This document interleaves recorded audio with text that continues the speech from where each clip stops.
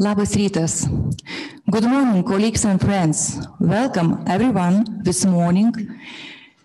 Joining us in person, we have here in our hall some colleagues and online at the Baltic Musicological Conference Music and Change. Two main organizers of this conference, my colleague Rima Povilionienė and me, Rūta Stanevičiūtė, were looking forward very much to meet you in Vilnius. Pre-conference time was really challenging for us.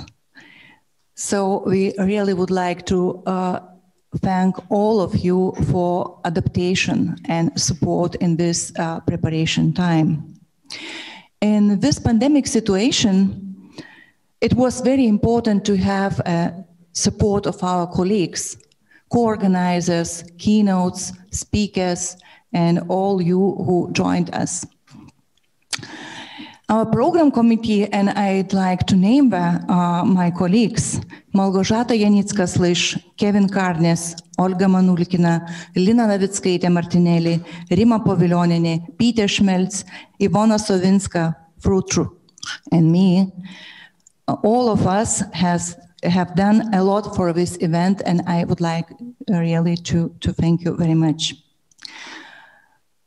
This year, Baltic Conference aims to explore the transformative power of music in uh, processes of liberation and change.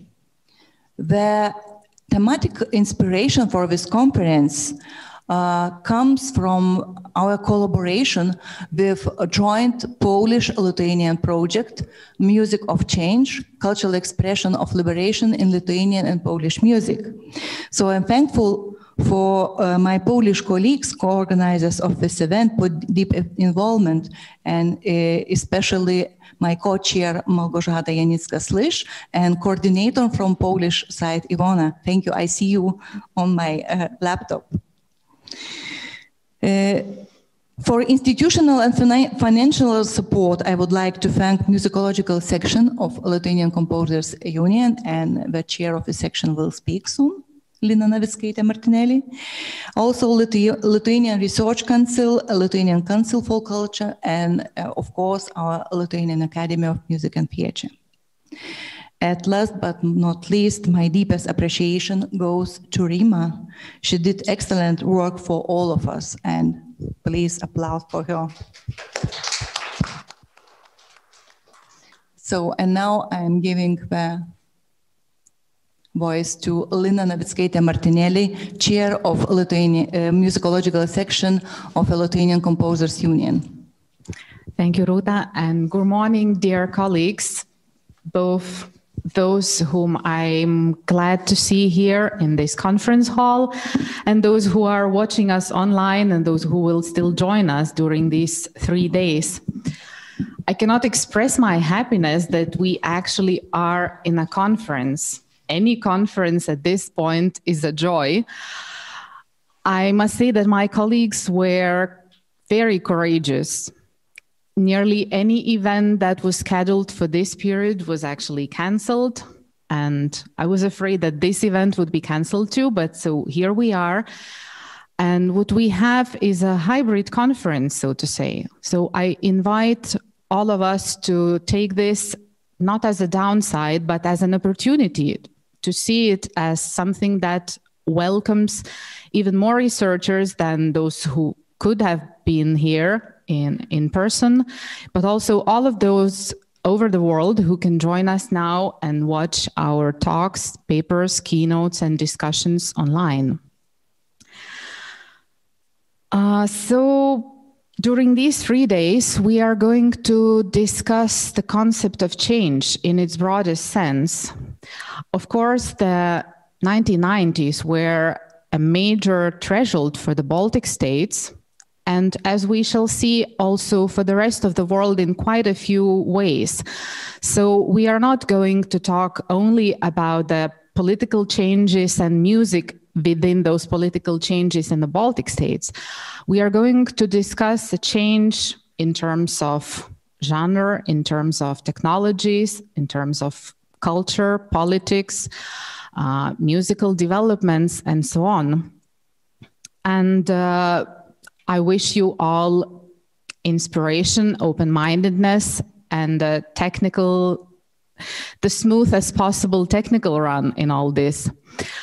Uh, perhaps a little uh, on the Baltic conferences as such. So here we already have the 47th uh, Baltical conference, which brings even more joy that this tradition is running and we have colleagues who've been here from the very beginning, from the dawn of times of the Baltic Musicological Conferences. And we hope that no pandemic will be able to stop them running the, until the 50th and the 100th conference of the Baltic Musicological Conferences. So I welcome you on the behalf of the Lithuanian Academy of Music and Theatre and the Lithuanian Composers Union. And I wish you wonderful three days with us. Thank you, Lina, very much for your address. And now it is privilege to invite our first keynote speaker, Professor Gintautas Mažeikis, philosopher, anthropologist, and social activist, head of a, a Center for Social and um, Social and Political Critics at uh, the Vytautas Magnus University in Kaunas. And title of this uh, keynote lecture is Dialectics of Music and Popular Revolutions, Lithuania, Ukraine, and Belarus. Before he will start, I just uh, shortly remember that uh, Gintautas uh, has published numerous articles and monographs on uh, critique of symbolic thinking and functions, postmodern anthropology, critique of the contemporary creative industries, and comparative analysis of discourses and societies in the uh, society of spectacle. So, so please. Thank you, Rūta, for uh, invitation. And um, I'm ready for my reading. Actually, I'm a philosopher and I'm working in the uh, area of uh, critical theory. Uh, one of the topic of uh, critical theory, uh, which is interesting for me, is music and propaganda, music and in the period of rebellions and revolutions. And in previous my um, presentations, I I spoke about uh, about uh, periods of uh, um, uh, music in uh, Lithuanian societies. It's uh, 90, 88, 90, 90. Then about, especially about Ukrainian Euromaidan, Euromaidan 2013, 2014, and a little bit later, and how it was related with informational warfare. And today a little bit would like to, de to devote my report to the events in Belarus as well, compare with Lithuanians and uh, um, Ukrainians. And now on the uh, top, on the desktop, you uh, see my picture where you see actually that um, a phot photography from the holiday festival of songs, Dainų šventė in 1988 in Vilnius, uh, in Vilnius. Then uh, this is important stage, and it was everything is organized the Soviet time, and as well Lithuanian symbolics, and many of participants think um, and items of. Independent items of Lithuania, Latvia, Estonia in this time, maybe one of the first time, and in the students' uh, festival Gaudeamus in the same year. Uh, the other stage, uh, which you see, it's a major stage on Ukrainian Kiev uh, Euromaidan, uh, Slava Ukraine, and uh, a little bit participated in this one event, and the stage was uh, quite quite important. Actually, there was two stages, not one. This is major, and the other smaller, and that's even micro stages everywhere. And uh, the third uh, photo, you see that so-called uh, Red Church, Catholic Red Church in the center of Minsk, where this area square became the place for spontaneous stages of different songs and dances. And um, uh, my, but I would like to uh, to consider all these uh, events from Adornian perspective perspective from perspective of Theodor Adorno and his uh, negative uh, dialectics. And you uh, you remember that he was quite quite skeptical about all these popular uh, revolutionary events. And at the end of his life he has he had even conflicts with the students uh, who participated in protest of 68 68s, uh, but in, in another way, he uh, criticized a lot of um, this popular music. Uh, uh, but it's not so simple. I would like to show you that it's not so simple. If you will, you will check uh, his uh, considerations in the books of sociology of music, aesthetics, and negative dialectics, which I will use mostly. You will find that he was quite quite uh, skeptical from the one side and uh, uh, ambiguous, I would say, uh, when he spoke about uh, music in a revolutionary time. Just take that concept, revolution, and check the texts, and you will see that it's not so simple when we are talking about popular music. So, however, in any way, I need to involve few concepts. The first is uh, related how to relate on related with uh, the philosophy of Wilhelm von Humboldt and his um, concept of innere Sprachform. Uh, innere Sprachform, uh, this is inner form of language and how this one topic could be used for the uh, concept of notion of music or Begriff der Musik the concept begriff in Hegelian sense were used for, for a long time. And I know that contemporary post-structuralists don't like this one uh, uh, the notion, especially in Hegelian sense, and try to use completely different concept. Uh, for example, signifiers or empty signifiers or on some wide com uh, completed signifiers, socially completed signifiers, or gender completed uh, signifiers. And this is uh, uh absolutely different approach uh, than uh, Adorno used. Adorno is some somewhere between. from the one side, he he doesn't believe the old philosophy, Hegelian philosophy of the notion, dialectics of notion, the dialectics of uh, begriff. And uh, from the other side, he uh, uh doesn't use he doesn't uh, use uh, the concept of signifiers, and he is not participant or the philosophy of post-structuralism.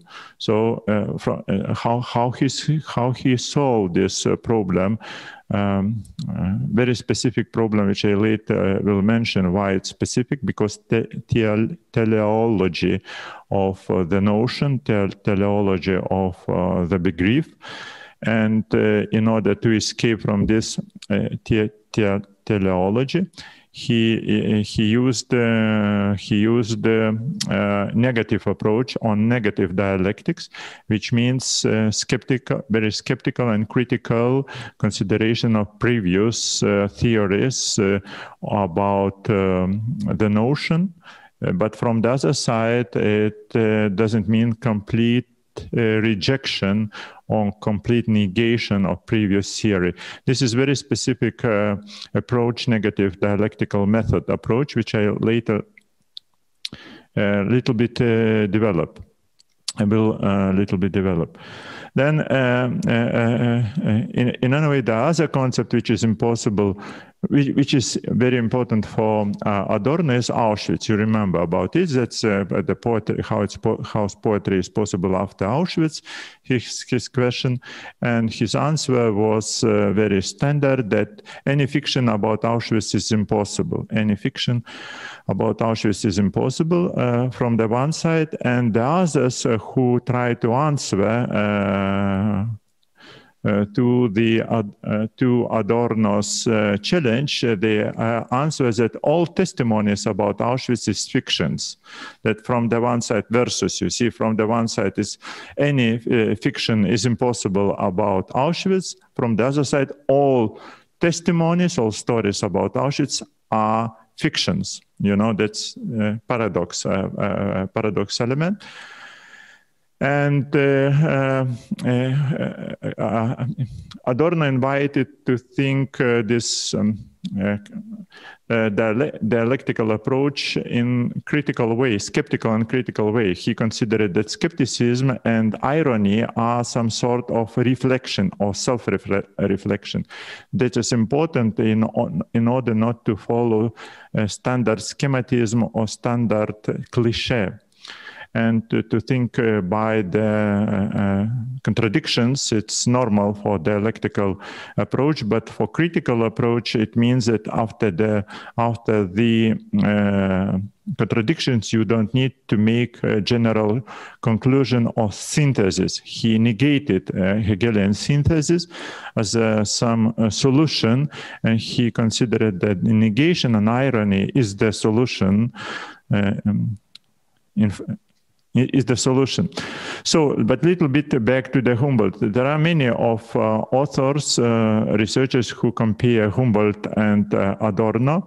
That Humboldt, some concepts of Humboldt could help us to understand the processes in language, music, and in art forms.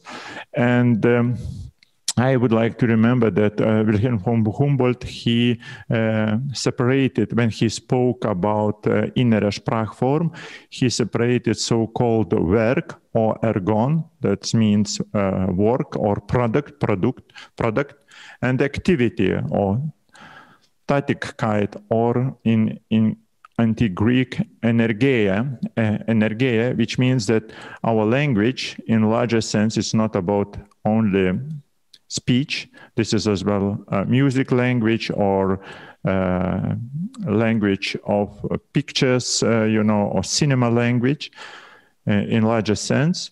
That uh, it means that our our uh, spiritual expression exists between werke or product, some conclusion, expression, and the energeia, which means which in involves as well empathy and intuition, empathy, intuition, or if you would like Dionysian, uh, Dionysian energy, Dionysian energy, and. Um, energy as intuition uh, uh, is that some kind of uh, intuition demands uh, new and new borders or terms of institutional institution institutionalization. Cornelius Castoriadis imagined institution of society. He wrote a book about this energeia and how it uh, is, it could be solved by institution. But uh, in a way, uh, it both of them and Adorno and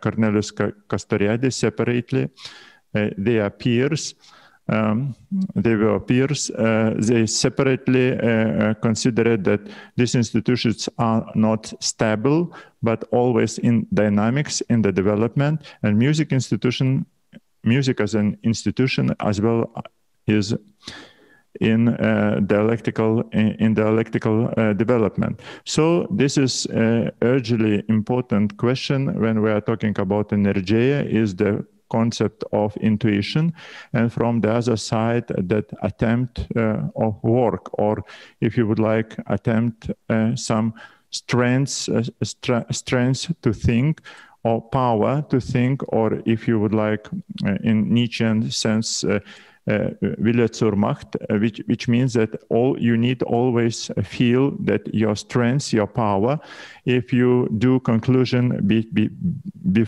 without your work, without any your attempt and work, without any strength or uh, energy if you uh, got your conclusions or understanding immediately it means that uh, you use some kind of cliche or mechanical reproduction of art which, was later developed by uh, uh, uh, walter walter benjamin but uh, in any way, uh, in any way, uh, what is important as well for Marcuse, the friend of Adorno, Herbert Marcuse, and Theodor Adorno, it's separation between between intellect and uh, the mind, or between Verstand and Vernunft, which uh, only mind and Vernunft could be revolutionary, and intellect is already involved in bureaucratic or, if you like, nomenclature uh, solutions.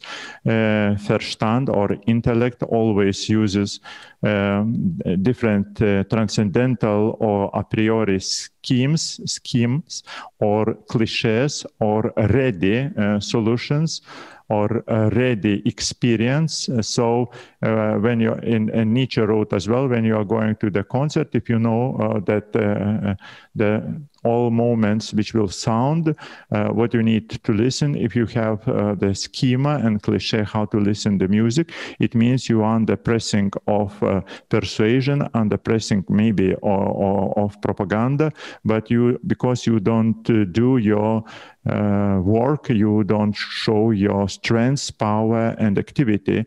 And when we are talking about in uh, so-called creative industries of cultural industries from uh, dialectics of enlightenment of Adorno, we need to remember this one, um, uh, this one separation or differences between schematic, a perception, schematic, uh, understanding and uh, uh, which, which, is different from the work of understanding.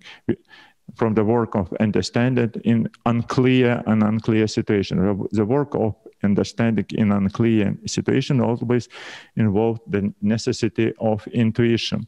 However, this is the big problem because Adorno wrote uh, a lot of critiques about intuition. He always criticized musical in intuition and he said that is all the, the concept of intuit intuitability, intu intuitability, a monument to old-fashioned aesthetic hedonism this is a quote from uh, from Adorno. This uh, what does mean intuition? It's monument for old-fashioned aesthetic hedonism, and later he called this is petit bourgeois uh, uh, uh, approach, you know, or uncritical approach, and he criticized this uh, this is uh, uh, pure intuitability of artwork uh, hides from critical observation the complex social, political, economical, communicative uh, mediation. He highly criticized the theory of uh, intuition. But stop and listen here. What, what is very important about negative dialectics in this moment? Negative dialectics are very similar to the dialectics of so-called left or um, uh, left Hegelians uh, or young Hegelians, left and young Hegelians like uh, Moshe Mendelssohn or uh, Moses Mendelssohn or Karl uh, Marx or or the others. Uh, uh, what is important here that's uh, that the description of negative dialectics if you don't have necessary concept you could use old concepts, but in negative way. This is the form, one of the formula of negative dialectics. You could take for your uh, for your uh, needs some old concept, but you, but you in this way, in order not to do mistakes, you need not to present the old concept in the positive way, not to use in the positive way, but to criticize this concept into negative way without proposing the other concept without proposing of the other concept.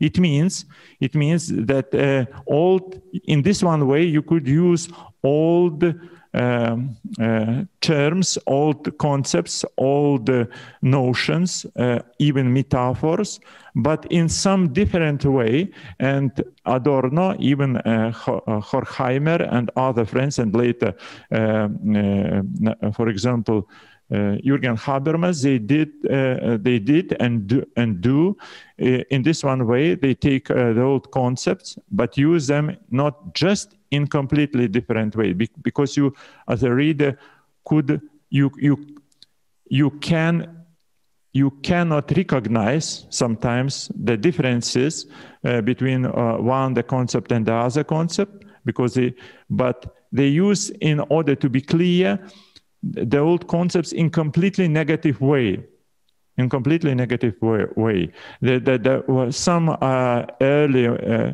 Karl Marx books were written uh, in this uh, in this uh, one way, and he Marx called this method critique of critique, critique of critique, and critique of critique is the beginning of negative dialectics. So.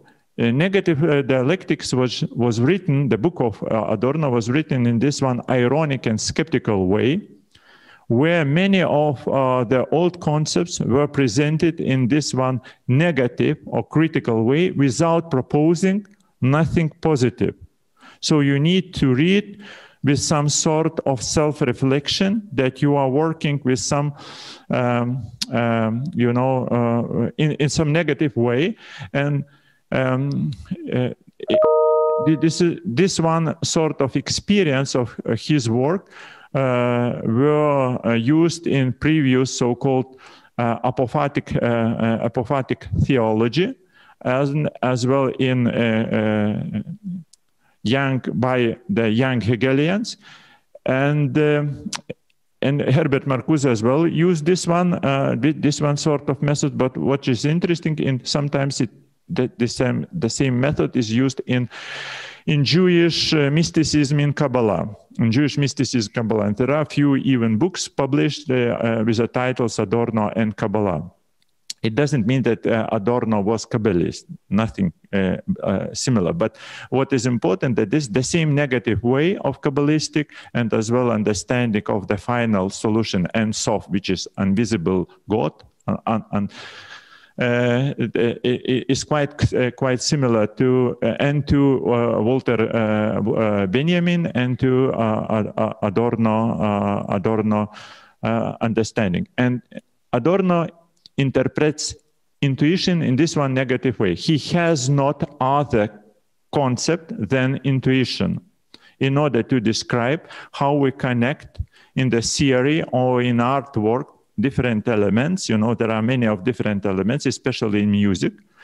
And you, you, you, you need to remember to, to, to have in your mind all the, uh, all the uh, artwork but you always see just only or listen only part small part so in order to connect to to have understanding or feeling of all co composition you need to use you need to use uh, in old uh, theory you need to to, to use uh, the intuition.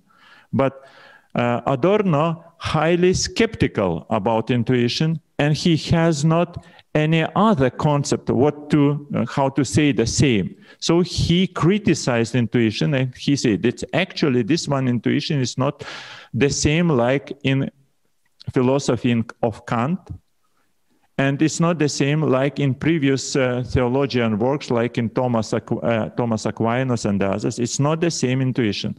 This um, his intuition is based on the analysis of social relationships economical relationships you know the power uh, critique of power of contemporary power critique of uh, styles and tendencies in uh, contemporary art.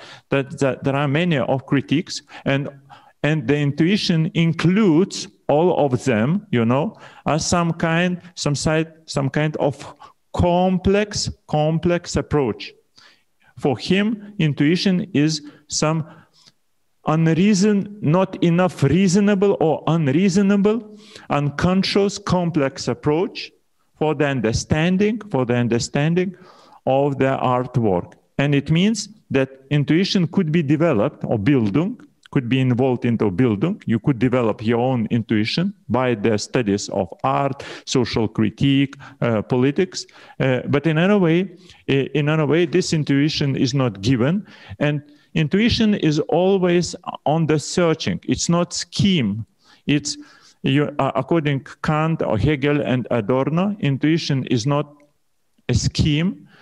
Intuition is not um, intuition is not a, a, rule, but you all, it's intuition means always searching for solution. You don't you don't have solution. You don't know what is it, and you you try to orient yourself eh, when you hidden yourself in some city. When you lost yourself in city or in artwork, you need to find some uh, whole picture general picture. And for this reason, you use your own intuition, which means that you use your all previous experience or you use all pre your pre previous observations, experience and observations. And uh, Adorno tried to explain that uh, composers or artists or even nations sometimes use intuition, intuition for the searching of the best expression. And it's a little bit similar to intuition of Wilhelm von Humboldt. Uh, Wilhelm von Humboldt. So now I'm turned to the civil political intuition. It's not about Adorno. Adorno didn't uh, wrote a lot about civil uh, political intuition. I just take his art intuition, concept of art intuition, but he, his approach to the music is sociological. Sociological. He wrote a lot about sociology of uh, music and art and literature as well. So this is uh, quite, uh, quite, uh, quite possible. Intuition is non-pre-reflective, uh, changing plural way of apprehending of facts. It's uh, um, then um, what I would like uh, to emphasize He here is well uh, wrote about intersubjective intersubjective intuition or intersubjective observation of our experiences. This is as well similar to Hegel. To Hegel. And uh, uh, it means that not only individual, his sub subjective will, but as well nation, nation as some imagined community, nation as an imagined community who could build or to develop their own intuition, how to understand the some sort of uh, some sort of artwork. If we will not propose this one uh, approach, we couldn't understand why some nations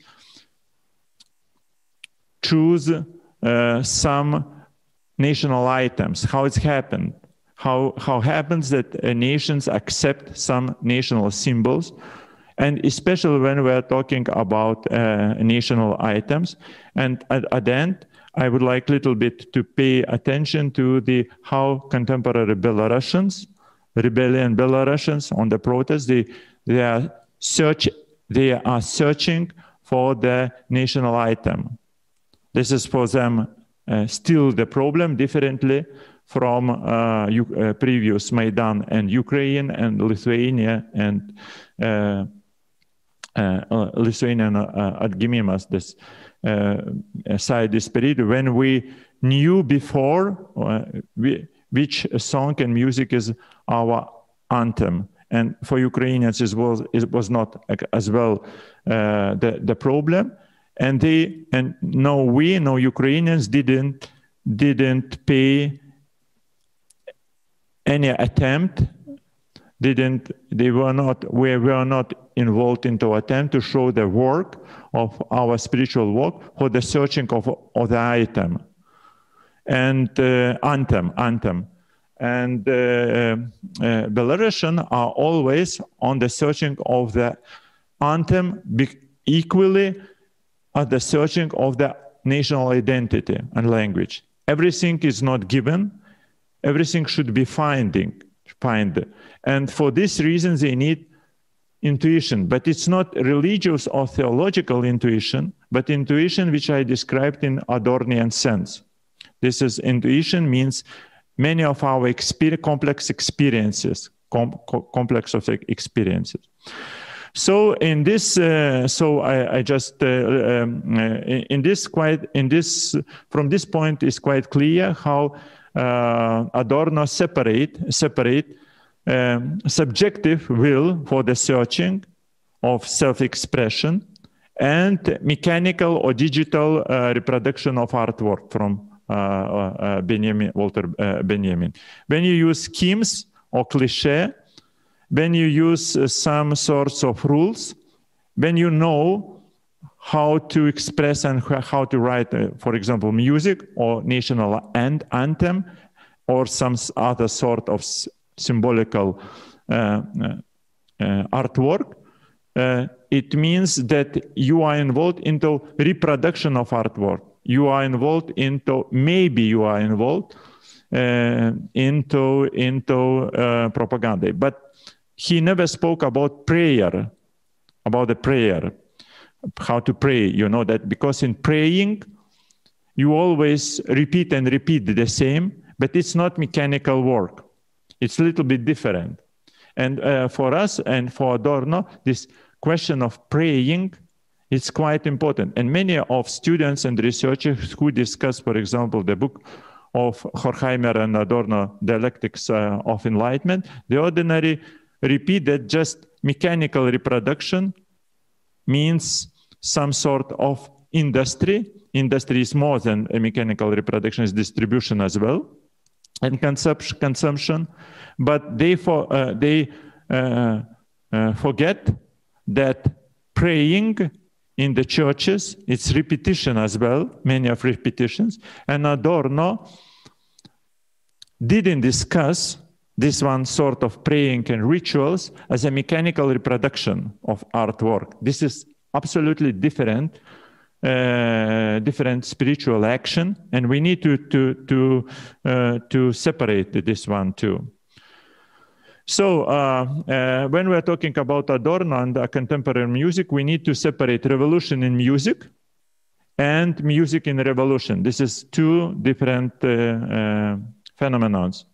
Revolution in music, according Adorno, for example, the, according him, it's Beethoven, Wagner, or Schoenberg.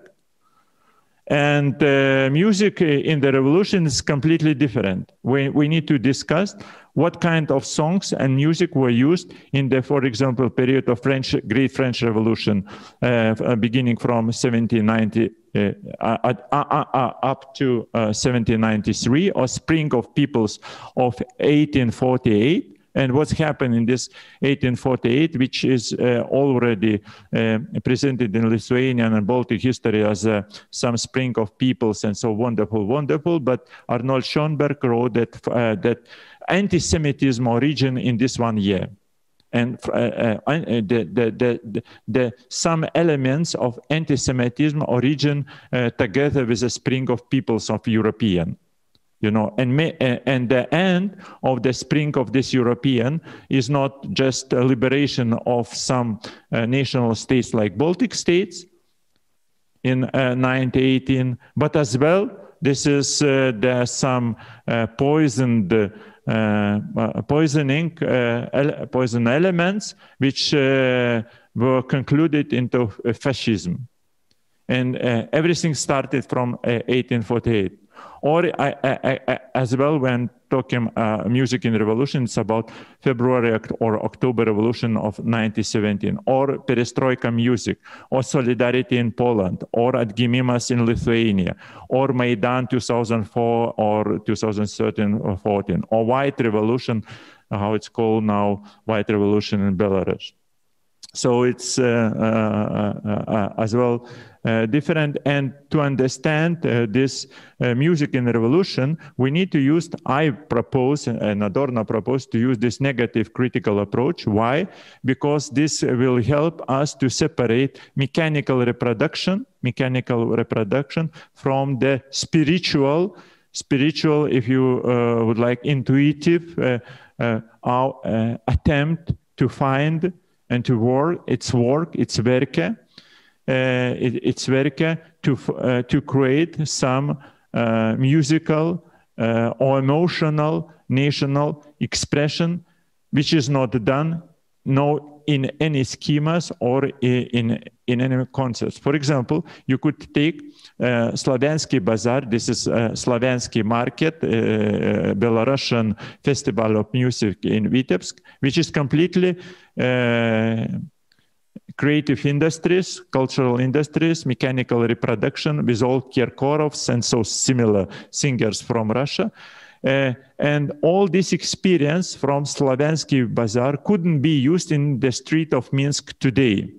You know, this everything what you done in this Slaviansky Bazaar doesn't uh, uh, doesn't work in, in completely protest Minsk street because this street and these uh, crowds on the street or peoples or or citizens rather citizens organized citizens on the street they don't need this sort of music They and they are searching for the new expression, new expression, and this is work of them. They always change their one song to another, to the third, and so on, in order to find the best expression for their world experience. And all Slaviansky Bazaar couldn't help for them because creative industries doesn't work together with this one searching of spiritual self-expression of freedom, civic freedom. So this is, you see, so clear when you start to analyze propaganda music or cultural industries and this uh, revolutionary music. This is very and very different uh, processes. They, they don't have any, mostly, they, sometimes they don't have any connections. But from, from the sounding, when you listen sound, it listen, it sounds like similar. You know, this is one rock and then uh, one rock. This one pop music and then pop music. And this genre approach doesn't help for us to understand this art, uh, to the, the, the, the work uh, of uh, our work, uh, the, the work of, of the mind or uh, the work of uh, Vernunft. So, uh, so uh, this is uh, again. I will skip that. This is mentioned about Beethoven. And now, what is interesting for me, this the Schoenberg. The Schoenberg uh, again. This is very classical topic. You know that those who uh, studied uh, Adorno, you know that he was follower and fan of the, the 12-tone serial music, or and he was very big fan of Arnold Schoenberg, and he called that Arnold Schoenberg Schoenberg and uh, is a completely revolutionary uh, uh, musician. But Arnold Schoenberg doesn't participate in any revolution. Uh, he was separately from them. And according to Adorno, one of the most revolutionary way is opera of uh, Schoenberg, Moses, and Aaron. And I a little bit will show you that this from uh, golden calf and uh, altar. There's uh, some uh, very short uh, quote uh, from this music, but what is interesting about who, for those who read about this one opera, you remember that opera was written in the uh, mid uh, between two, uh, two, two wars in the um, end of 20s, 1920s. And uh, Schoenberg was very disappointed by the growth of anti-Semitism in Germany, in Austria in this time. And he was like uh, Kafka, Franz Kafka, for searching of small literature or small music or small, uh, uh small music. small music, he called his own approach as a small music like uh, uh, Kafka uh, considered his novels uh, as a small literature as well, and Deleuze later used these approaches to explain because nobody would like accept this one Jewish composer, except few in, in, intellectuals, you know. And uh, Arnold Schoenberg considered that his uh, opera should be completely skeptical and ironic about this period, about this period, and to show some a, a possibility for Jewish people to create Israel as some Zionistic project, which he supported in the uh, uh, 20s, in the 20s, and later Adorno, when he um, have uh, correspondence with Tom Mann, writer Tom Mann, and Tom Mann wrote uh, the uh, novel with the title Dr. Faustus later, and uh, Adorno was advisor of this uh, musical part of uh, the uh, novel, of the novel, of the fiction of uh, Tom Mann. Then, uh, and he, they have correspondence and sent many of letters to each other.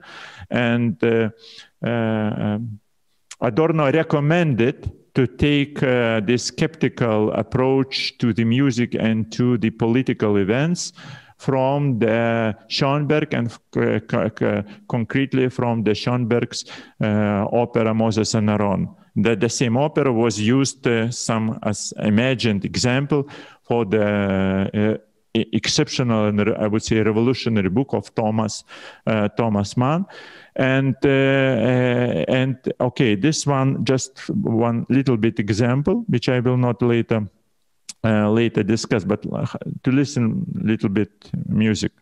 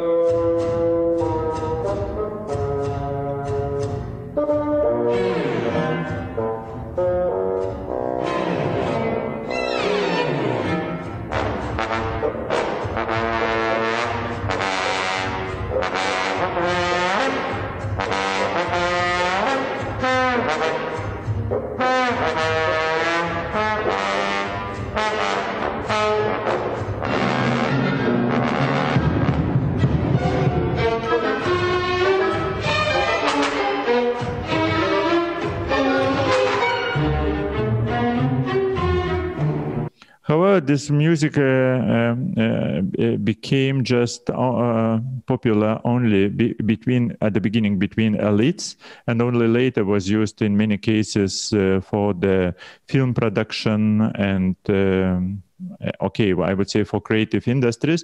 But in, in, this one when we listen this one music the most important to feel if you don't know nothing about uh, uh, nothing about uh, golden calf uh, note uh, nothing about egypt you know uh, exegesis um, if, if, you don't know nothing about this biblical or Torah or or, or Hindu or uh, Jew, uh, Jewish uh, Old Testament stories, uh, in any way you will feel some very skeptical and ironic approach uh, what's going on around. And uh, this skeptical approach was the critique of the society of weimar republics and equally austro-hungarian austro-hungarian empire. And so you will search some solution or exodus, how to exodus, how to uh, find a solution uh, uh, under the influence of this uh, um, uh, this uh, music. And uh, then uh, even more interesting for me, it's Adorno and Hanns Eisler. You know, they wrote uh, together a book uh, uh, composing for the films. And Hanns Eisler was a disciple of uh, Schoenberg, the first disciple officially. Maybe he has pre some previous disciples, but in any way. And, and Adorno, when he wrote about revolution in music, revolution in music. He mentioned as well Hanns Eisler. He's uh, Hanns Eisler, very ambiguous, I, I would say, very ambiguous uh, composer. He, uh, uh okay, he uh, was not, you know, this some strong follower of uh, Schoenberg. He sometimes he used this uh, 12 tone uh, method. Sometimes he used completely different methods uh, for this. Uh, but in any, in any way, uh, what is interesting about Heinz Eisler, he as well was Jewish, but didn't search for the solution in Zionism, but he tried to find solution in communism. This is again very interesting because uh, before Second World War, many of Jewish don't know how to behave in this anti-Semitic, anti-Semitic Europe, and, and they search for two solutions of them. No, okay, one of them was to immigrate to United States, but the other two solutions was or Zionism or communism, you know. And uh, Schoenberg uh, turned to Zionism and Hanns Eisler to the communism. He was author of Eastern German uh, anthem. But uh, uh, uh, Adorno very uh, uh highly uh, qualified Eisler, and this one, one sort of his Der heimliche Aufmarsch about this march of workers. it's became uh, became uh, one of the composition which, uh, according uh, according uh, Adorno, could be an example of revolutionary music. But this is completely different than 12 tone, which is more popular. I, I would say more, more popular music. I would say that even little bit popular music. Es geht durch die Welt ein Geflüster. Wonderful. Hörst du es nicht? Das sind die Stimmen der Kriegsminister. Das ist nice. Aber da hörst du sie nicht. Es flüstern die Kohle- und Stahlproduzenten. Es flüstert die chemische Kriegsproduktion. Es flüstert von allen Kontinenten. Mobilmachung gegen die Sowjetunion.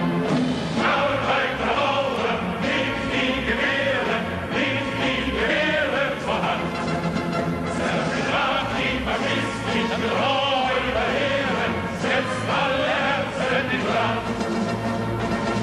das Euroten der Arbeit, auf jeden Acker, auf jede Fabrik, dann steigt aus den Trümmern der alten Gesellschaft die sozialistische Weltrepublik. Dann steigt aus den Trümmern der alten Gesellschaft die Sozialistische You, know, that's uh, Eisler was as well a friend, very good friend of Bertolt Brecht. He wrote a lot of music for the uh, plays of uh, Bertolt Brecht, uh, and in a way, uh, very nice. I very like him, uh, Hanns Eisler. So, but in a way, you need to, in this one way, we need to understand that that. Hanns Eisler, he used uh, this one. He was always involved into work of searching, you know, work of searching. He never, he never knew how to express the spirit, class spirit of these workers. And he never knew which sort of music should be uh, presented as uh, exceptional, equally to Bertolt Brecht, who was, well, uh, was always under searching. And for Adorno, it means they are not, were not involved into cultural industries because they, they didn't develop this schematism and cliche. You know, this is important because you don't know and you need to use your old, all this intuition in negative way, intuition, in order to find your, your own uh, solution. And sometimes, but could we, could we apply, could we apply the same approach for audience. Okay, I will a little bit skip some uh, some my uh, presentation because I believe that it could be too long uh, because sometimes I'm reading this one lectures for hours or hours and going to uh, some uh, some uh, conclusion. And now I would like little bit to stop about uh, uh, okay, that's a revolution. One of them, which is important, I need to quote from Adorno: the, the revolution, revolutionary moment in the civil life or in art is the resolution, gradual and lasting, of some of the most fundamental contradictions, the most universal conflicts, which can be expressed in a general form by the concept of antagonism between the accepted form of expression or submission, and the new aspiration of the spirit, the new demands of relations. If Wilhelm von Humboldt uh, wrote this uh, sentence, we will accept it, the sentence like no, normal, coherent uh, for the, the uh, Humboldtian approach. So they, they are in this one sense uh, quite similar, but from the other, it means that when we are talking about some life experience life work, life art work, or life art searching, uh, we need always to remember about this one conflict. We, we need to search for conflict, for the contradictions. If they are not con contradictions, it means that uh, uh, this one, uh, this one uh, doesn't, uh, doesn't work. And I would like to start maybe uh, uh, Eh, eh, okay, uh, I would like to start a little bit to remember some small quotes from Searching for National Anthem, which I mentioned. That's because Belarusian rebellions don't uh, don't know exactly which sort of anthem could be accepted for all nations, but all the music are not no one of the song no one of the music are not ac- still accepted as a national anthem. That is many of attempts they are in the searching. The first uh, uh, official national anthem of Bel- belarus is this one which is completely rejected. Nobody sings this song on the street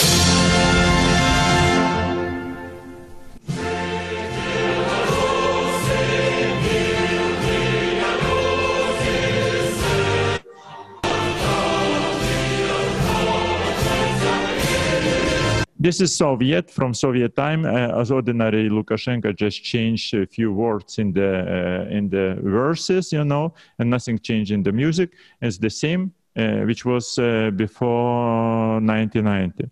And another one, uh, which uh, many of nationalists they thought that this one could be official anthem, national anthem. doesn't didn't doesn't be, become uh, popular, and later I will explain why.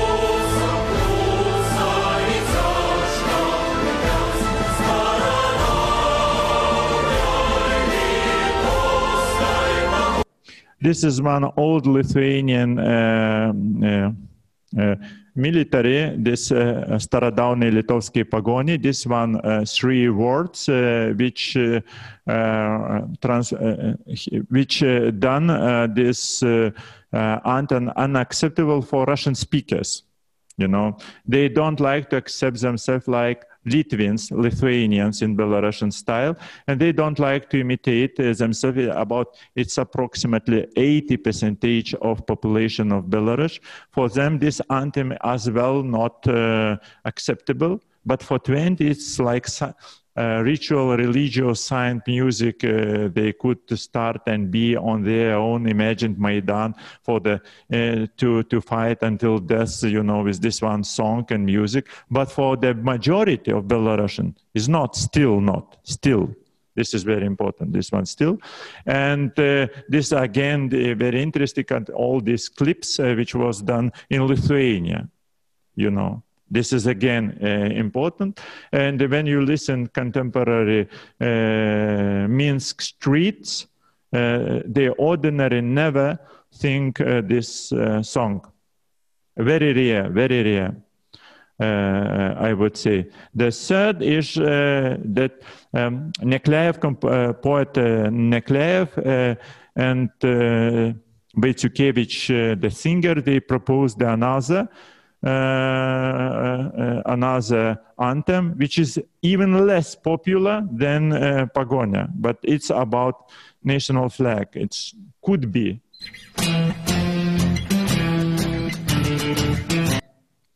Sorry.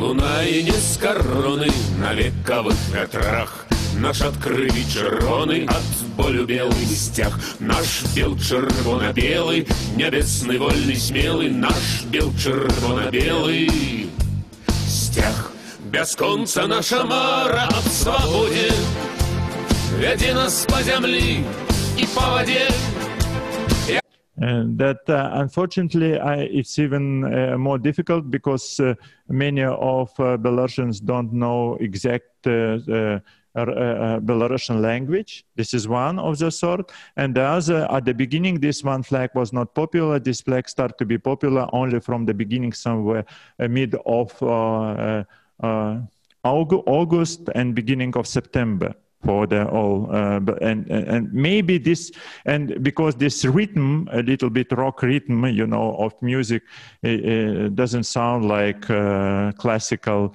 uh, classical anthem. For the for the joke for the joke they proposed russian speakers the uh, the another example which is completely actually very strange but sometimes they call this is our real today real a real anthem. It's uh, with a title Three Turtles uh, or Three Charapahi, which is completely stupid, but they call it like our contemporary item. This is unbelievable, but they are happy from this one music.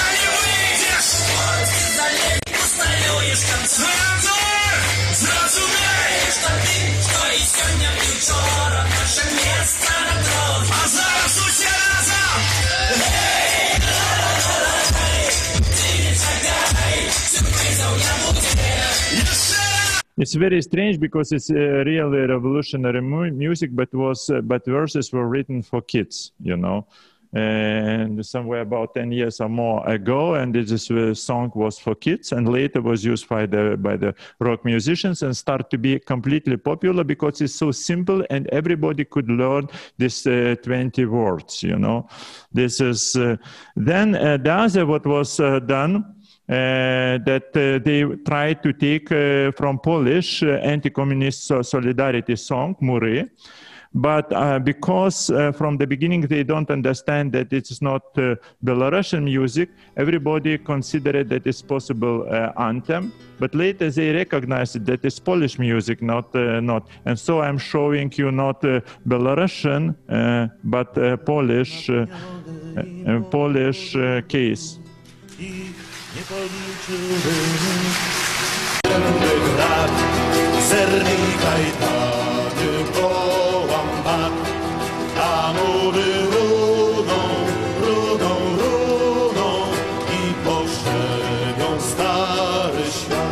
So uh, Belarusians take uh, this one uh, music from uh, revolutions abroad, you know. If you don't have your own song, maybe you could take from abroad, you know, foreigners. This is uh, uh, Solidarność, you know, uh, music from 1981. Uh, early Solidarność. Then they try to take uh, this uh, perestroika music, Viktor Tsoi Peremen. They translated even, even into Belarusian language. This is, was, was not acceptable.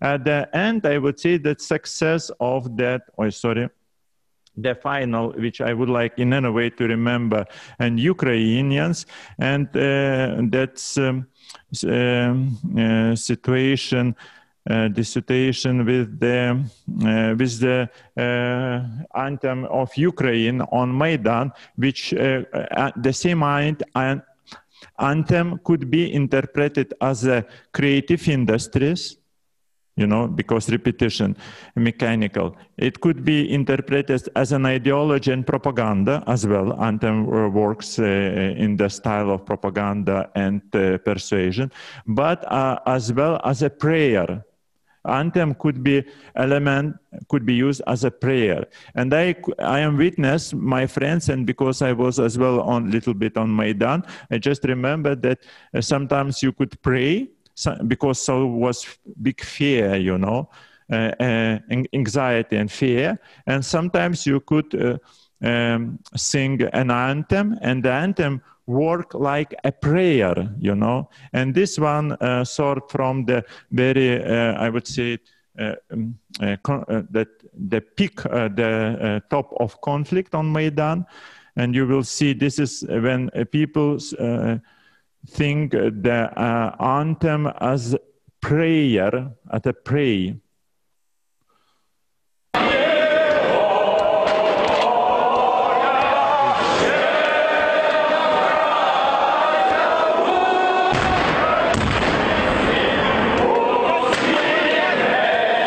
And because I, I've saw that another possibility uh, on 10 seconds, uh, that Kupalinka, this is as well a song was uh, uh presented as well as a prayer, praying uh, uh, in front of OMON. In, in but as well, it's very interesting that I don't have time for that, but at least to show this one very good example.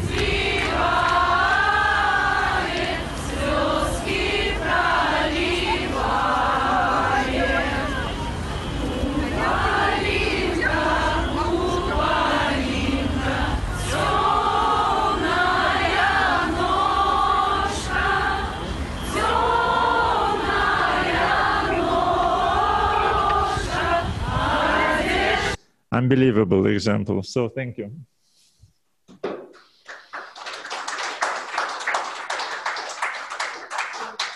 Hmm.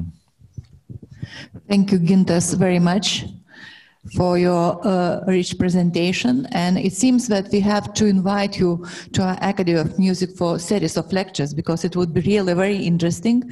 Now we have uh, some five minutes for discussion. First of all, I would like to show our, our online audience and our colleagues that we have here real audience from my computer. So, and our real audience uh, could uh, uh, question something, I, I, will give you microphone. And our online uh, particip participants are welcomed to ask some questions or to discuss uh, in chat. So please, do we have some questions? This one in front, of yeah. course.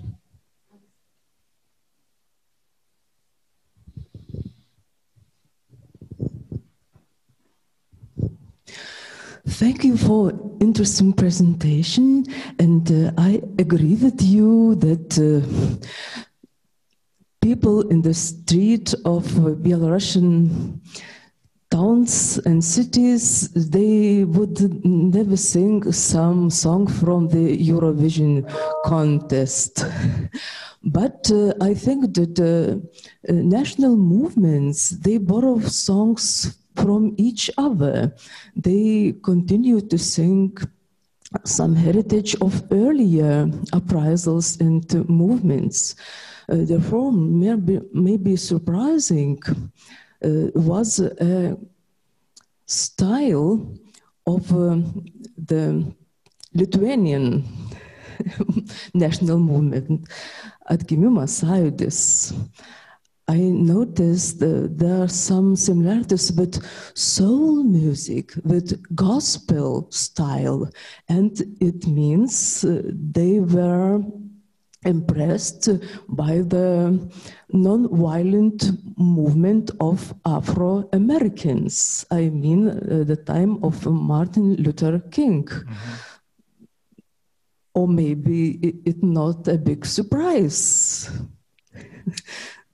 Yeah, I would interpret, you know, that you when when we remember about the Lithuanian side, this just is very important to, to remember as well this uh, festivals of songs, uh, uh, for example, 1988, and as well rock march, uh, rock movement in this period in Lithuania. And many of rock groups try to find some sort of expression for the people, for the uh, uh, uh, Uh, uh, for the people, uh, uh, the music which will be available and acceptable for big crowds on this period. And if we will check pre-perestroika or pre-Sąjūdis period, 1987, 1987. This is beginning of Rock March, and if you will check that uh, repertoire, all this, uh, uh, you know, uh, what kind of music it was and uh, that you, you uh, uh, it, it, will be very as well interesting that some pop uh, music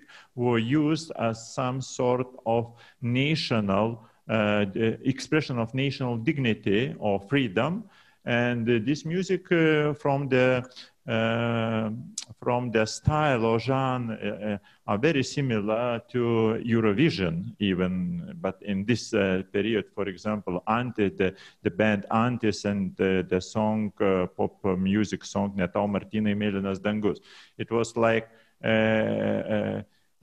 thousands and thousands of people sung this, sang the song, and you know but uh, uh, in another way uh, for me was not i was not interested in concrete uh, concrete verses or concrete song.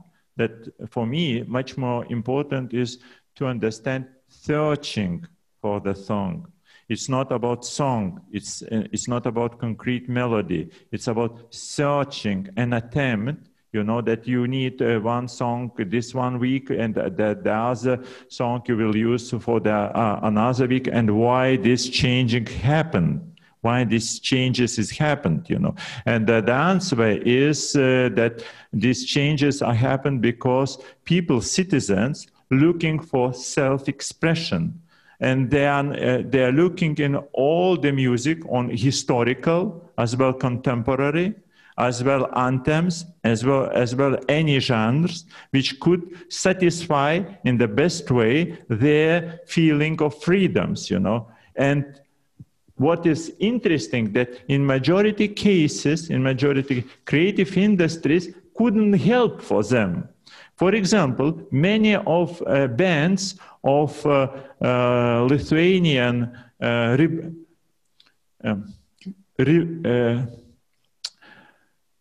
revelation, uh, uh, Lithuanian uh, revelation, or Belarusian, or if you will check Ukrainian cases, accept this anthem, that all the bands try to suppose, propose something. And like in Belarusian music today, they, many of singers try to, to supply some, some music for them and streets Streets don't accept this supply because it, this supply doesn't satisfy their feeling of freedom.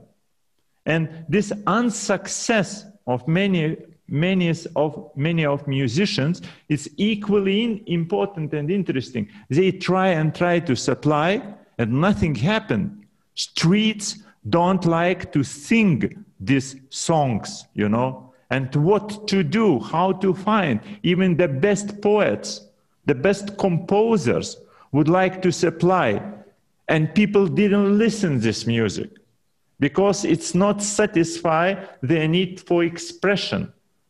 And this, this is object of my research, but not the music. Uh, we have one uh, question in chat, but before that, uh, Lina and Martinelli will ask. Thank you very much for, for the inspiring talk. Uh, I just have a comment, a musicological comment. Uh, I was very much intrigued by this distinction of revolution in music and music and revolution.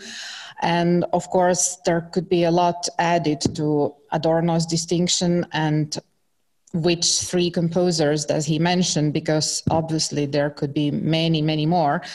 But what's wonderful, I think, and quite peculiar is that in quite a few cases, the music and revolution and revolution in music coincide actually. So we know very well how Beethoven has been used by both the left and the right as for millions of occasions on all sides. Well, Wagner is clearly the rightist for sure.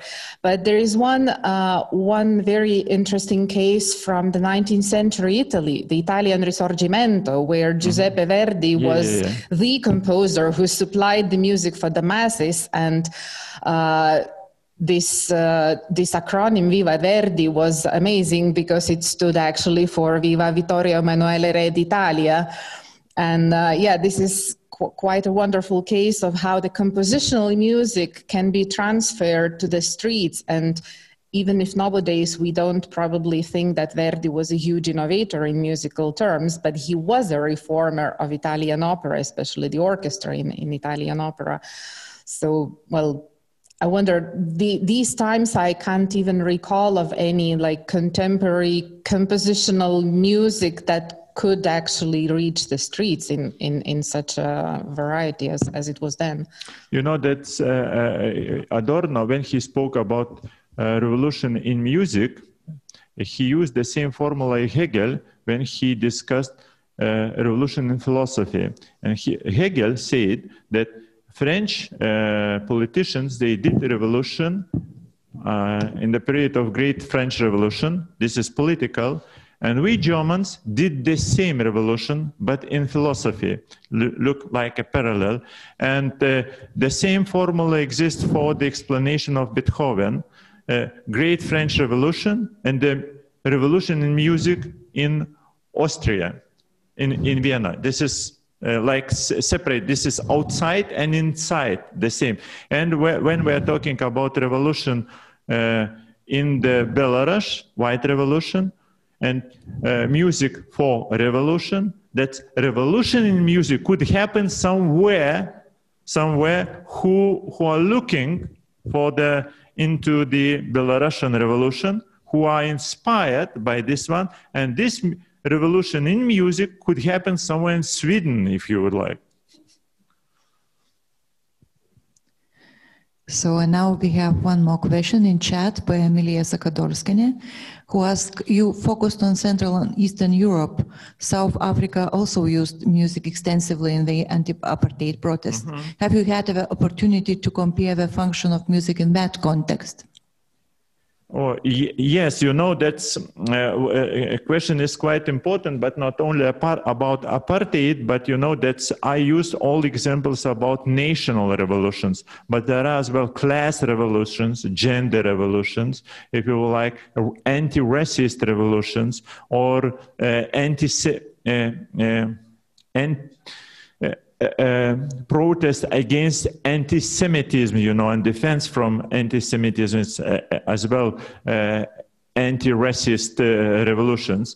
And many of them, they need as well music, and some of them, they use these uh, uh, songs as an, as an anthems, you know, like Solidarność, and we mentioned this Mury song, you know that uh, this uh, song doesn't uh, sound like an anthem classical you know this is pop uh, cultural music but in any way this music was used by the Solidarność in this period as an anthem, you know. And so it means that some jazz composition could be used by the uh, black, uh, that's um, uh, for the uh, black movement or Indian movement or apartheid movement. And this music could be completely different in style and genre, but we are talking about, not about genres, but we are talking about searching for self-expression, uh, uh, if you would like, class dignity or gender dignity or ra race dignity or quality, you know. And for the self-expression, you need to find this one sort of music, like Latins, uh, Latin uh, Americans found them for themselves. Uh, this uh, very simple music devoted to Che Guevara, Comandante Che Guevara, as many left Latin America leftists and communists, they, they use this one music, music, not, not the song, but especially music, as some some kind of inspiration for the uh, for the revolutionary movement. And this music as well could be used for propaganda purposes later. So you see this is uh, ambiguous and we need to discuss this ambiguity and these contradictions in a way. And then uh, about apartheid is the same. Against apartheid is the same.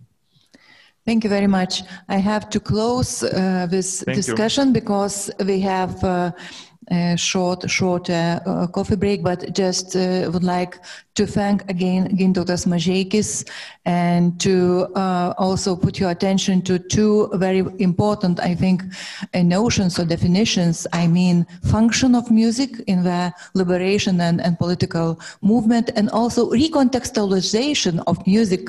And both these uh, notions could be new topics for new conference. So thank you very much again for everybody, and we will meet in 15 minutes in, in two parallel sessions.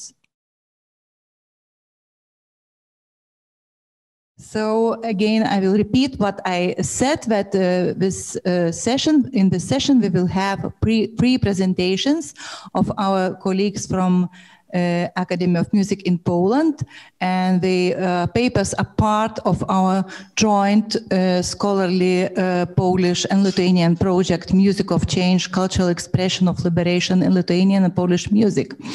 And uh, for speaking this session is Professor Małgorzata Janicka-Słysz, and she is a leading specialist in several uh, areas of studies, including Karol Szymanowski, Lithuanian music, Lithuanian-Polish uh, musical collaboration, and others. And the title of her paper is In the Poetics of Experience on Polish Music from the Perspective of Affective Turn of the 1990s. So please, Małgorzata. So thank you very much for possibility to be together in this very complex time.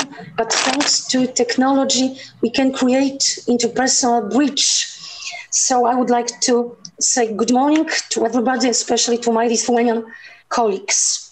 The title of my presentation is connected with very important affective turn in Polish humanities of the 1990s in the poetics of uh, experience. The category of affect is one of the key figures of thought in contemporary humanities. It is also a significant concept in theoretical and musical reflection about the humanist orientation. Mieczysław Tomaszewski, the creator of the Krakow Theoretical School, appealed repeatedly for research into the expression of a musical work. He explained that, I quote, in the work itself, not outside it, lies the main efficient cause of the work's influence, generating directions and categorical quality, sets in particular phases, sound production, auditory perception, and sign symbolic reception of the work it categorically determines the shape of its verbalization.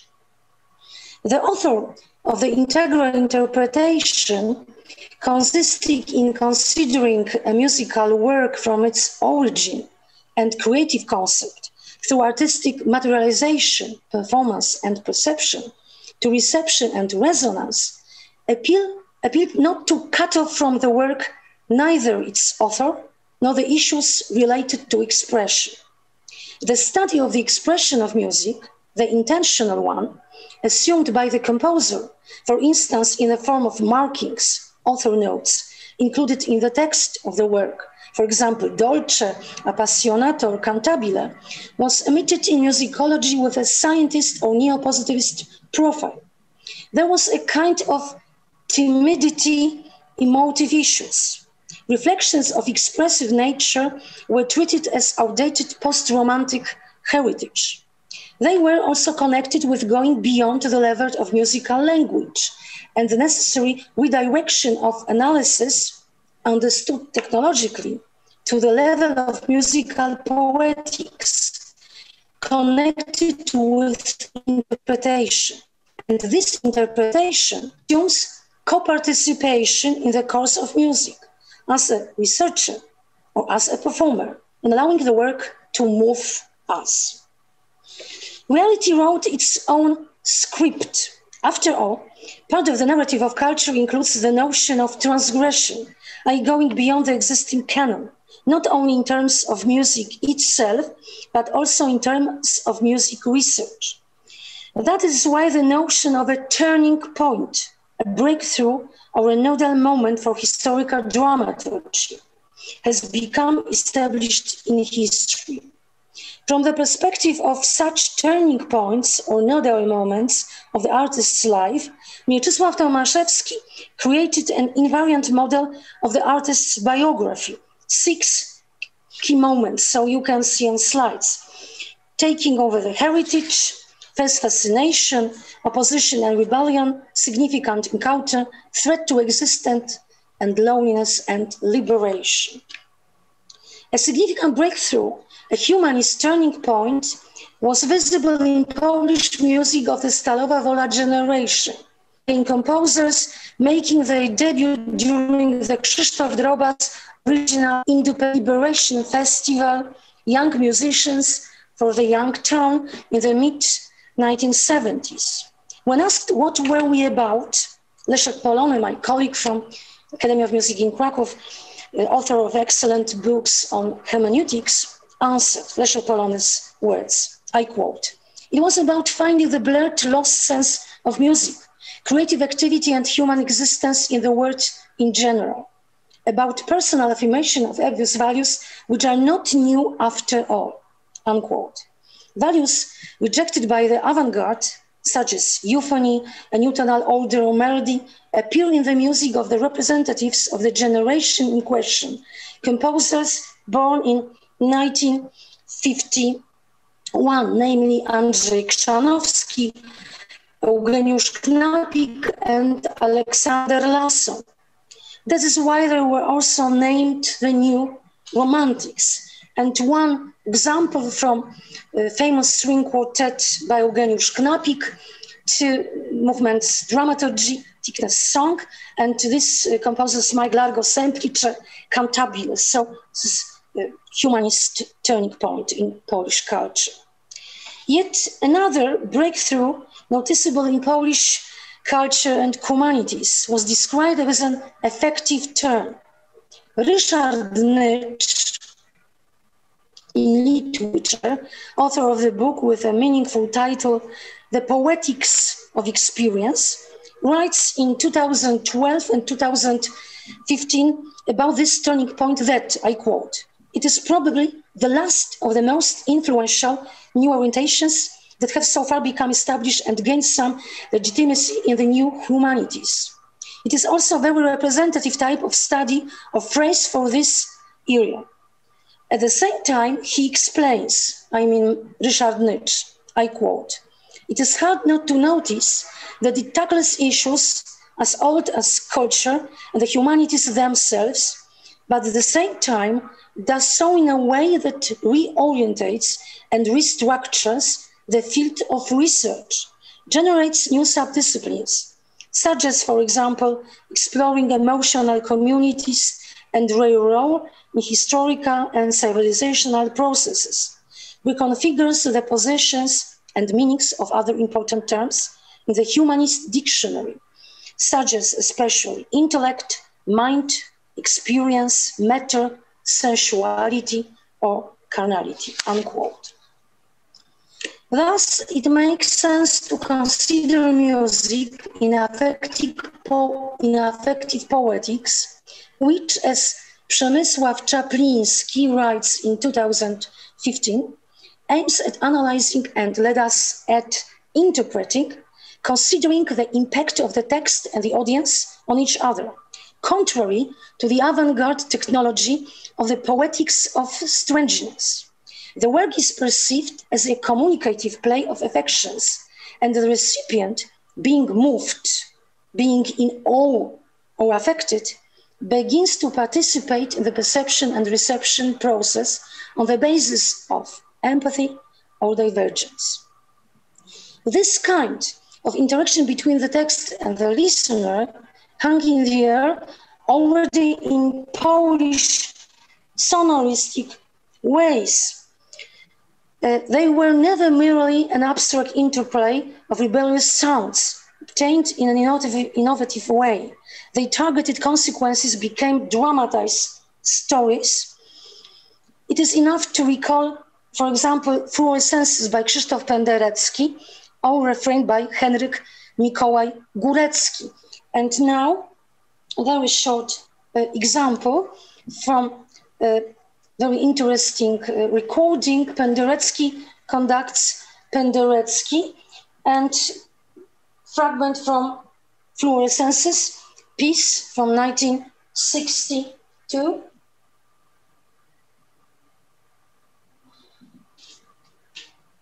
Um,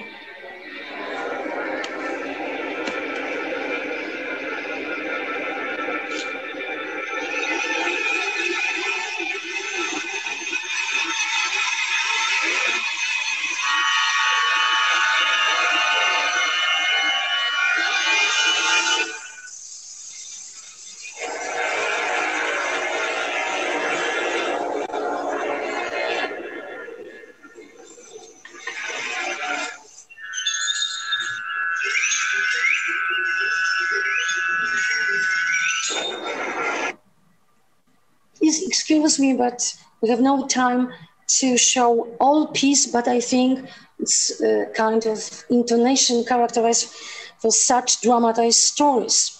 The powerful expression was supposed to move and even shock the listener, composing his or her perception for the reception of strong affect- affections.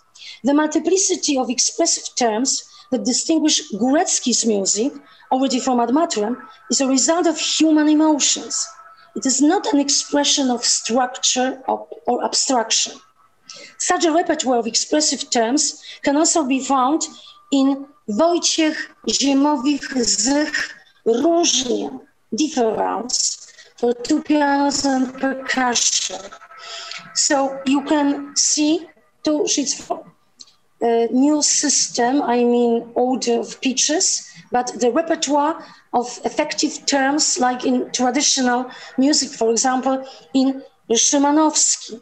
The 90-minute treatise on time is anchored in the philosophy of Jacques Derrida and the poetry of Georg Trakl.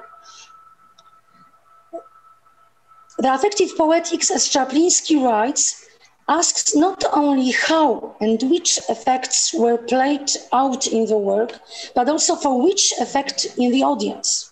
Only the audience understood in this way in the work becomes a reader in effect.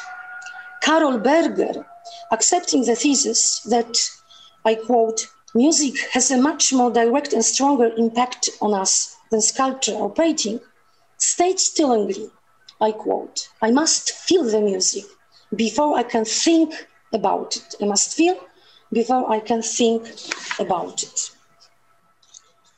Even uh, Grażyna Bacewicz, who wrote in her letter to her Lithuanian brother Vytautas Bacevich in 1958, I quote, for me, composing work is like chiseling in stone and not transferring the sounds of imagination or inspiration onto paper, stated, I quote, composers were in a way ashamed of their emotionality. So I rejected this shame and I write emotional music. Marek Stachowski's auto-reflection is also marked by emotion. It will be the statement for the, um, the year 1994. I quote, the imperative of intensified expression resides in me. It is stronger than means. The language changes, but emotions remain. According to Peter Kivy, we interpret the expressive coloring of music in a similar way to the way we read emotions from a person's face. We understand the message, although no words are spoken.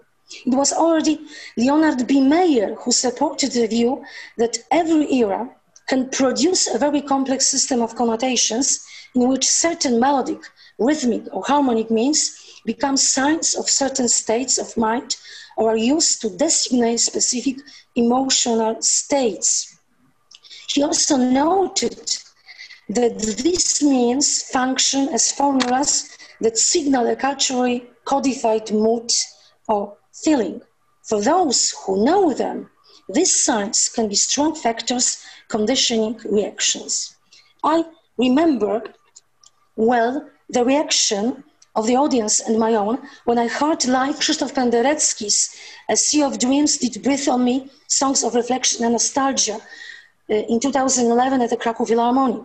The fragment from the poem Chopin's Grand Piano by Cyprian Kamil Norwid, one of the Polish national poet, quoted by the composer in the Center of Peace, I visited you in those near final days, is a significant element inscribed in the collective emotional memory of the Polish audience, like the song anthem of solidarity movement, Walls, Mury, uh, quoted by the professor in keynote lecture.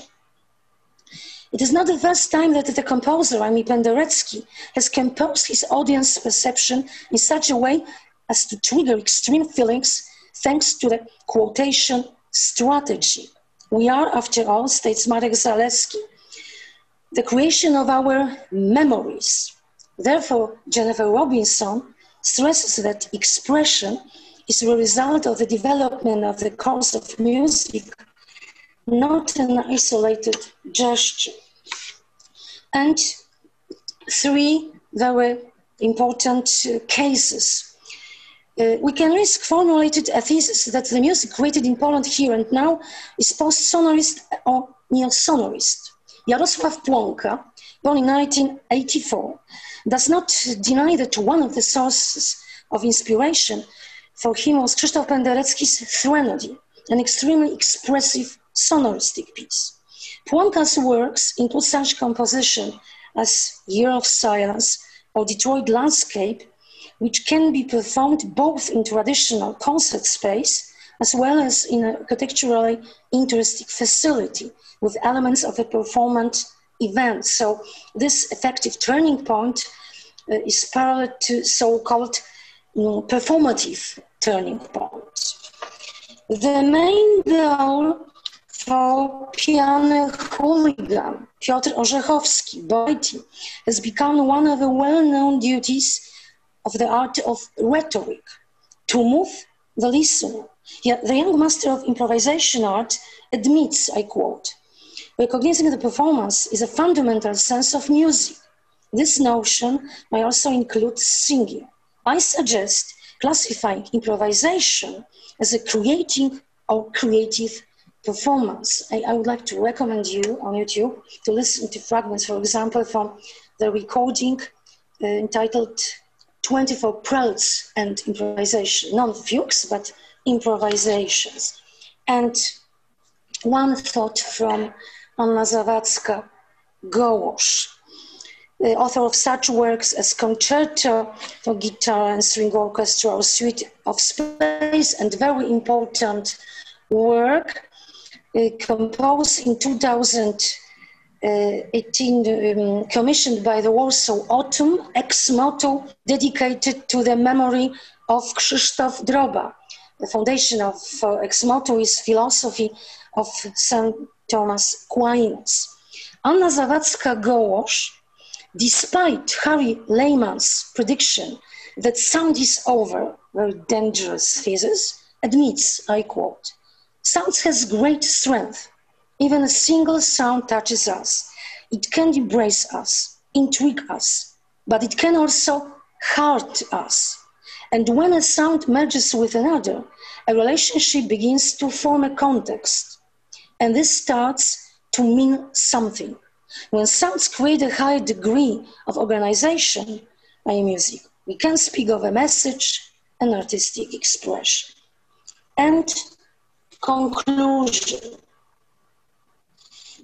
What distinguishes the Polish composers school in the 1960s and early 1970s was expressive sonorism, devoid of the genre memory, which was object in nature. The humanist romantic breakthrough in the mid 1970s redirected the composer's imagination towards values consciously lost or forgotten by the avant garde. The intense individual subjective expression was in the foreground. Structure was subordinated to that expression. The affective turn, which took place in the 1990s, directs its attention towards the poetics of experience. Elaborating on Przemysław Czapliński's thought, the affections experienced in music become stimuli for the audience, who begins to participate in the narration of the work. In the Polish musical culture, this line, in a sense, derives from Witold Lutosławski's two parts musical dramaturgy and the conscious composition of the listener perception, moving his imagination. In Marcel Chyrzyński's latest work, Adagio for Orchestra, dedicated to Krzysztof Penderecki, who died on 29 March this year, we experience the aforementioned communicative play on affects. The gestures and intonations evoked from Penderecki's repertoire have been inscribed in an individual pattern of Chyrzyński's personality, assimilated with his sound landscape. Also, thanks to quotation from Penderecki's Fourth Symphony, Adagio in Adagio, so double strategy. And now short fragment from this first performance of Chyrzyński's Adagio dedicated to Krzysztof Penderecki from Silesian Philharmonic the mm, beginning of May of this year.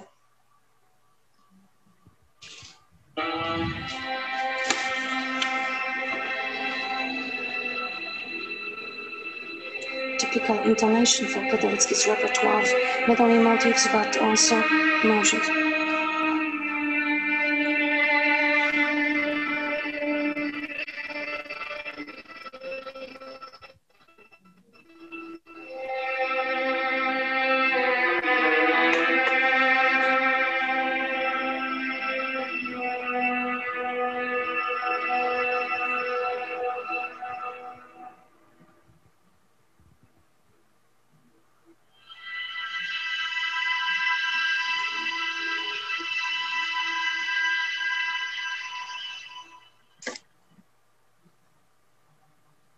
This is the end of the work by Marcel Chyrzyński. And the last thought from my paper presentation, the gestures and intonations evoked from Penderecki's repertoire have been inscribed in the visual pattern of Chyrzyński's personality, assimilated with his sound language. There remained the form and content of the memory, which is conducive to what Anna Chęćka-Gotkowska calls effective listening. And only such listening, experiencing music, favors the creation of meanings and senses. Thank you.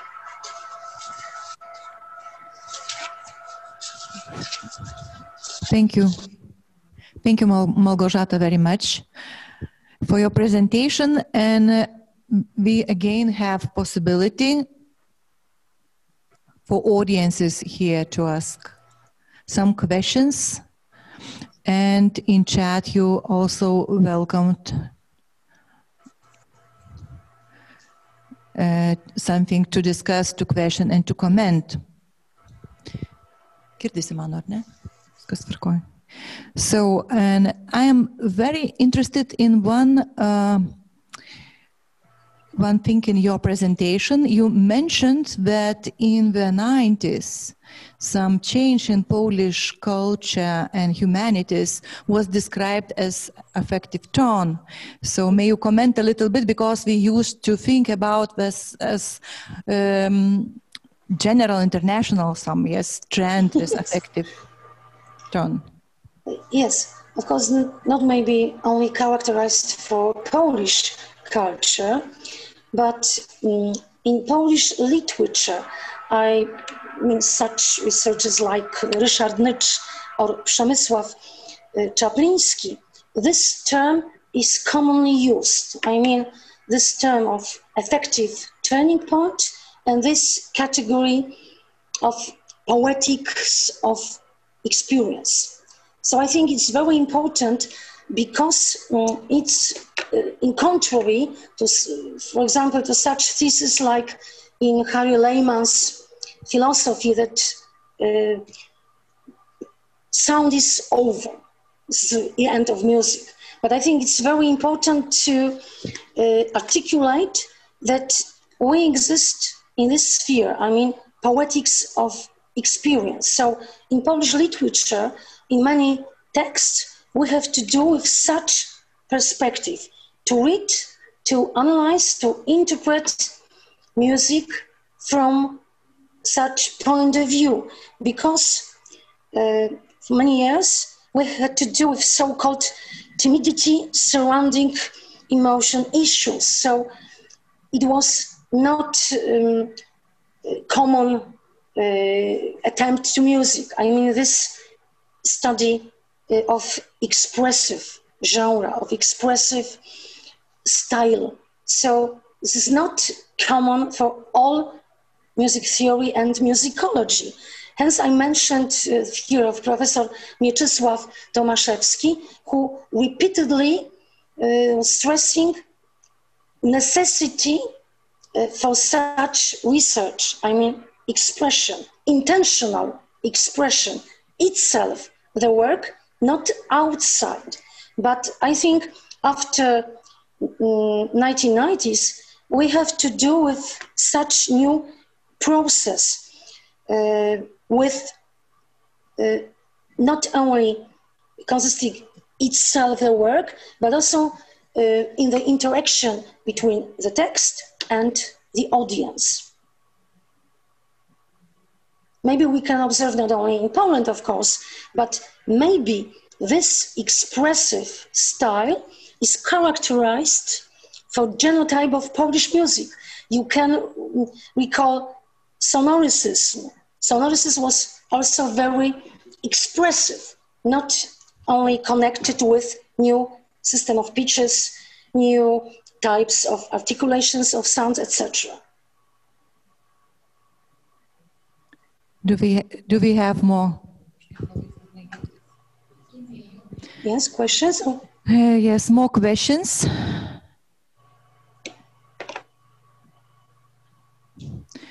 So I also would like to thank you for remembering us uh, theory of Mieczysław Tomaszewski. And it seems to me that he presented for the first time this just beginnings of his uh, theory in Vilnius in 2008 when we organized some congress on, on music signification. Yes. Uh, and I think it's now we see the very results of this theory and we uh, not only Polish musicologists but also Lithuanian uh, musicologists uh, mm, try to adapt this theory for, for our studies of music. So if we uh, haven't more questions, we probably will later uh, discuss after a whole session. Mm-hmm. And now I, it's very strange to say to uh, give a floor because when we, we have a Zoom session, but this time I would like to give a floor for our next speaker. It's Andrzej Mądro, and he sent us pre-recorded uh, video for better quality of sound and video. And uh, Andrzej, I do not see you. Yes, Andrzej is also here in the session, and uh, we may have um, uh, we could ask him questions uh, and to discuss after his presentation. So please, our technicians help to start his pre-recorded video. So Andrzej Mądro is also music theorist at Academy Music, Academy of Music in Krakow. And the title of his topic of his presentation is Yass Scene in Poland in 1990s. Good morning, everyone. First of all, I would like to thank the organizers for the possibility of remote participation in the conference. It seems to me that my subject fits well with the issues of freedom in music, showing it in the most glaring, even extreme form. Besides, it gives the opportunity to draw attention to an important phenomenon, but still not studied, hidden under the mythology of the first Polish jazz school. It is worth recalling that in the 1990s, Band Miłość was one of the best and most valued since 1994, it was at the forefront of the annual Jazz Forum polls.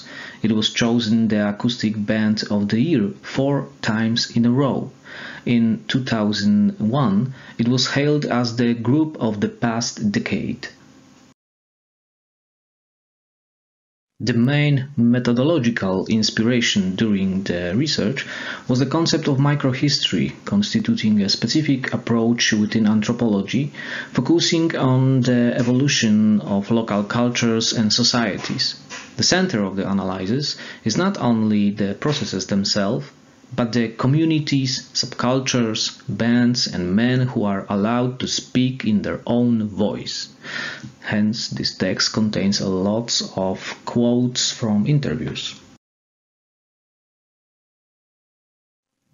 Against the background of the rough communist Polish reality of the 1960s, jazz seemed to be a synonym of freedom, independence, and modernity. But already in the 80s, its potential was exhausted, the more so because rock and punk grew in power as a symptoms of the social rebellion of the new generation. The Polish jazz scene was dominated by the old masters. There was no fresh blood. Tymon Tymański, a pioneer of yass and the founder of the band Miłość, recalls that many musicians wanted to distance themselves from it. I quote, the jazz of the 80s was for us a synonym of artistic decline. What is worse, official artistic activity was then subordinate to the state. Censorship and strict control of public speaking condemned rebels and innovators to the margins. It was not easy to get to the fore. Tymański adds, I went through a torment of maturing in an aura of impossibility and prohibition, in the center of grey, depressing commune with its ubiquitous propaganda. So artists could en only enjoy real freedom by creating in the underground. In such an environment, Totart, one of the main roots of yass, was born. This avant-garde alternative art formation, focused around Gdańsk and Bydgoszcz, fed on the influences of the most subversive art trends of the 20th century futurism, Dadaism, surrealism, happening fluxus, etc. Journalist Maciej Chmiel claims that everything you did back then was political in its own way. The bizarre behavior of Totart, the so-called transgressions, bore the hallmarks of a manifesto, but more like an anarchistic shout. Here we are, and we want to do something with our life.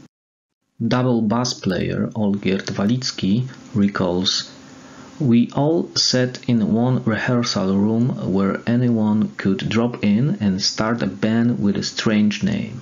Total freedom.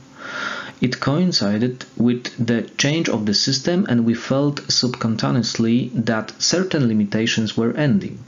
This nascent yass was a beautiful way for us to express positive emotions. Suddenly, we all had a lot of creative power.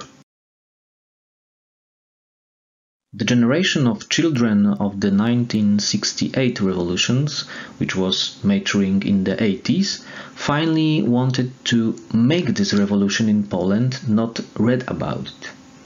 Thus the actions of young artists were driven by the myth of beatniks, free jazz, punk rock and new wave, at the same time signaling the birth of music that would synergistically combine the most rebellious and pro-freedom genres.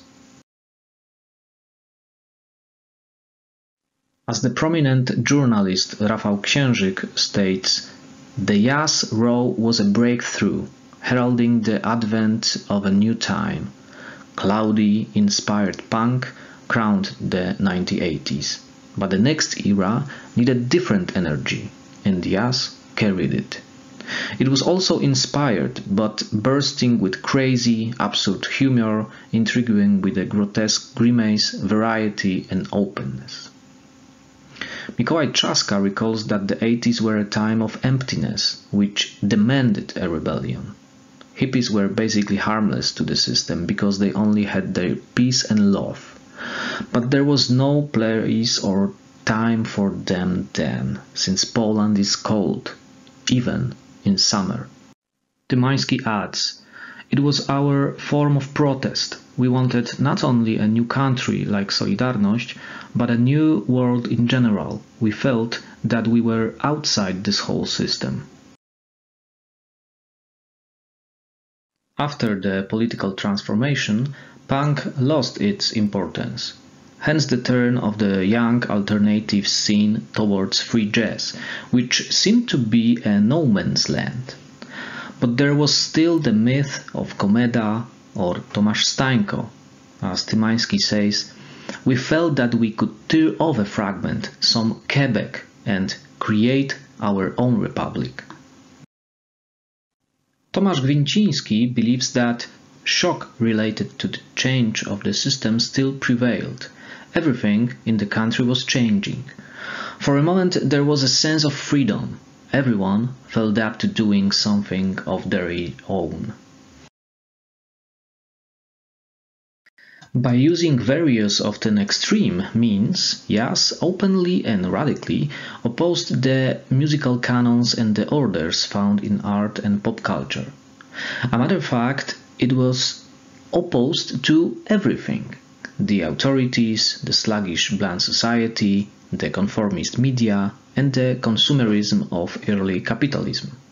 Ideologically, Yass still revolved around punk, but above all should be considered a hypertrophy of the jazz idea of freedom, implemented and brought to the fore yet in the 1960s. The freedom of artistic experimentation was practiced here even at the price of eclecticism and knocking on open doors. Yass was innovative, though not in a compositional or technical sense, but in a style. It was an intriguing but also controversial phenomenon, not avoiding moral provocations, vulgarisms, and obscenity. The term yass was coined by Tymański, clarinetist Jerzy Mazolewski and guitarist Tomasz Gwinciński. The first yass album is Tańce Bydgoskie by the group Trytony, founded by Gwinciński.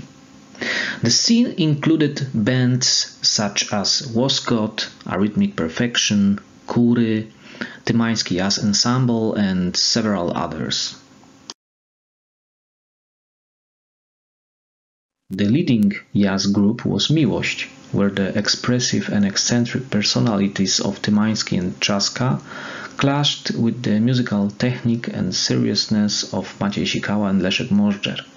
The collective was joined by talented universal drummer Jacek Olter. The beginnings of the Miłość band dates back to 1988, but it became more widely known in 1992 thanks to the Jazz Juniors Festival. In the same year, the name Yass appeared on a poster promoting their phonographic self-titled debut.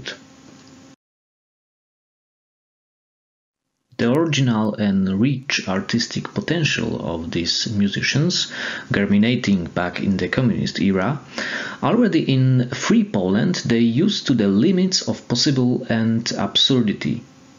Trzaska explains. Suddenly, it turned out that from today a lot is possible, and yesterday it was impossible to do anything. We could finally play and we did not need verification for that. The subsequent albums Taniec Smoka and Asthmatic turn out to be even more jazzy. The band also managed to record two special albums with the legendary avant-garde trumpet player from United States, Lester Bowie. The innocuous sounding name Miłość was supposed to emphasize a positive and affirmative message. It is also resulted from the fascination with the late Coltrane. The group's music is ardent, even ecstatic, but there is no pathos in it, rather ironic, grotesque, deliberate inadequacy, and anti-heroic approach. Many pieces, uh, such as Softies by Profession or Plasma Age, are musical antics, frills, and mischiefs. The very title of the track says a lot about ironic attitude of the musician.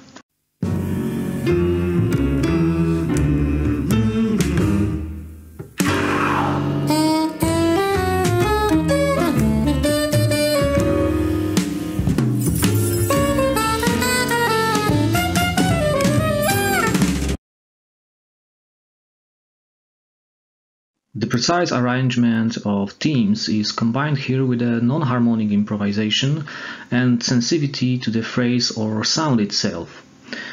Tribalism and free jazz shamanism is close to the attitude of such legends as Ornette Coleman or Albert Ayler, but it also comes from African traditions, which is why it is far from a cold conceptual avant-garde. Unbridled madness or clownishness was most evident during concerts, where the band mixed various forms.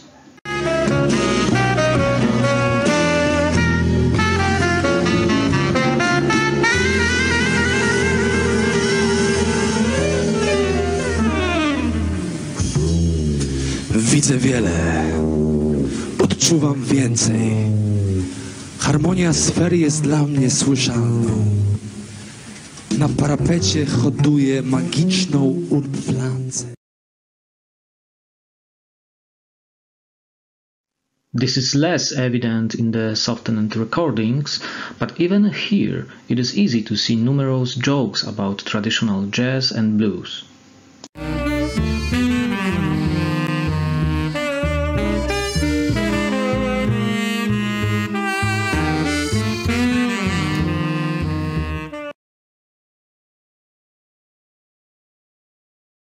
A sincere nod to the past was only the modality straight from Davis or Zappa.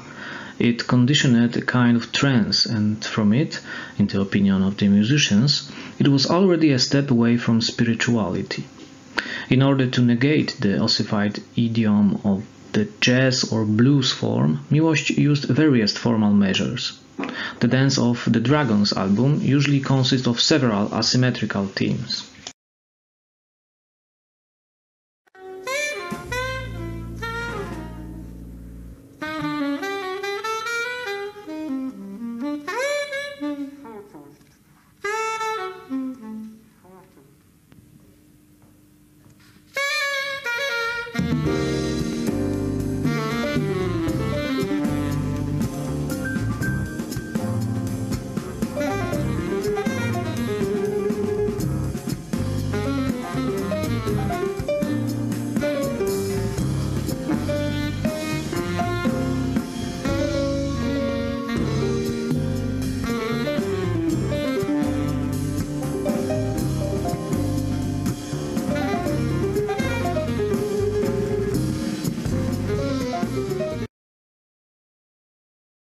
You can also find here pieces that are more conceptualized and cooler in expression, reminiscent of proto-free jazz recordings by Lennie Tristano.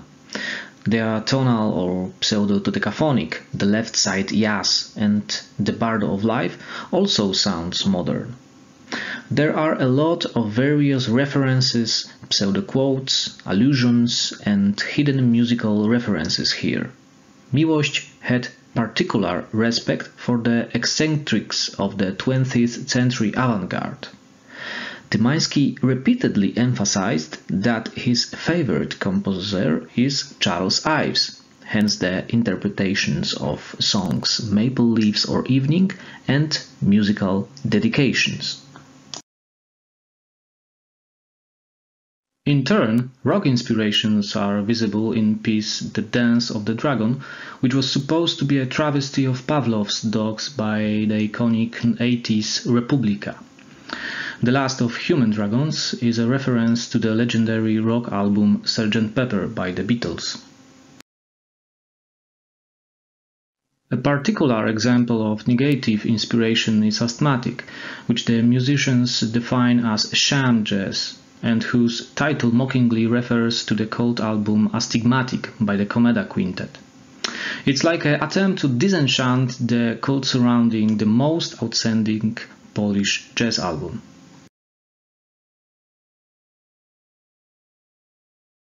In my opinion, the artistic activity of the Miłość band and the entire jazz scene provide excellent examples of the full use of artistic freedom in all its shades, in unrestrained and stylistic diversity, in spontaneity of uh, improvisation, in debauchery of means, frivolity, and stage shameless.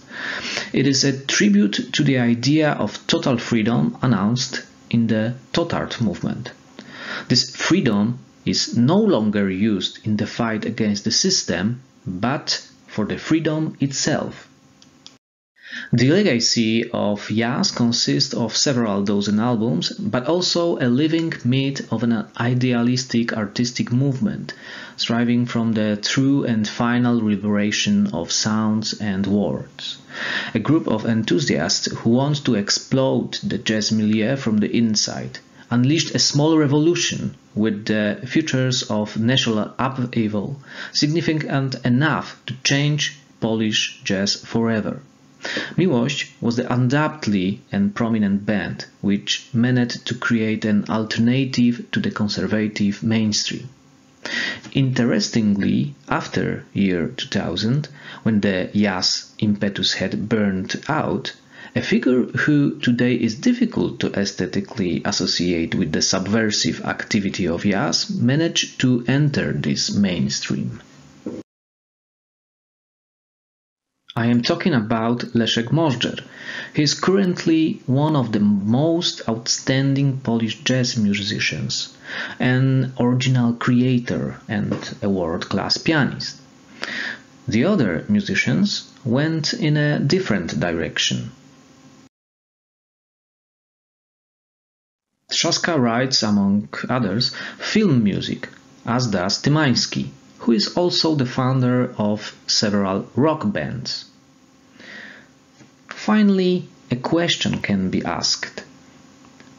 Is it nowadays possible to create one dominant form of generational rebellion, one channel through which juvenile anger and vigor can flow into the consumer's ears and eyes?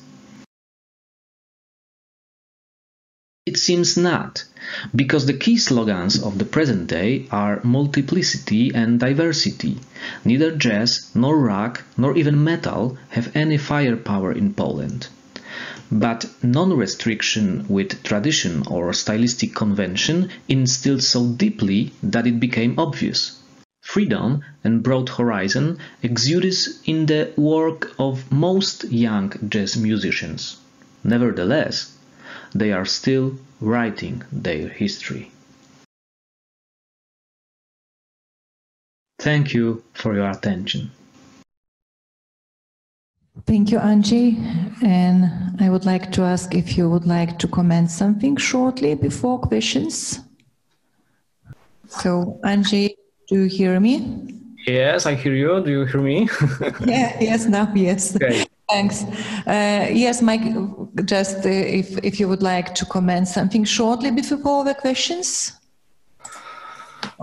No, I think not. That is enough for me. But uh, uh, last days I mm, thought about this uh, last, my last thesis. It is mm-hmm. possible to, to, to create something uh, new in popular music or in jazz music, mm, something similar to free jazz revolution in 60s or punk revolution in, in late 70s in Poland in 80s mm, and I and I uh, still think it it is not possible because uh, now we have a specific time in in, popular music in popular culture. Mm, there is a full of uh, retro micro genres with the ironic approach to the to the past. So I think now is just like I said in my presentation, uh, it is not impo- it is impossible to create something um, strong and uh, universal for all people and something uh, significantly um, recognizable uh, in pop culture like uh, for example jazz in 90s uh, that's all so thank you again very much for your brilliant presentation on relationship between freedom of music from system and freedom in music. So probably we have some questions from Polish colleagues. Comments? So, you know, uh, I, I have some two short questions. Uh, one is uh, about the 90s uh, which was a very special epoch. Your your the phenomena, music phenomena you presented started in 80s and and and in 90s it was something like culmination of your of a crea- creative activities.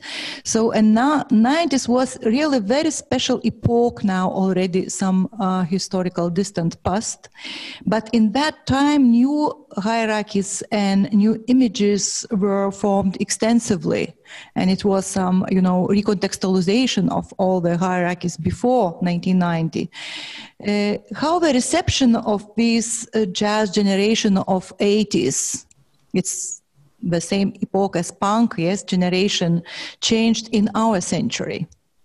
I mean reception.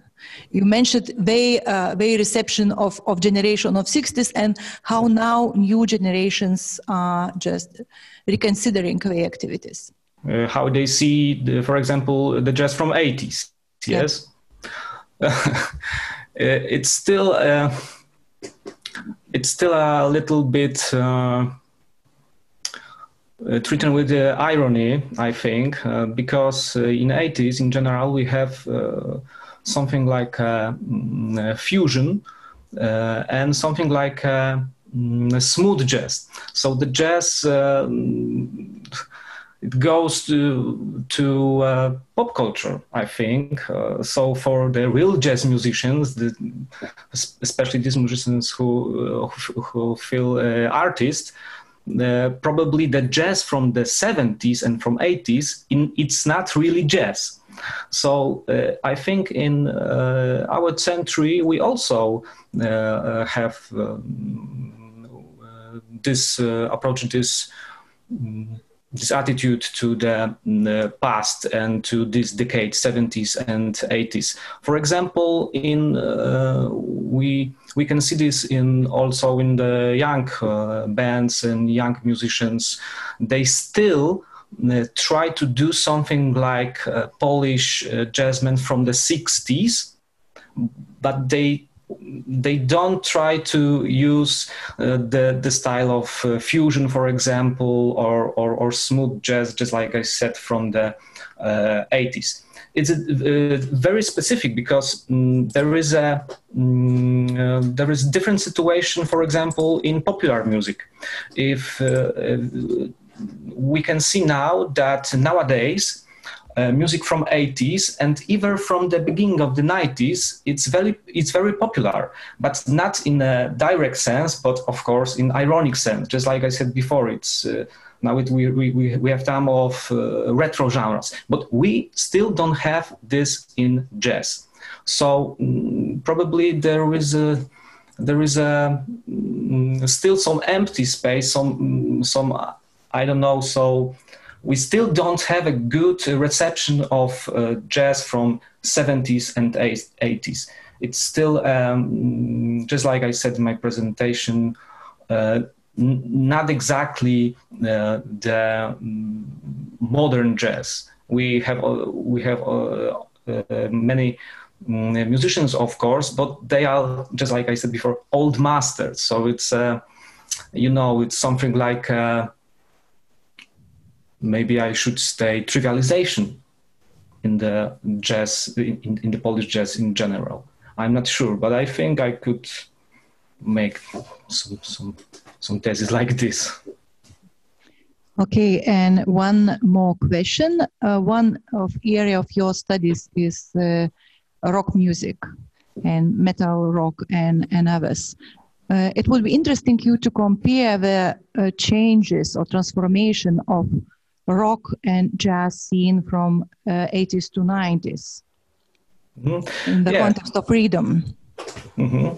Yes, this is also very significant because uh, in 80s uh, we have a lot of uh, rock especially punk uh, groups, but it was also um, um, there's also the underground uh, scene. I could say, I, I, could say, and very um, all the people uh, from the scene was very op- opposed to the, the system, uh, and that's why in the 90s, and everything is possible, and every door was open. I think. Uh, the punk lost the, their importance, the, lost their um, rebellion character, lost their, uh, lost their strength. Uh, but there is a, um, a specific uh, scenes that uh, grows in a, gr- gr- strength. that was metal, of course. I'm not sure why Mm, uh, in Poland uh, in uh, early 90s, there was a, a whole scene um, like grunge, American grunge, because it's also um, modern, I think, for for uh, this time. And uh, in rock, in general, uh, in in Poland, in the mainstream of rock, I should say, uh, in the mainstream uh, in Poland, we ha- we have also uh, something like second boom, but uh, but uh, this is completely different music compared to the uh, rebellion 80s. So when we talk about rock from 80s and 90s, even even about mainstream of of rock uh, there is a total different uh, situation.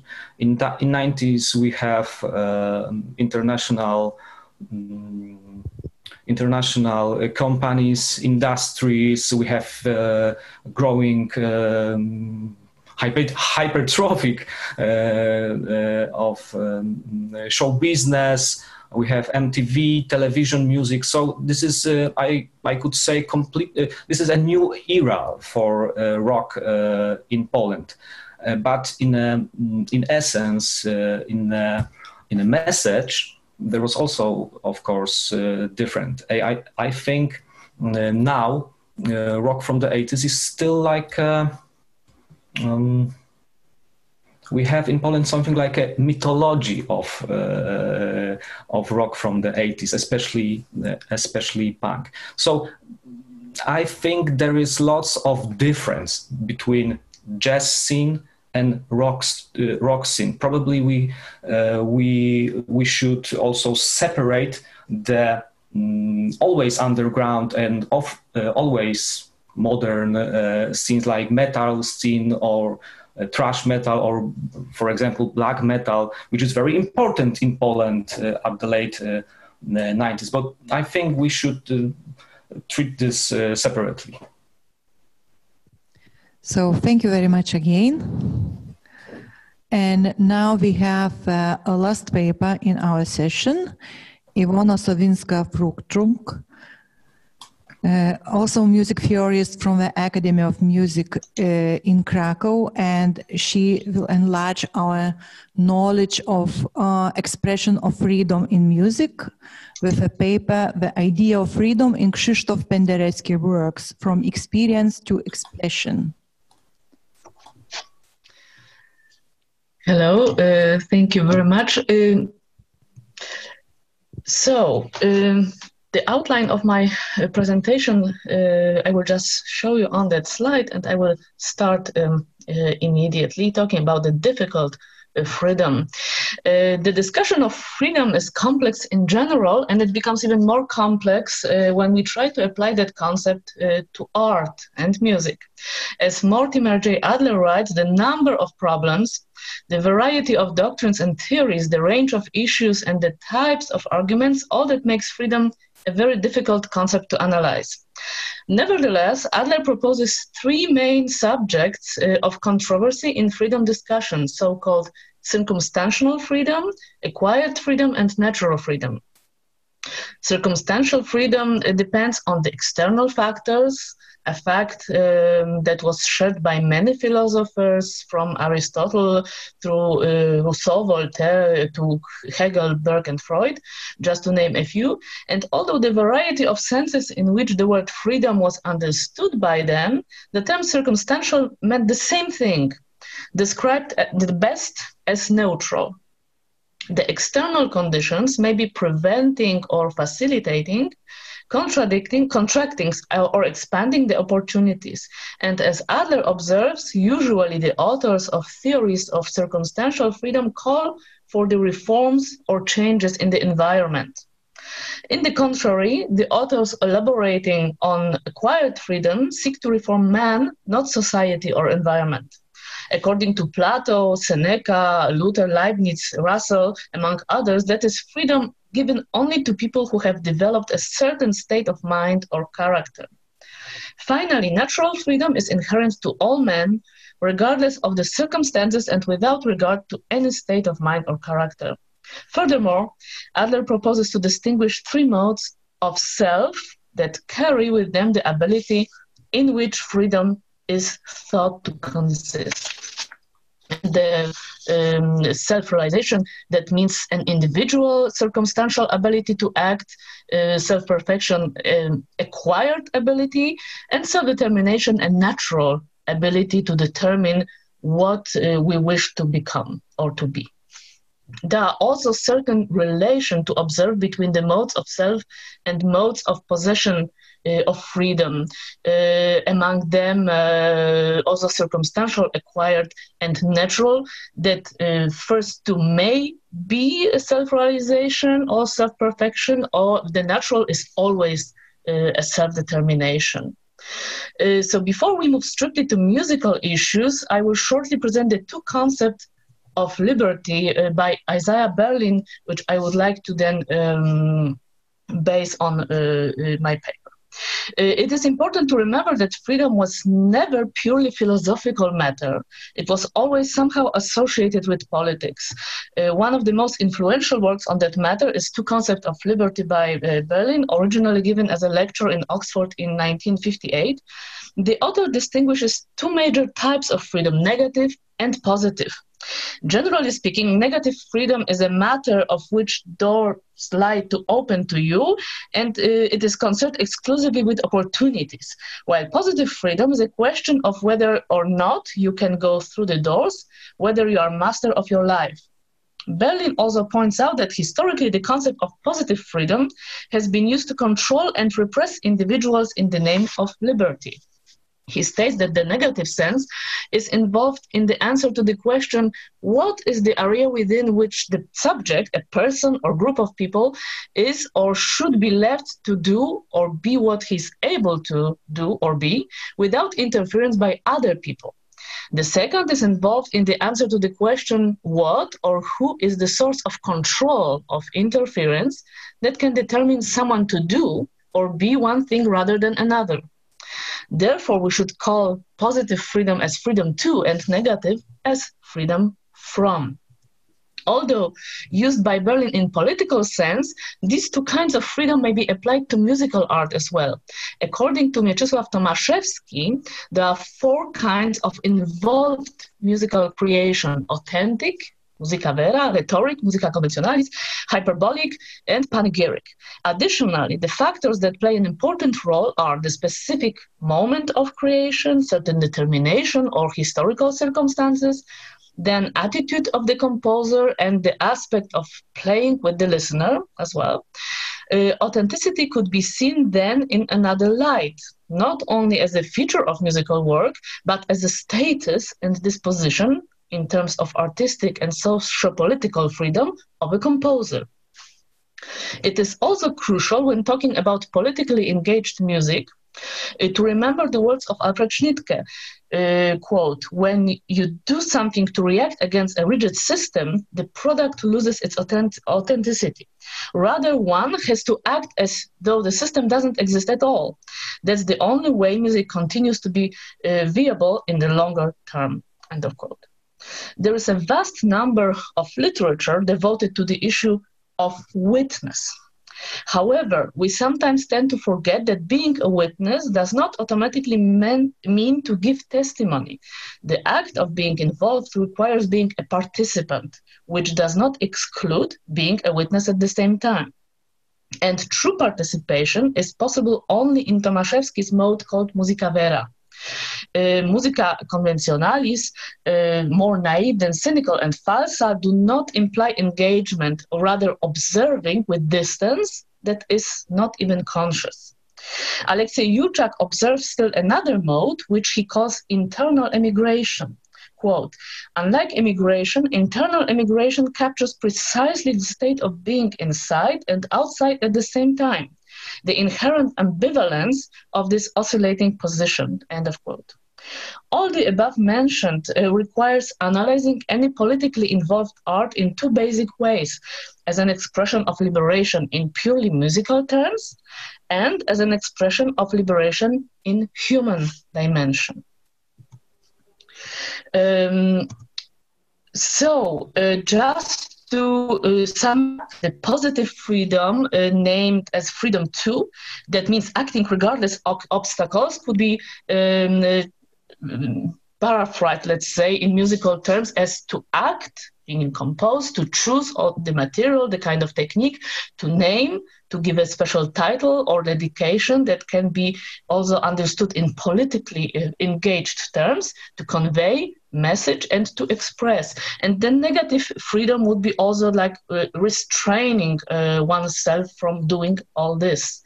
Then uh, um, we mean uh, we have a, a, situation of being a witness and a participant that means being involved being only a witness uh, observing and then um, the, the uh, natural freedom described by Berlin uh, versus circum circumstantial or acquired freedom. And finally, the musica vera uh, by Tomaszewski as opposed to all three other kinds that he was proposing.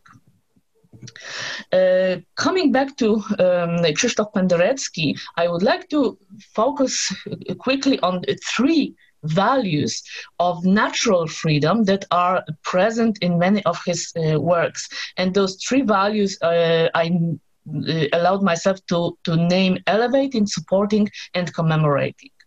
Penderecki's stated aim as a self conscious avant gardist in the early 1960s was to liberate sound beyond all tradition. Then, as Peter Schmelz reports, quote, many of the unofficial composers reacted against the perceived confines of their earlier abstract compositions and turned to more mimetic representational styles. They moved from serial techniques to aleatory devices and a range of familiar tonal gestures and harmonics, including direct quotations of familiar compositions from the past. Moreover, they often juxtaposed the, the, the divergent styles aligned with these various techniques to narrate uh, very detailed plots. End of quote. Many years later, Penderecki wrote, quote, I all the time for creation of universal language, which would allow me to compose music in natural way, just as I feel it, without constraints, without any pressure of environment and place in which I live. Composer should feel free. End of quote. Being honest to himself and to his art is possible only if we speak about self determination. Self realization and self perfection could never stand alone for achieving such goal. And self-determination is a feature of natural freedom. Regina Chłopicka observes that in Poland's difficult historical and political situation, both religious rites and artistic activity acquired a patriotic function. They were used to defend universal and national values and create a symbolic space for fostering freedom of thought. Penderecki does not only place Poland in European culture, but emphasizes also the role of its ancient roots and Christian spiritual formation. And the example of elevating uh, Te Deum from 1979-80. Penderecki wrote, quote, Te Deum and especially Requiem is summing up my evolution and at the same time summing up everything that happened in music around this time, end of quote. Mieczysław Tomaszewski writes that Penderecki always reacted to human's fate and historical events with responsivity of a barometer. This time was uh, it was indeed a special moment from both human and historic point of view. The choice of Karol Wojtyła as Pope John Paul II. Apart from him, the composer included an important Polish text, a fragment of song uh, Boże coś Polskę, God Thou Hast Poland, which, according to Chłopicka, has religious and patriotic function in the work. It is necessary to remember also that around 1980s, this song served as unofficial national anthem, bringing hope for regaining freedom. Penderecki, ignoring the censorship, used original words Ojczyznę wolną racz nam zwrócić, Panie, free fatherland, restore to us, O Lord. According to Tomaszewski, this is an example of a climax through epiphany, manifestation of deeply religious music in the work an epiphany that elevates the whole nation, uh, that could have only been done by someone possesses truly natural freedom and reacting and supporting uh, Polish Requiem. Uh, Polish Requiem was built around Lacrimosa, which was commissioned by Lech Wałęsa for the unveiling of a statue at the Gdańsk shipyard to commemorate those killed in the Polish anti-government riots in December 1970. The title was perceived uh, on one hand as a protest against the attempt to suppress national aspirations, and on the other as a broader reflection on the tragic history of the Polish nation. As Tomaszewski writes, each of Polish Requiem parts holds a special dedication directing listeners through, through uh, thought towards places, events, and people being symbols of Polish martyrdom and heroism. Agnus Dei was composed in 1981 in memory of Cardinal Stefan Wyszyński, Recordare in 1982 for the beatification of the uh, Franciscan Maximilian Kolbe, who had died in the Auschwitz concentration camp. Dies Irae uh, in memory of the Warsaw Uprising of August and September 1944 and so on. Um, um, the composer recalled in 19 uh, um, uh, in 2009, excuse me, composing sacral music was an expression of my rebellion. In Western Europe, I was conceived as the first composer from the Eastern Bloc writing religious works. Penderecki's attitude may be described also as reacting to tragic uh, events and supporting the remembrance uh, of the victims fragment of Lacrimosa from Polish record.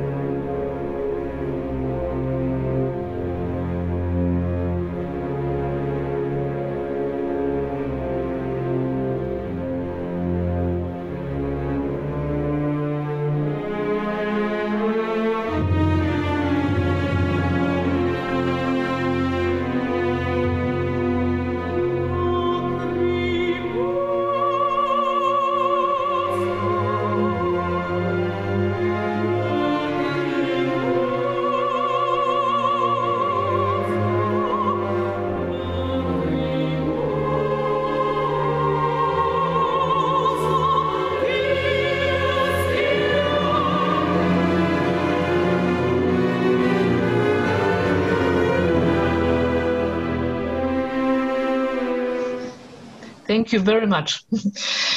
uh, and the third um, value named as commemorating uh, is um, uh, here I have an exemplification um, by the piece uh, called Kaddish, uh, which was composed during summer 2009 to commemorate the 65th anniversary of the liquidation of Litzmannstadt ghetto, which nowadays.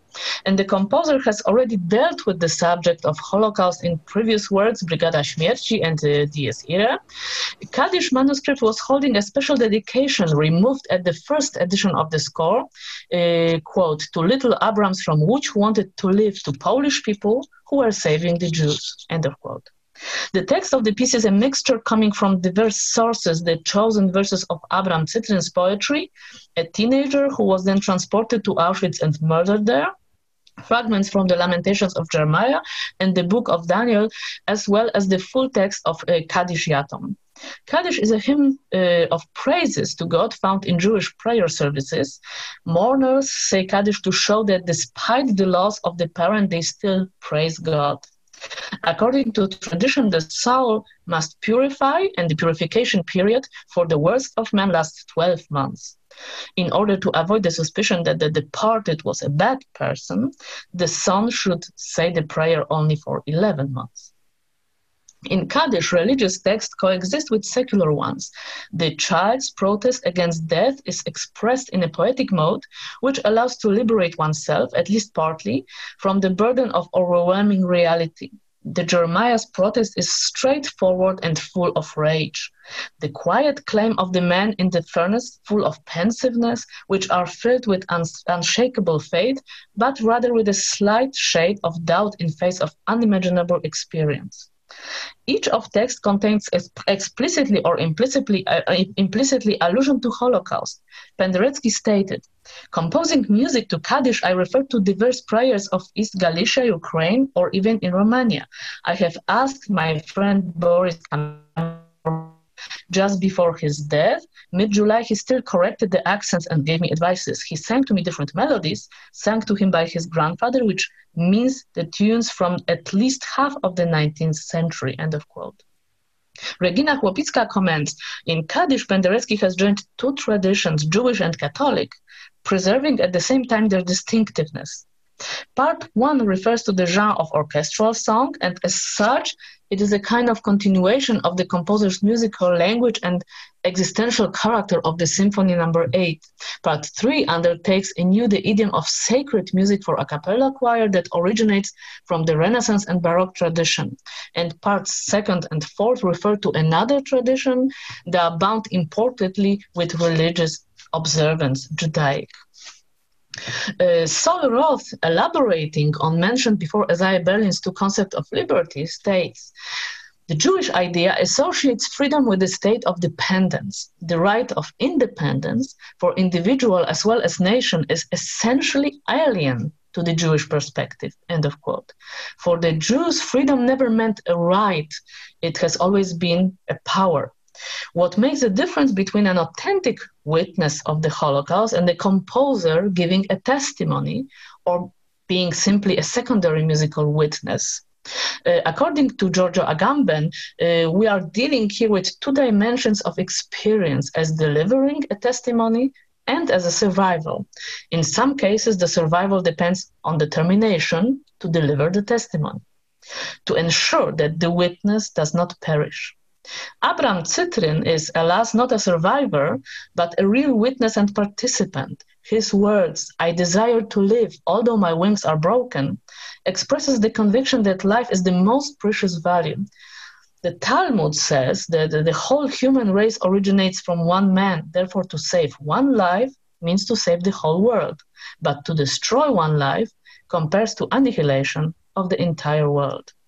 The following words of the young poet yet I can see clearly the path I have tread, confirm the acceptance of gaining freedom through death. Penderecki takes a reflexive position, delivering the moment of true commemoration, and at the same time rendering a truly filial homage to the victims. Although full of remorse, by accepting to say the Kaddish prayer, we also free ourselves from the temptation to judge. Thank you very much. Thank you very much, Iwona, for remembering us that the control of memory and history is an important part of artistic expression of freedom. So, do we have question here in our AIDA hall or from the session members? So uh, we still have some few minutes until the, our lunch break. So Iwona, I would like just I have very short question. Uh, you really uh, uh, did some really very interesting like typology uh, of expression of positive and, and negative freedom. And you spoke about more like uh, continuation of of um, this um, expression of uh, commemoration of past in the creation of Krzysztof Penderecki. My question would be do the artistic strategies of commemorating uh, the past and the uh, expression of memory by Krzysztof Penderecki has changed in the course of time? Um, that is a good question. Um, you mean only in uh, in, in Penderecki works? Um, yeah, because you yes. you just uh, yes. you know some examples was from yes, the definitely time, another from freedom. Yes, definitely. That is that is one uh, point that I uh, would like to still elaborate on. It was we didn't have here uh, enough time for that. That is a very interesting thing, how the um, and that also goes together with that freedom, uh, the different, um, uh, let's, let's, say, the different um, interpretation of the freedom uh, from. Um, freedom to express um, uh, or being politically engaged, although Penderecki was always uh, trying to keep the distance from in involving himself but still we always should think like the, the uh, parallel ways there is music uh, and that is what the composer means or wants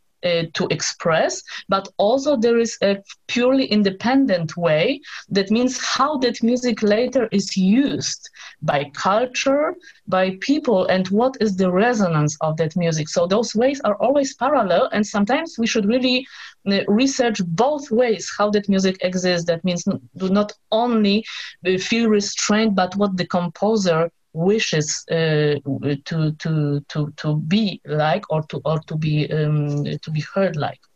But yes indeed that was that freedom um, that was in fact uh, very politically present or social politically present in the in the uh, earlier works then became a more um, like a personal freedom personal freedom to choose also the music of, of, the choice of the musical language.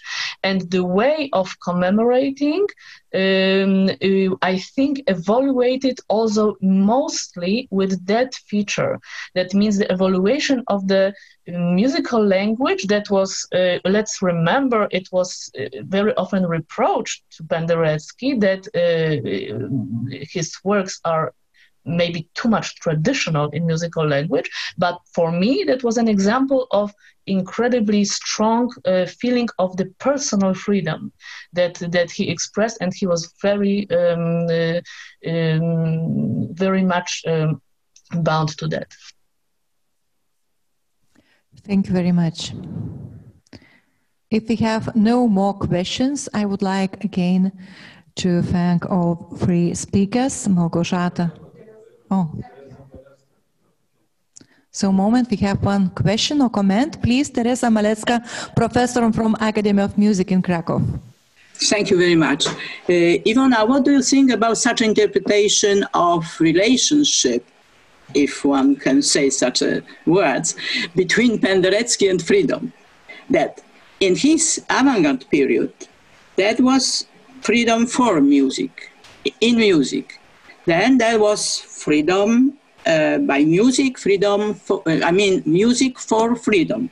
Then when you say about Deum or other uh, Polish Requiem and so on and so on. And then after uh, 90s, uh, in, in 2000, he became close to freedom, but in more universal uh, um, in, in, more universal um, uh, space in more universal sense. Could you, could you uh, tell me something about such way of interpretation? Yes, thank you for the question. That is really um, uh, goes much together with what I said before. I think that yes, that universality of um, of freedom, let's say, interpretation or freedom interpretation in music uh, comes together, I, for me, with that uh, feeling of personal, personal freedom in uh, choosing the means of composing and being uh, completely uh, faithful uh, to, to to yourself. Yes, indeed, the, mm, the, in the in the earlier pieces that freedom was already uh, like inside the music by the themes, by the quotes used, by the technical was was uh, was the very important uh, factor but later the the what we call expression what we call the expression of that personal freedom, I think, made the music much more universal and uh, understandable also without any political context even though uh, we could still maybe find some but that was that was not the that was not the main main uh, subject. Thank you. Thank you very much, uh, dear Teresa, for remembering us, or just, you know, one more category of relationship between music and freedom. We spoke about music uh, from uh, free uh, freedom of music, music, freedom in music, and now we have music for freedom. So, uh, do we have more comments or questions? Vita. Vita? Uh, yes. Um, hi, Ivana. And uh, I have two questions for Ivana and for Małgorzata, because it was uh, very interesting to speak about uh, freedom and affectiveness. Uh, some of that um, uh, qualities, if, if, can I see, if can I say so, um, was present in Lithuanian music too. But can you say, for example, what is impact to nowadays music of that period, of that sentiment of freedom and of affectiveness. Thank you. Uh, may I may I uh, answer as the first? Uh, um, it's a it, that is a very difficult question. That is something I. Um, I make some research on, in fact, and um, uh, we we have to uh, nowadays uh, the full concept of freedom uh, became completely uh, like reinterpreted, or we can still I think we can still talk about it, but it's not completely not the same as uh, as we see on examples, for example, of uh, of Penderecki music. Um, there is not so much um, freedom from something. Freedom became. Uh, uh, value that is, uh, let's say, it, maybe I should say it was, um, uh, um, given to everyone in a certain ex- to the certain extent, um, and uh, so the reinterpretation, the, the approach to that to that subject, to the value, uh, uh, has become very very different, and um, started to have completely different uh, aspects and and nuances. And I think that is a that is a very um, it's an enormous subject to to to talk about but uh, we don't although we have some uh, musical works that try to comment uh, uh, on political aspects that we cannot uh, at least that is my subjective uh, uh, point of view we cannot uh, call them as a as a as a very important let's say works in musical history. Uh, that is not that we cannot compare them to those to those let's say monuments of the music history from before. Uh, there are more um, uh, like um, aspects of the or comments uh, of what what's going on. Uh, and um, uh, I think that uh, that is uh, where our where our uh, talk, feeling talking about the freedom from what we know from the 80s uh, or or even nine, beginning of 90s it has completely changed and it has been completely differently uh, now um, the approach is very very different by the young people nowadays they understand freedom very very differently so Małgorzata yes Uh, Your comment. You hear me? Vita, yeah, we hear this. you. Yes, thank you, Vita, for this question. It's very complex about sentimental and affectiveness. I remember my presentation in Krakow about nostalgia. And for many authors, nostalgia is the most democratic now category. So we can also discuss. And Ivana, I agree with you that the idea of freedom uh, was changed now. So young generation feel this category in different way. So I think it's a problem. Also in Penderecki's music. I remember meeting with Professor Penderecki in 2018 at our academy. And he stressed, and he was always against something. Yeah. So very important exactly. words. And this kind of commemorating past in music is also against new. So I think it's very complex problem. It may be very interesting for the next project connected with uh, changes in notions in dictionary of music theory and musicology because we have problem with definitions. So I think freedom is also a kind of such notion. So I don't know how to answer in very precise yeah. way, but the problem is hanging there.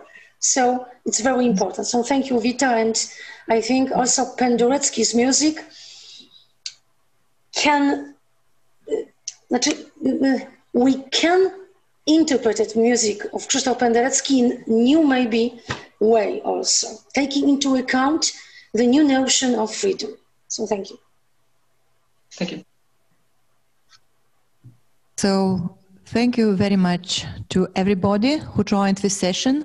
Uh, I have to remember when, uh, that uh, in one and a half hour we will continue our discussions on freedom with presentations of Vita Gruodytė and Jānis Kudiņš on transition and Baltic singing revolution. And later on we will have one more keynote uh, lecture by Kevin Karnes on uh, freedom, artistic freedom, experimentation, and inner immigration and other issues in late Soviet Latvian disco uh, scene. So thank you very much and see you in one hour and a half. Bye. Thank you, Rūta, for you. Thank you. So, good afternoon, everybody. And now we will start session three. And one mark before presentations, uh, as we have uh, very limited time, I would ask uh, online listeners uh, write questions on Zoom chat. And after presentation, we will ask uh, the presenter to answer the questions. So the first presentation uh, will start Dr. Vita Gruodytė. She is a researcher at Lithuanian Academy of Music and Theatre. Her research focuses on aesthetics and the history of 20th century music, cultural and political influences in contemporary music, and in particular, the emergence of a national identity in Lithuanian music. So she will present the presentation on theme, the imperfection of transition. So Vita, we are waiting for a presentation. Can we start? Yeah, we have uh, a recorded presentation and now we will start the presentation. The 90s were a time of radical changes in Lithuanian society. It was a closed and autonomous period difficult to define because of the stratified and rapidly changing social structures. Thus, the purpose of this presentation would be to retrace a musical physiognomy of the 90s through independent festivals.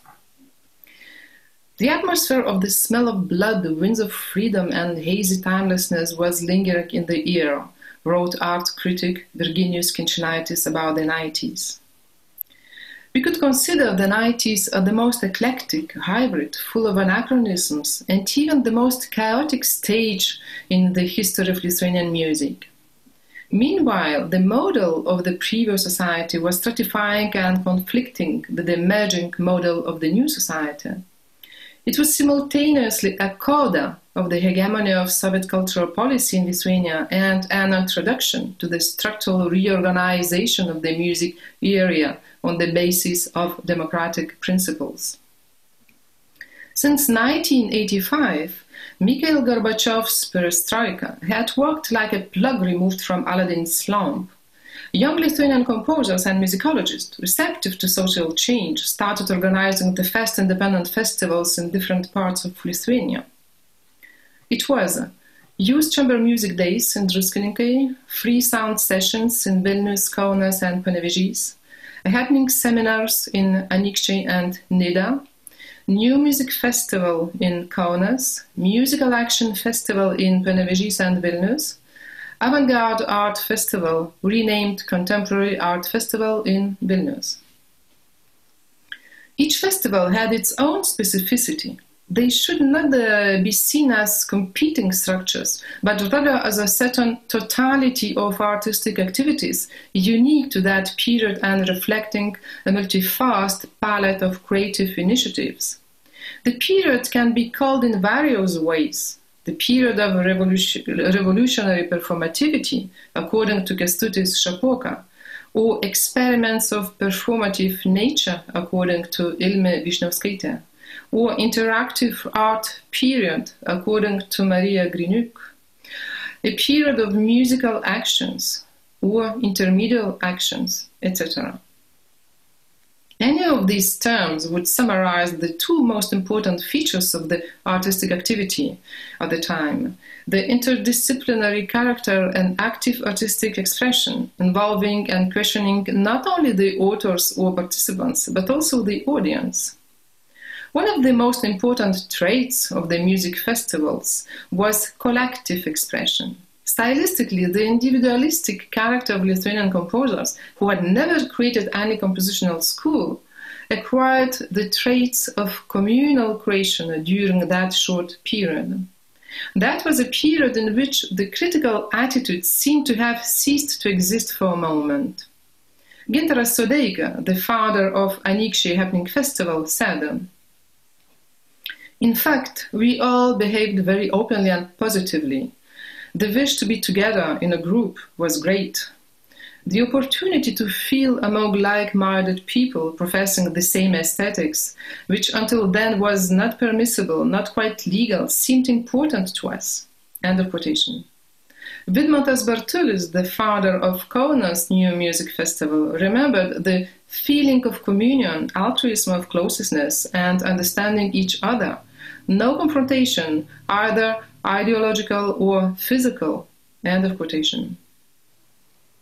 The communality of artists undoubtedly reflected the political unity of the nation. The highest concentration of festivals could be seen in the period from 1987 through 1991. At that time, dissident organizations were already operating in public. The fast intellectual discussions clubs were formed, and Lithuanian reform movement Sąjūdis was established. Music festivals provided an opportunity to feel that emotional uplift in one's own environment, collectively, collectively practicing such forms of artistic activity that were impossible in the Soviet era, like happenings, actions, and performances. The organizers of independent festivals, in this sense, could be called the leaders of the musical movement. Their personal motivations and initiatives moved the musical milieu and changed the habits of its functioning. The principle of the wave, which brought together like minded composers, musicologists, and musicians, made it possible to realize projects that would not have been realized individually and probably would not have had such reverberation. Composer Bronius Kutavičius was the, was the first to awaken a sense of musical communality.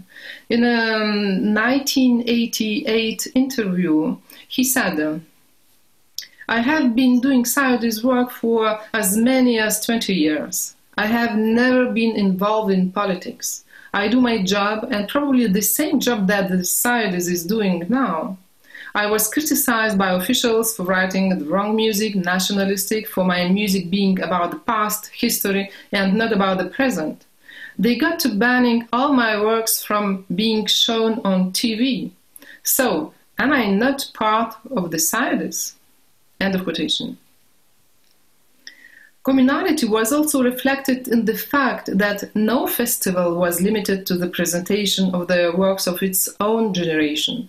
Without exception, even the most avant-garde musical action festival presented uh, compositions uh, of Osvaldas Balakauskas, Bronius Kutavičius, Feliksas Bajoras, or Algirdas Martinaitis. The emergence of composer tandems should be considered as an introduction to collective creation. In 1986, the first duo, that of Rytis Mažulis and Richard Kabelis, was formed with a joint composition called Auksaspalvis. Uh, it was the name of popular at that time orange-flavored soft drink. A few years later, Thomas Juzeliūnas and Gintaras Sodeika became a second tandem called Soyuz, Sodeika Juzeliūnas, a hybrid of their two surnames. Together, they composed not only the soundtracks for the three Anykščiai Happenings festivals, but also a promotional video for the election of the Sąjūdis candidates to the Supreme Council of Lithuania, as well as the musical design um, for the meeting in 1989, dedicated to the anniversary of Romas Kalantas self-immolation. Tandem creation was one of the most specific features of the sad period. Especially many compositions of that kind were performed at the Musical Action Festival. In it, together with composers, group projects were presented by creators of various fields of art actors, video artists, painters, jazz musicians, etc. Collective activity provided musicians with an opportunity to try the genre of anonymous creation, which was like a symbolic return to a stage of primitive art or the state of art's innocence. Gintaras Sodeika said, It seems to me that we awarded authorship from the very beginning. I was in favor of anonymity. Later, I found out that George Maciunas was also in favor of anonymity, of the essence of the idea, but not of squabbling over the copyright or who would be getting the fees or whose surname will be at the top and the like. End of quotation. The festivals of happenings and musical actions very naturally developed a milieu for experimental creation that did not promote any specific goals.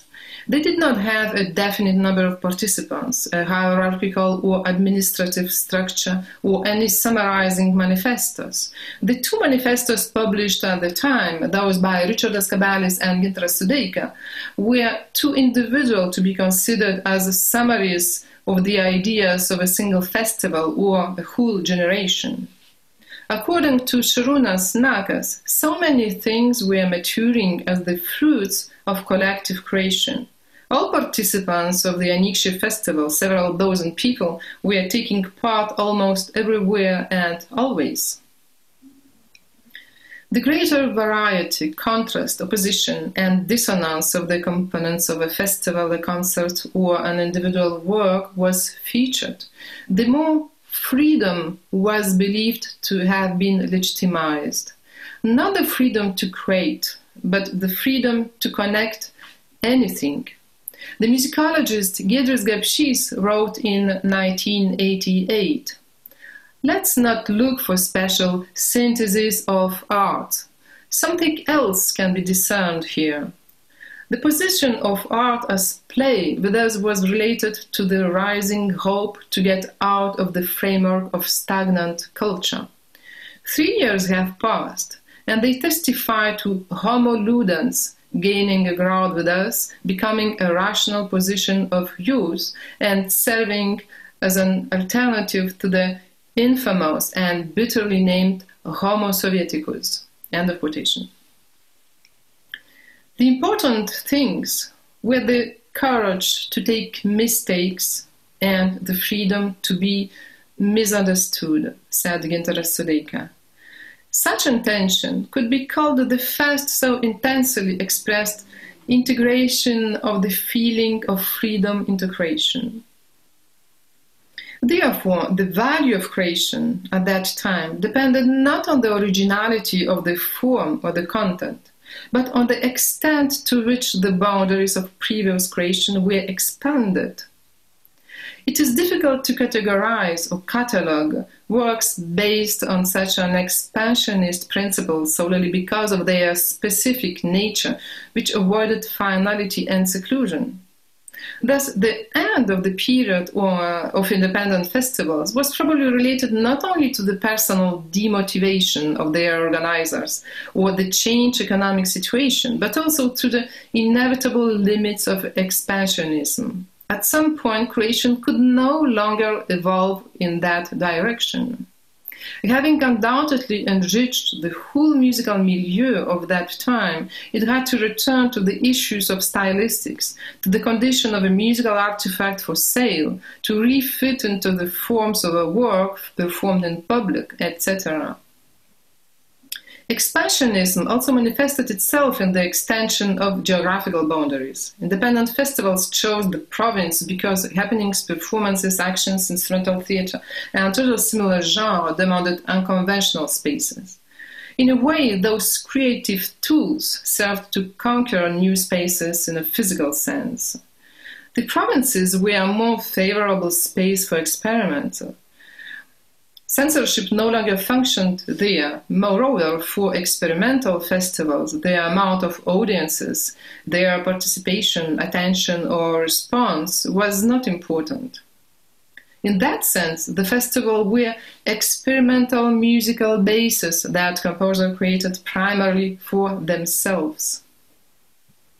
For Richard Kabelis, founder of Druskininkai Festival, the search for concert spaces in Druskininkai was one, one of the most fun activities of the festival. It seemed to me that in Druskininkai music could be played anywhere, in parks, squares and buildings, or in rooms where it had never been performed before. End of quotation. Festivals of the independence restoration period were not just a factory of ideas, their known budgetary functioning perfectly corresponded to an era in which budget festivals fared much worse. In 1993, musicologist Laimutė Ligeikaitė wrote, Chairman of the Composers Union, Mindaugas Urbaitis, knocked out by financial difficulties, managed to concoct the Gaida Festival of this year Although I am sure there were people who were shrugging, who needed it, that ugly duckling. As I felt the unattractive moments of the festival, I could not help thinking that the events of the youngest ones fared better. Of course, they found it easier to hold festivals of their own yard by inviting their peers, excellent musicians with the help of one or more sponsors. Let then Gaida stay a festival of its own yard. End of quotation.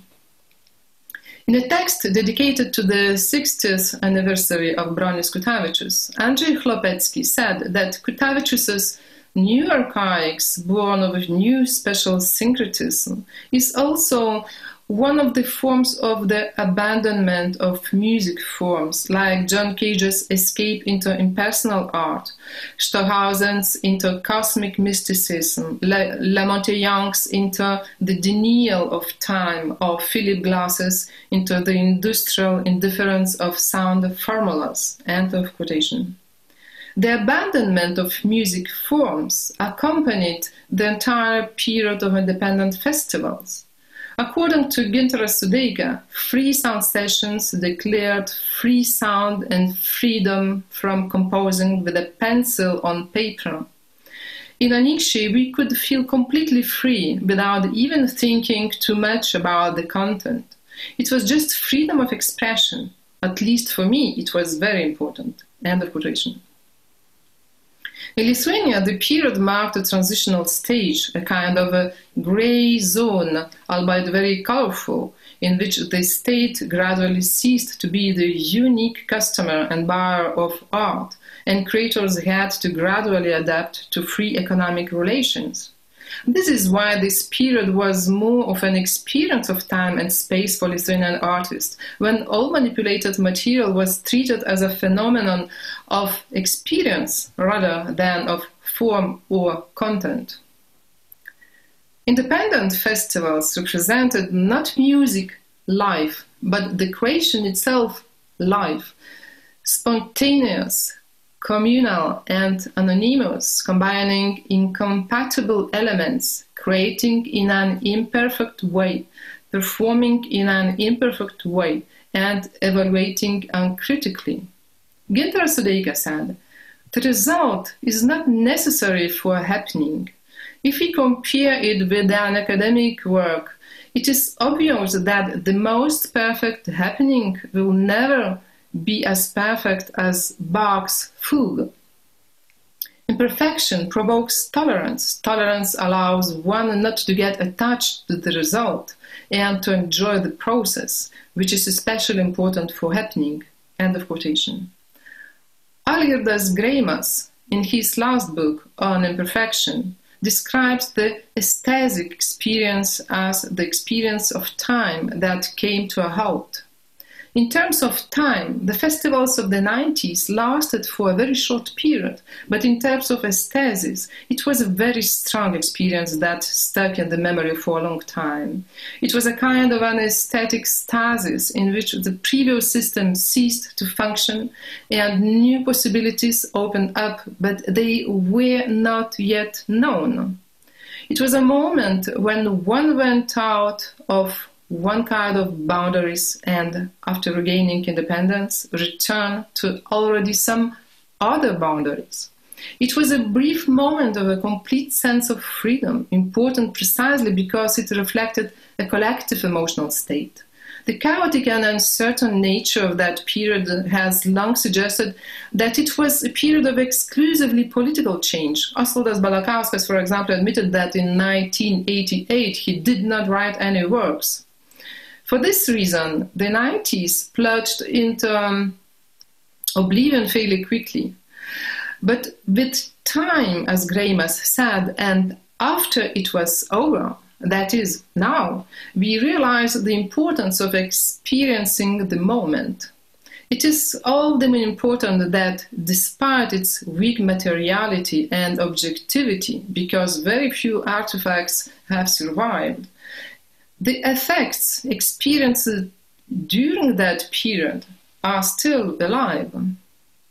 Greimas describes the moment of aesthesis that acts on an experience of the transformation of consciousness or the waking, awakening of consciousness of enlightenment. It relates to all of our emotional global experiences. For Greimas, sensorial perception is the dimension in which the grasping of meaning takes place. The festivals of the independence restoration period were marked by their attraction.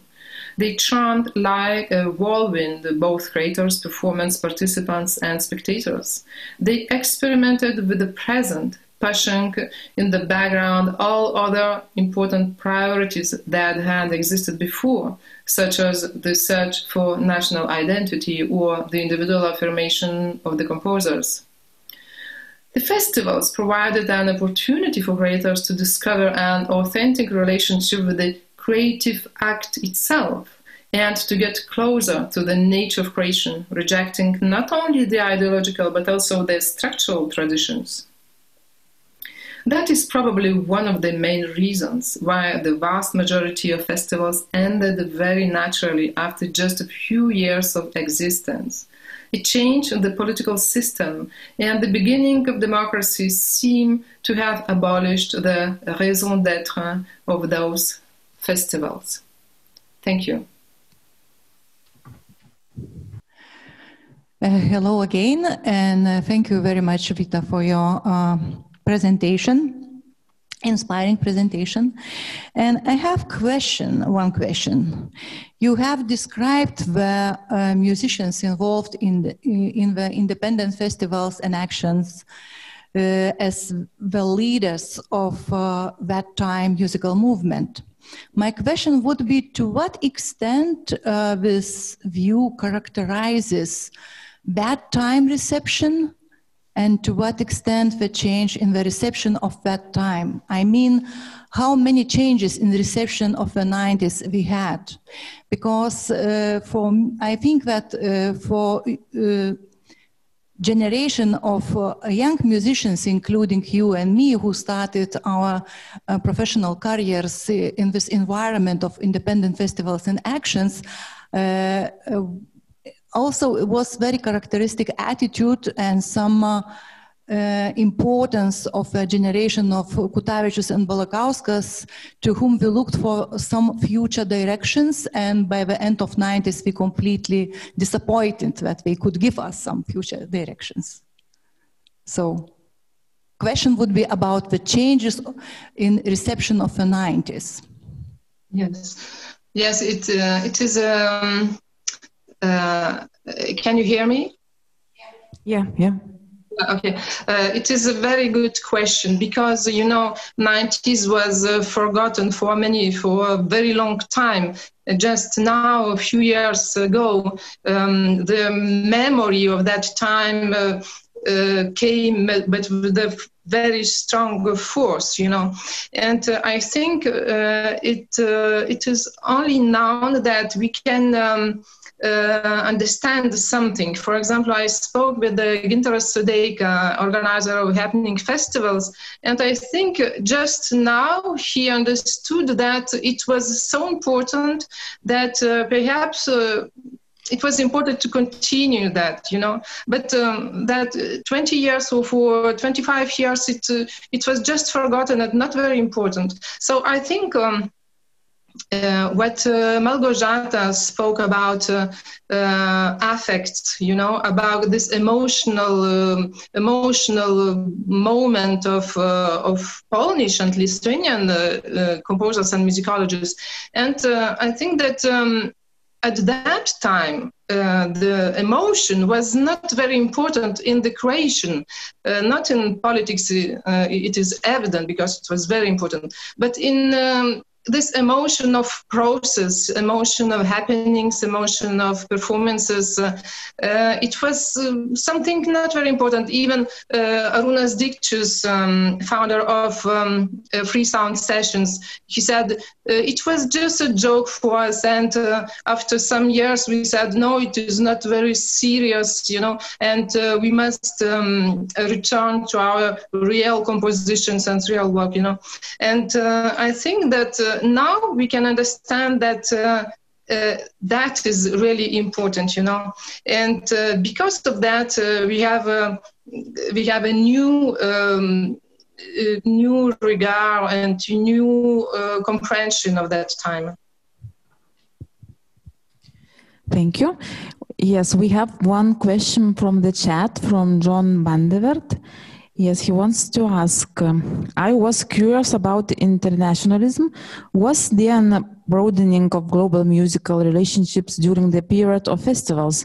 John Cage came to Russia in 1980s. Any Lithuanian similarities? Uh, what is the question? Just to... he wanted to ask: uh, Was there a he is curious about internationalism. Was there a broadening of global? Yeah, um, in Lithuania, um, just uh, um, George Maciunas was known, uh, Fluxus and George Maciunas. Uh, John Cage was known uh, also. Um, I presented uh, the first uh, the first paper about John Cage in 1992, I think. So um, it was just you know um, just uh, inspiration. But uh, it was not important actually um, in lithuania at that time. At that time it was just important what uh, what is happening now and here in lithuania. And for many of that festivals um, mm, don't invite any um, international um, musicologists or com- composers or um, musicians. If I may, Rūta, again, uh, I have a slightly different opinion about that. I think that, uh, of course, the roots of Lithuanian uh, action and happenings movement was uh, Fluxus tradition, but uh, it, we had uh, Cage was something like an atmosphere of uh, 80s. He was known, and doing with Druskininkai Chamber mm, days, uh, we had even one festival partly devoted to Cage. Vita also included, she had paper and we had conference and some concert performances. And I think that uh, John Cage was very symbolic figure of freedom for all Eastern Europe, as I know. Yes, as um, as uh, as freedom of expression. Yeah. So we have more more questions. No, so the time is finished and we should close this presentation. So thank you again, Vita, for this presentation. And now we will start uh, another presentation. Also, we have recorded presentation and uh, the present presentation uh, would be about um, uh, Bearslayer Always Sings for Freedom, the musical inspire of liberation and critic into the post-totalitarian situation in Latvia. And the presenter is Jānis Kudiņš.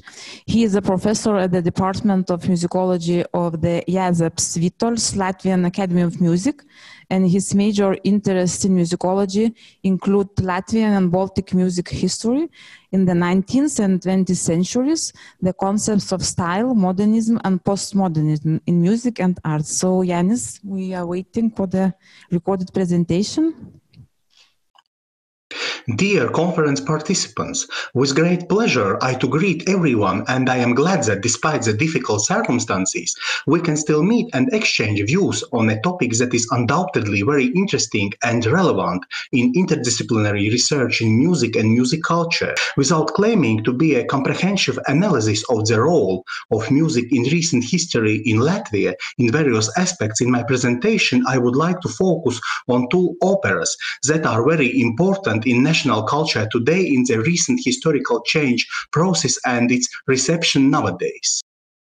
These two artifacts are, first of all, the rock opera Lāčplēsis, which gained phenomenal popularity in Latvia 1988, and secondly, one of the most important classical opera in Latvian, The Fire and Night, which last staged at the Latvian National Opera in 1995, hence shortly after the country's liberation from Soviet occupation. Both of these operas are based on the same plot, which is significant in Latvian national culture history. However, each of these operas has played a slightly different role in the newest period. As a factual starting point in the presentation topic is premiere of the rock opera Lāčplēsis, which took place on August 23, 1988 in Riga. At that time, processes had already begun in Latvia, which later were denominated as Third Awakening or the liberation from Soviet occupation and the restoration of the democracy. The rock opera composed by Latvian poet Māra Zālīte libretto and composer Zigmārs Liepiņš music immediately gained phenomenal popularity and resonance in society in the specific processes of historical change. Now, for a small illustration, I offer a small excerpt from a rock opera staged in 1988.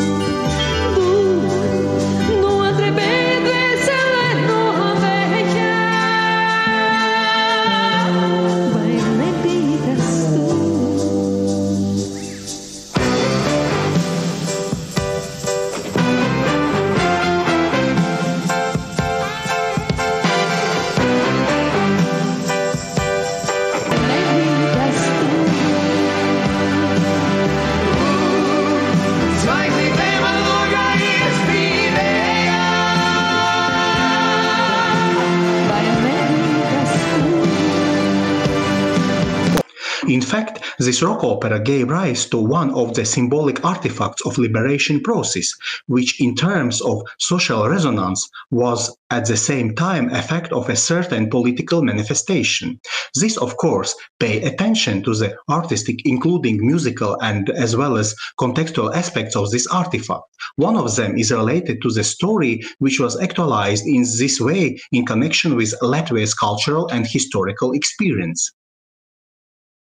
Lāčplēsis is an epic by Andrejs Pumpurs, an Latvian poet who to create it in the second half of 20th century, a period in Latvian historiography which denominated as the first national awakening and was characteristic of the process of civic and political self-determination of several European nations in the second half of 19th century. It is regarded as the Latvian national epic and recounts the life of the legendary hero. Lāčplēsis is chosen by the gods to become a hero of his people. His name in translation means bear slayer, and his mission is to liberate the nation from evil and enemies, which in the background are partly symbolized by the Crusaders in connection with their arrival in the Baltic territories in the 13th century. What kind is origin of the mythical bear slayer? He will tell you about it immediately. It will be a small excerpt from the famous Latvian classical opera. Now, please, a moment your attention.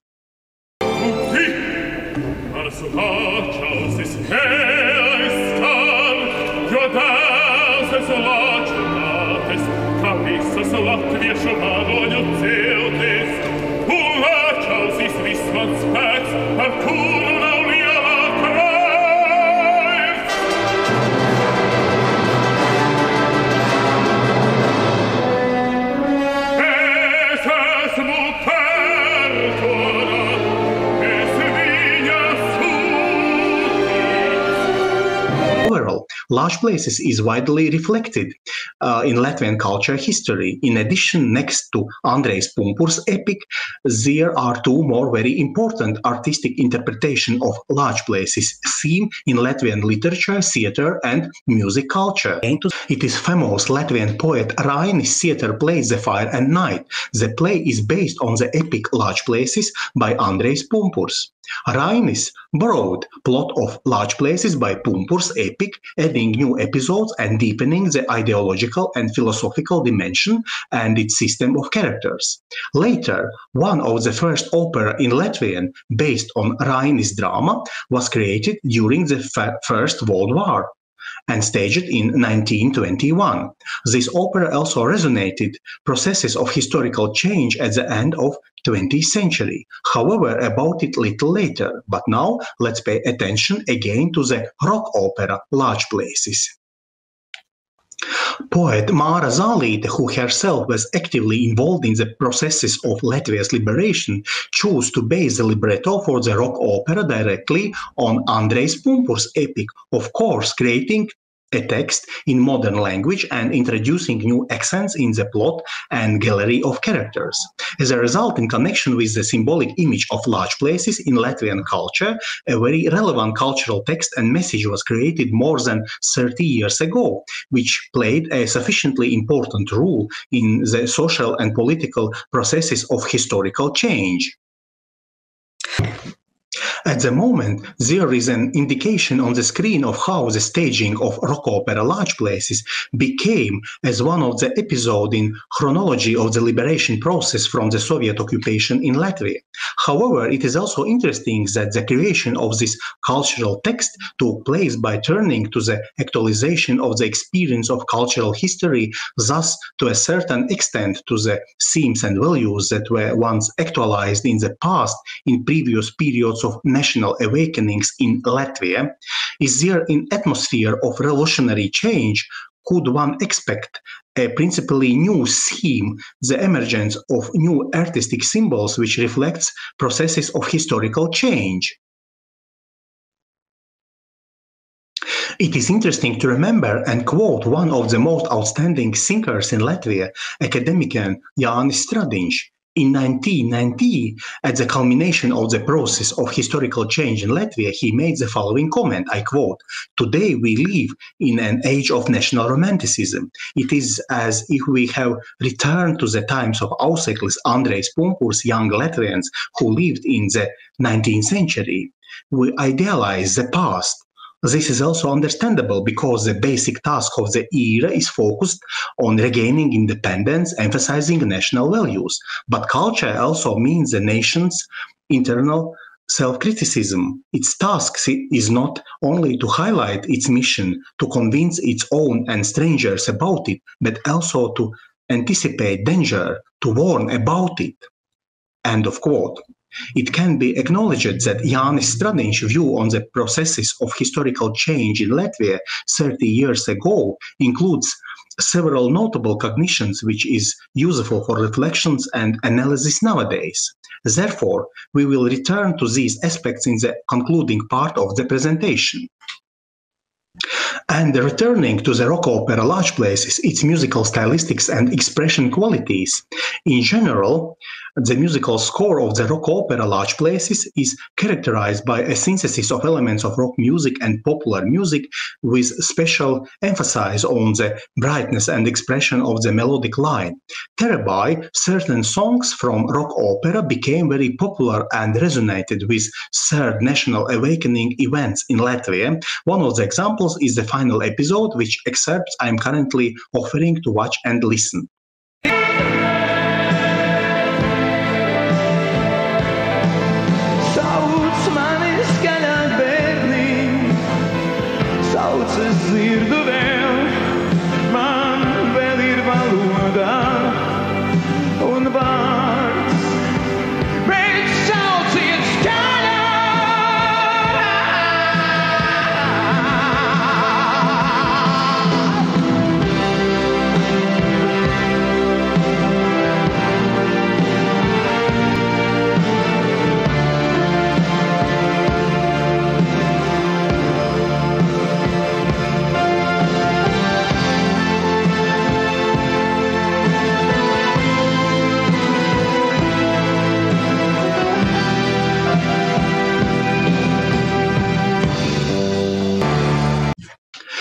So, did the rock opera Lāčplēsis make it possible to mark a metaphorical reference to the future, which, for example, Jacques Attali has written about?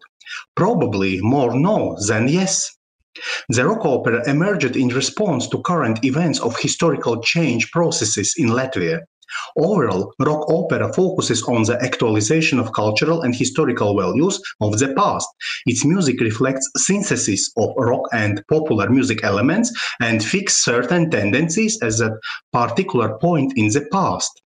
It is permeated by a romantic pathos and a view of the present through a retrospective of historical experience.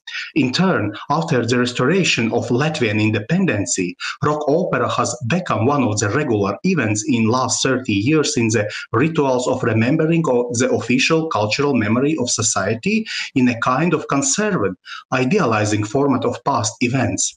Accordingly, the perception of the aesthetic and artistic qualities of the artifact in the dominant public discourse is also subordinate. And in a way, it is paradoxical that after a short time, in the mid 1990s, the symbolical image of Lāčplēsis called for a critical assessment of the consequences of historical changes in the staging of the classic opera The Fire and Night at the Latvian National Opera Theatre in 1995. This opera by Jānis Mediņš, based on Rainis famous play, which is important in the cultural history of Latvia, went unnoticed in the context of the processes of restoration of independence in the second half of 80s. It was really a paradox. In 1987, the fourth staging of the opera The Fire and Night was performed, but almost no one noticed it, and the image of Lāčplēsis triumphed in rock opera one year later. In turn, the dialogue and the metaphorical convocation between Lāčplēsis in two coexisting stagings did not take place. The main reason for this was due to the solution of stage production. This was also partly due to that during the Soviet occupation, in stagings of opera The Fire and Night dominated stylized ethnography and traditionalism, it probably created a situation that in the process of historical change it was no longer able to address the society. On the other hand, in 1995, after the liberation from the occupation and the restoration of the country independence, the first complexity of democratic system and economic crisis were experienced. In this atmosphere, the last fifth staging of opera The Fire and Night for the time being came as an analytical and critical reflections on the call encoded in the story of Lāčplēsis to learn not only to win but also to use wisely victory. This opera production was performed by the now internationally well-known theater director Alvis Hermanis. Five main characters and symbolism in this staging offer strong contrasts with slight elements of postmodern irony. Phrase by Rainis in Latvian maini un mainies pats uz augšu in translation change and change upwards yourself in this opera staging was highlighted as the main motive which in the specific situation of Latvia's historical experience reflects a self-critical view of little after the process of social and political change. This opera staging was historically the first postmodern directing theater application at the Latvian National Opera, and in a way, a bit harsh was the illusion of the final scene. Choir as nation divide into pieces the map of Latvia, while the five main characters, Lāčplēsis, Spīdola, Laimdota, Kangars, and Dark Knight, in fight for freedom remain without a clear solution. At the moment, I invite you to watch a small excerpt from the final of this opera last staging 25 years ago.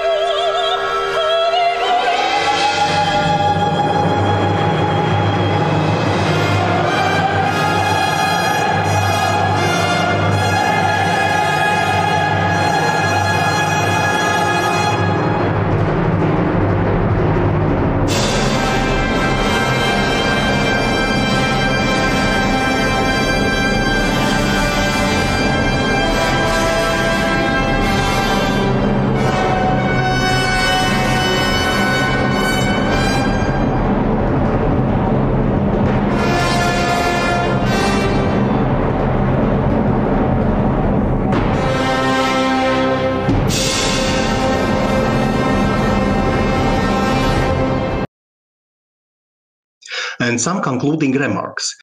The appearance of Lāčplēsis image in the processes of historical change in Latvia draws attention to the strong actualization of the cultural and historical values of the past. This is reflected in rock opera in a somewhat romanticized stylistic synthesis of rock and popular music of that time. In is there such modern national romanticism and retrospectivity a unique case of Latvia, possibly the Baltic states, in the process of political and cultural change 30 years ago? In such processes of historical change elsewhere in the world, is it more characteristic to create new images and look for new forms of artistic expression, not through new artifacts, mainly actualize the symbols created in the past? At the moment, I can only ask these questions because synchronic and diachronic comparison of the many and different situations of historical change has not yet been made. Interestingly, that one of the first classical opera in Latvian, staged only a few years after the restoration of Latvian independence, not only reflected the pathos of revolutionary change, but also offered a strong message about the complexity and infinity of the process of liberation. Opera The Fire and Night did not gain so large socio-political resonance as the rock opera Lāčplēsis. However, the text which created at the beginning of 20th century and music which represents style of late romanticism at the end of this century in a new artistically provocative form turned out to be more as a metaphor with a view of the unknown future successfully resonating with the present and actively asking where to go next. Of course, the last question is quite rhetorical, and the search for answers remains open, analyze of the past with different approaches and illuminated new aspects of this process. Thus, in the hope of fruitful further research into these aspects, I am grateful that you listened my report. Thanks for attention. Thank you, Jānis, for a very interesting presentation. And now the time for the questions. And uh, we have one question question from Kevin Karnes. Can we unmute? First, first, thank you for your, your presentation. Yes, it's, yes, yes, it's fascinating and, and, a fascinating topic. And um, my question is just I've, I've always wondered kind of how the rock opera originated uh, because it's such a large production. And was this simply an artistic project that Zālīte and Liepiņš just dreamed up together one day, or, or did this come out of some larger um, uh, conversations from some larger groups of artists or potentially yes. of, of activists in the in the awakening, or or, or what are the origins of, of that project in itself? Yes, this uh, project basically um, was uh, produced by um, many rock groups at that time. Of course, uh, many of Latvian uh, famous uh, soloists in popular and uh, rock musics uh, and that time. Uh, and uh, this mm, this was very unique project, of course, at that time. And Māra Zālīte wrote wrote um, sometime after that. Uh, this uh, project was um, originated and premiere as a date of premiere 23 August uh, chosen especially because it is historical um, historical memory about this date for three Baltic states. But of course, for for for more detailed um, answer is possible is possible a, a, little time because it is of, of course one unique unique uh, project at that time. Was yes of course. Mm-hmm. yeah. thank you. Thank you. Have we more questions from the audience in the hall? Yes we have. Beata Baublinskienė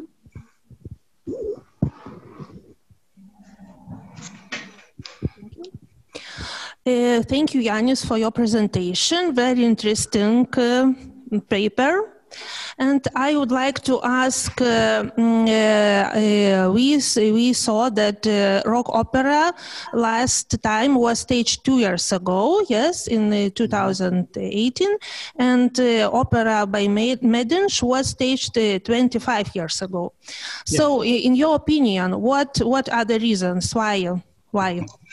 Uh, from one part, the reason is uh, very simple because last staging of rock opera was dedicated to centenary year of uh, Latvian uh, uh, independence. Yes, yes uh, three Baltic states celebrated the centen centenary um, in two years ago, and in Latvia, one of cultural event was a new staging of rock opera a large Uh, from um, uh, other hand, of course, this question is um, uh, is um, a little difficult because it is a very um, uh, very um, uh, very interesting that uh, opera mm, of Jānis Mediņš is very bright, is very historically important for Latvian culture. Maybe uh, it is very interesting for international audience, but it is a very difficult task for staging because Jānis Mediņš opera uh, represents so-called um, uh, Wagner style, and for staging of this opera is necessary necessary um, uh, so-called uh, Wagnerian singers, and it is a difficult task for our uh, national opera theater nowadays. Thank you. And we have one more question. So thank you, Jānis, again. You know, I have one strange question. You know, when listening to you, I was absolutely convinced that we probably need a more deep comparative analysis of Baltic singing revolution repertoires. When I listen to Latvian rock music, Lithuanian rock music, or even Belarusian rock music from, from uh, that time or in Belarus from our times, I notice the same intonations, the very similar melodic gestures, but for me, big difference between, for example, Belarusian or Lithuanian rock music and Russian music. Uh, do you feel the same, uh, some probably compare, com, com, com, possibility to compare with Lithuanian and Latvian uh, with popular music or, I don't know, probably you, you could comment this my strange question. Yes, um, thank you very much, uh, Ruth. A very interesting question. Unfortunately, um, I am I'm not specialist of rock and popular music, and I choose rock opera Lāčplēsis for this conference and for my presentation because this rock opera reflects the image of Lāčplēsis in the uh, Latvian uh, cultural history. But of course, for my opinion, it will be very interesting interesting uh, topic and maybe very interesting uh, um, and a very interesting project uh, to compare processes in um, different musical genres in in three Baltic st states at that time. At that time, time of change, um, about 30 years ago. But of course, unfortunately, I'm not a big specialist of popular and, and rock music. So sorry, of course. Uh, uh, in just moment, of course, yes. Thank you, Jānis, for the answer. Have we more questions? Andrzej. Yes, you have a question from Andrzej Mądro. Uh, he wants to ask, uh, could you identify the main inspirations for, for musicians, for example, the classics of the genre? Uh, yes, uh, thank you for questions, uh, but it is necessary um, precise. This is question about popular and rock music. Or, yes, Andrzej, or not? Yes, uh, sorry, I am uh, not a big specialist of rock and popular music. Uh, sorry, yes, I I, I, I, I, gave answer to this question and clarify it um, a little a little before. sorry, yes. Have we more questions? Yes, we have from the audience. I, aus, Auste Nakė, So maybe you could uh, say more about the main performer, the yeah, about him, his relations with the liberation movement he was big star or why this opera was popular. Who was the main star, the biggest star at, at those times? Uh, thank you. As um, in uh, in main role in uh, the rock opera um, uh, performed by famous Latvian uh, popular music uh, singer Rodrigo Fomins, or his stage name is Igo. And at that time, um, Rodrigo Fomins uh, represents. Um, uh, himself in um, in uh, different uh, musical projects and, and musical and in some musical uh, groups uh, he was uh, youngest. Yes. He, he, he, was very young. And um, uh, it, it is one of uh, a reason for this uh, rock opera popularity and uh, the popularity of staging of this rock opera because Igor was a famous young singer at that time and uh, he represents image of Lāčplēsis. And I Mm, I characterize this image in my presentation because the image of Lāčplēsis is very important in Latvian culture. He reflects national uh, culture, history, um, and uh, and and it is of course uh, um, very um, very good reason for popularity. As these two aspects: uh, young, famous uh, singer, musician, and of course image of uh, Lāčplēsis or Bearslayer. Thank you, Jānis. You are very popular. we have one more question from uh, from uh, John Vandevert. Yes, uh, he writes just a question: Is Fire and Night popular outside of Latvia because of its nationalistic qualities? Would one assume that it has a distinct audience in mind? Is this opera shelved or still performed?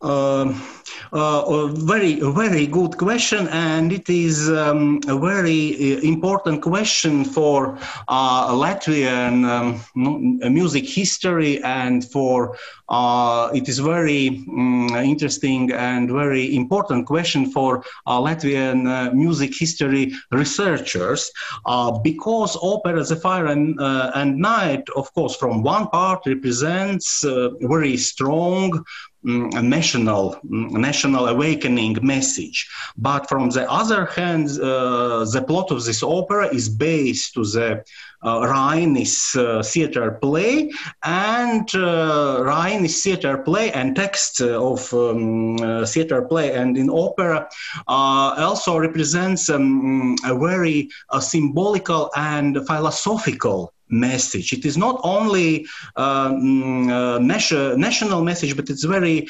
complicated uh, philosophical message, which represent texts and uh, plot of theater play and uh, of uh, and libretto of opera, The Fire and Night. And from um, my opinion, this opera. Mm, of course, um, uh, of course, uh, it is uh, potentially very interesting for international, uh, for international uh, audience, and maybe for uh, staging outside of Latvia. but um, until today, mm, it is um, mm, it is not realized. so. Uh, it is uh, open, of course, uh, a question why, but qualities and text and, and, and plot of this opera is very provocative and very interesting, of course, yes, and very complicated. Okay, thank you very much for the presentation because our time is, time is finished. And now we will have coffee break and uh, we will meet after 25 minutes. And we will have keynote lecture uh, from Kevin Karnes uh, and he will talk about disco culture and the ritual journey in the Soviet 1980s. So it would be very interesting to listen. So see you. Good afternoon, everyone. I was going to say good morning to Kevin Karnes. Uh, hello, Kevin, but I seen that you joined us very early, even pre, before lunch, yes, break.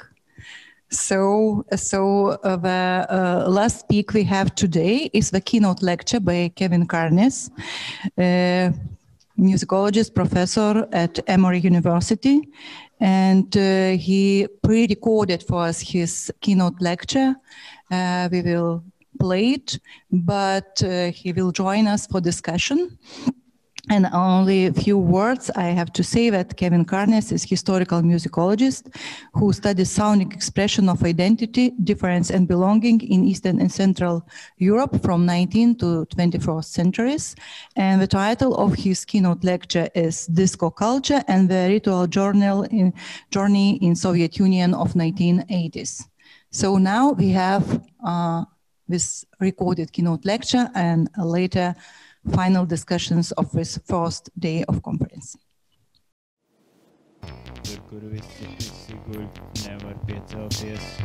Tad tu zini, kas tas ir. Tad tu zini, kas tas ir. Tad tu zini, kas tas ir. Tad tu zini, kas tas ir.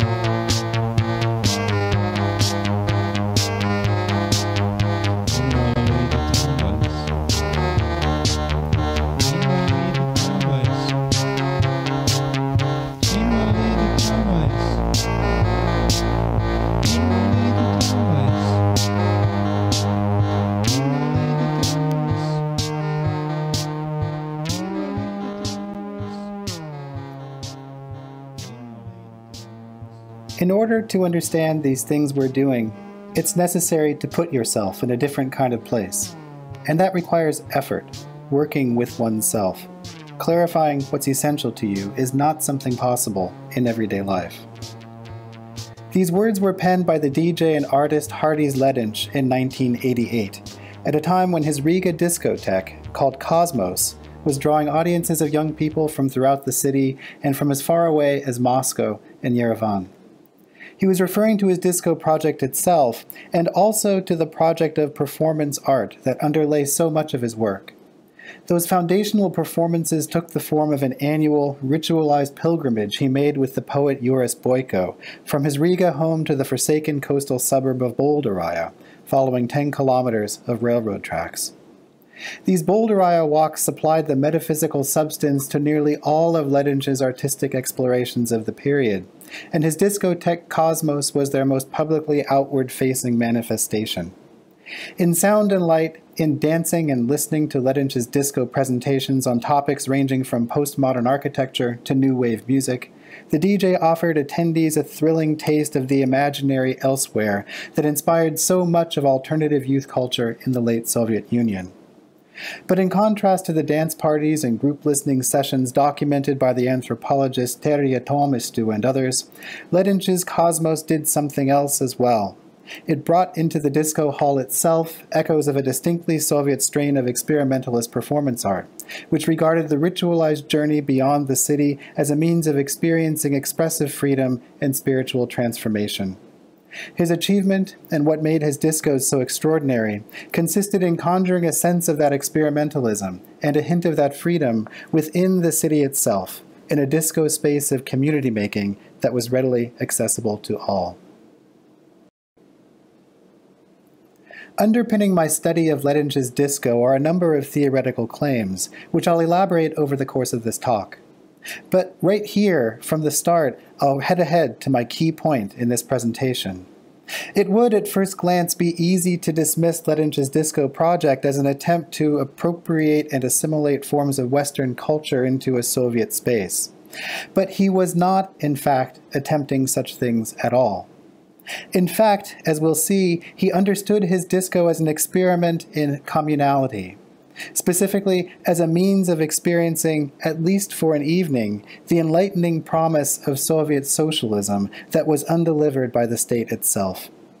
In framing this case, I draw upon work by the, anthropologist, the anthropologist Alexei Yurchak, who stresses in his writing on Soviet artists that many creative individuals remain profoundly committed to the very ideals that had animated the Soviet socialist project in its earliest revolutionary days, even into the 1980s, and despite the dramatic failings of the Soviet state. For a great number of Soviet citizens, Yurchak writes, many of the fundamental values, ideals, and realities of socialist life, such as equality, community, selflessness, altruism, friendship, ethical relations, safety, education, work, creativity, and concern for the future, were of genuine importance. For many, socialism as a system of human values and as an everyday reality of normal life was not necessarily equivalent to the state or ideology at all. Indeed, he continues, living socialism often meant something quite different from the official interpretations provided by state rhetoric.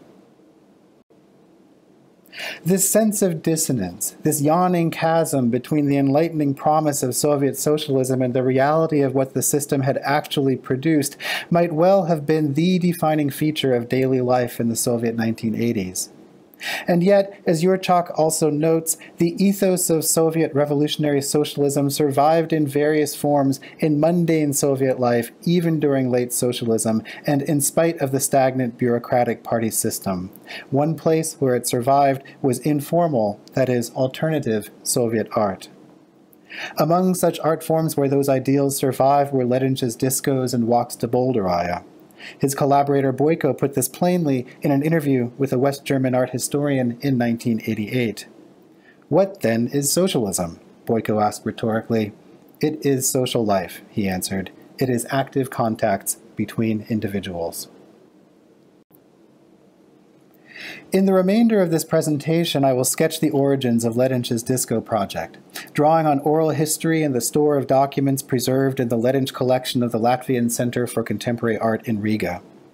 Then, bringing these materials into dialogue with the archive of recordings maintained by the Lediņš family and curated online by the Riga-based musician Lauris Vorslavs, I will point to some ways in which his ritual walks intersected with his musical activities beginning in 1980. Finally, I will consider his disco project as it evolved between that point and mid-decade, unfolding something of the way in which his performance art inflected his disco operation in those years.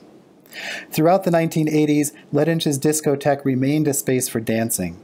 But more importantly, as he himself believed, it became a space for awakening attendees to the spiritually transformative potential of being open to the experience of their surroundings, and also for achieving and maintaining the active contacts between individuals that Boiko described.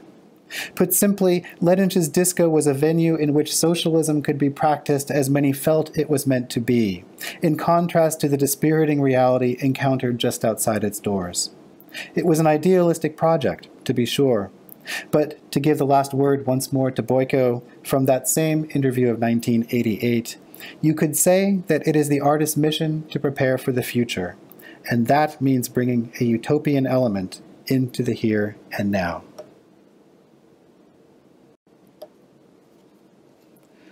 Hardijs Lediņš, born in 1955, died in 2004 came of age in a peculiar nexus of generational sensibility, social niche, and family culture that led him to expect that he could do pretty much whatever he wanted to with his life. His mother, a translator and journalist with ties to state security, raised him reading both English and German, and she supplied him from early on with electronic equipment and recordings she acquired from abroad. His lifelong collaborator, the poet and musician Juris Boiko, did not enjoy such privilege. When Boiko and Lediņš got busted in high school for distributing among students a satirical homemade journal called Zirgavals, Latvian for horse shit, Lediņš's mother got her son off the hook, while Boiko was sentenced to military service.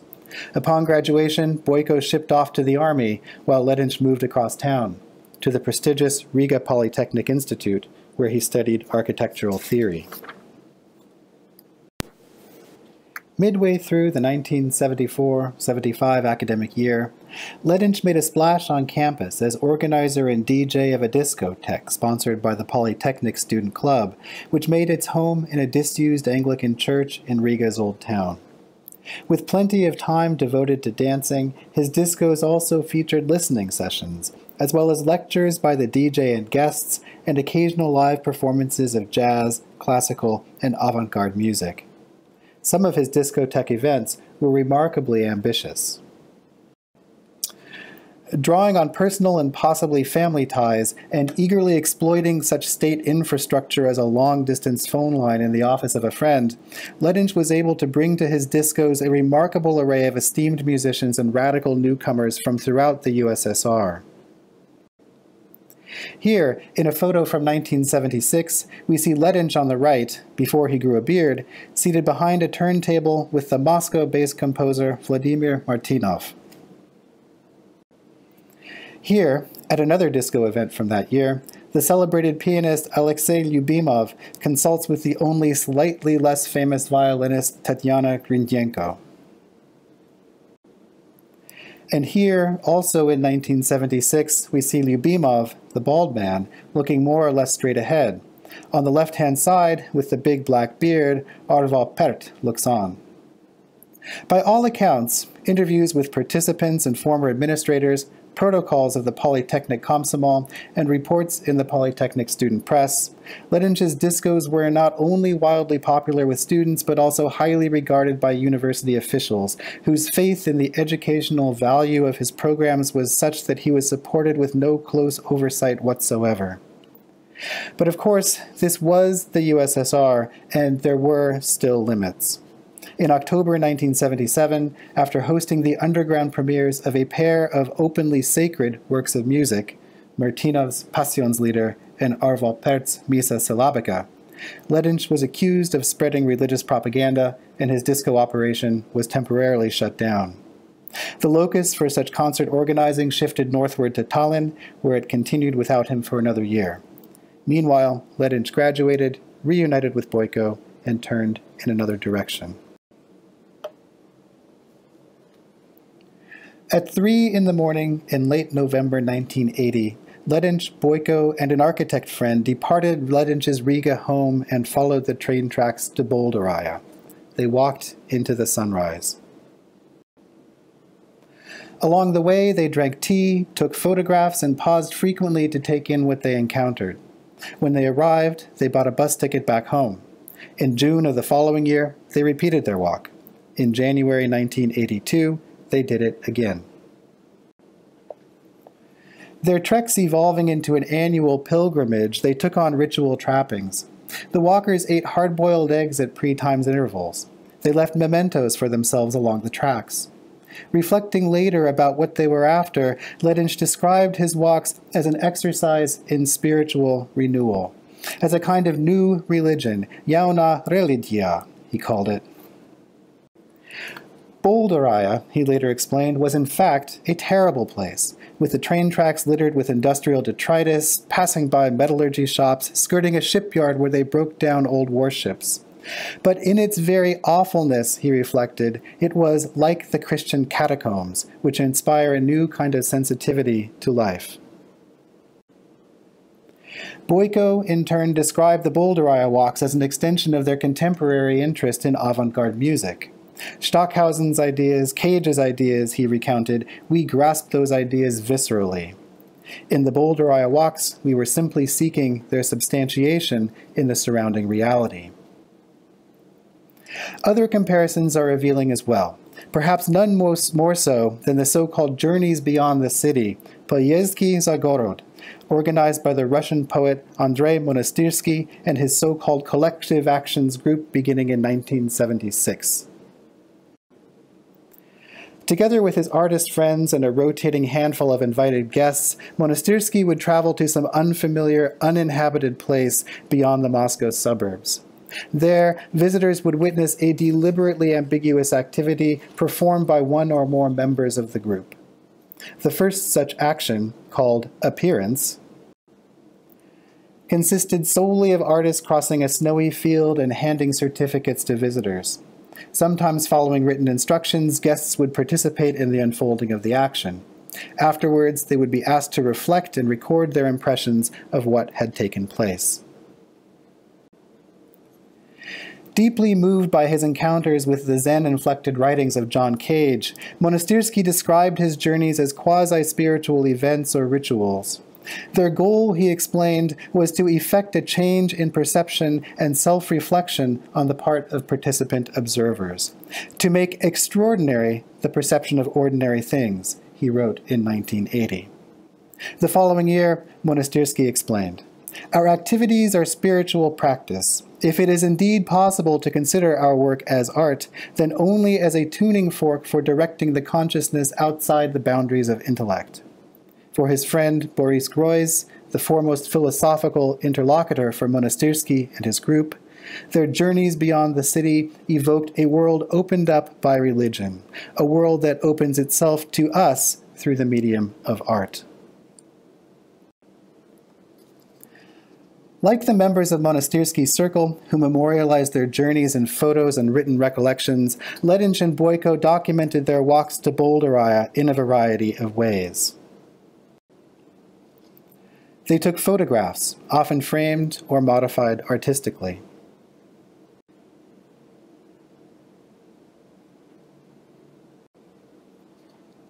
Sometimes they brought along a boombox, not to accompany their walking with music, but to record the ambient soundscapes through which they traveled. During their journeys, they also wrote poetry. This one, titled A House in Bolderāja, pictures an impossible home in an imaginary locale, without doors or walls, from which they would sell passers-by bus tickets to another Bolderāja.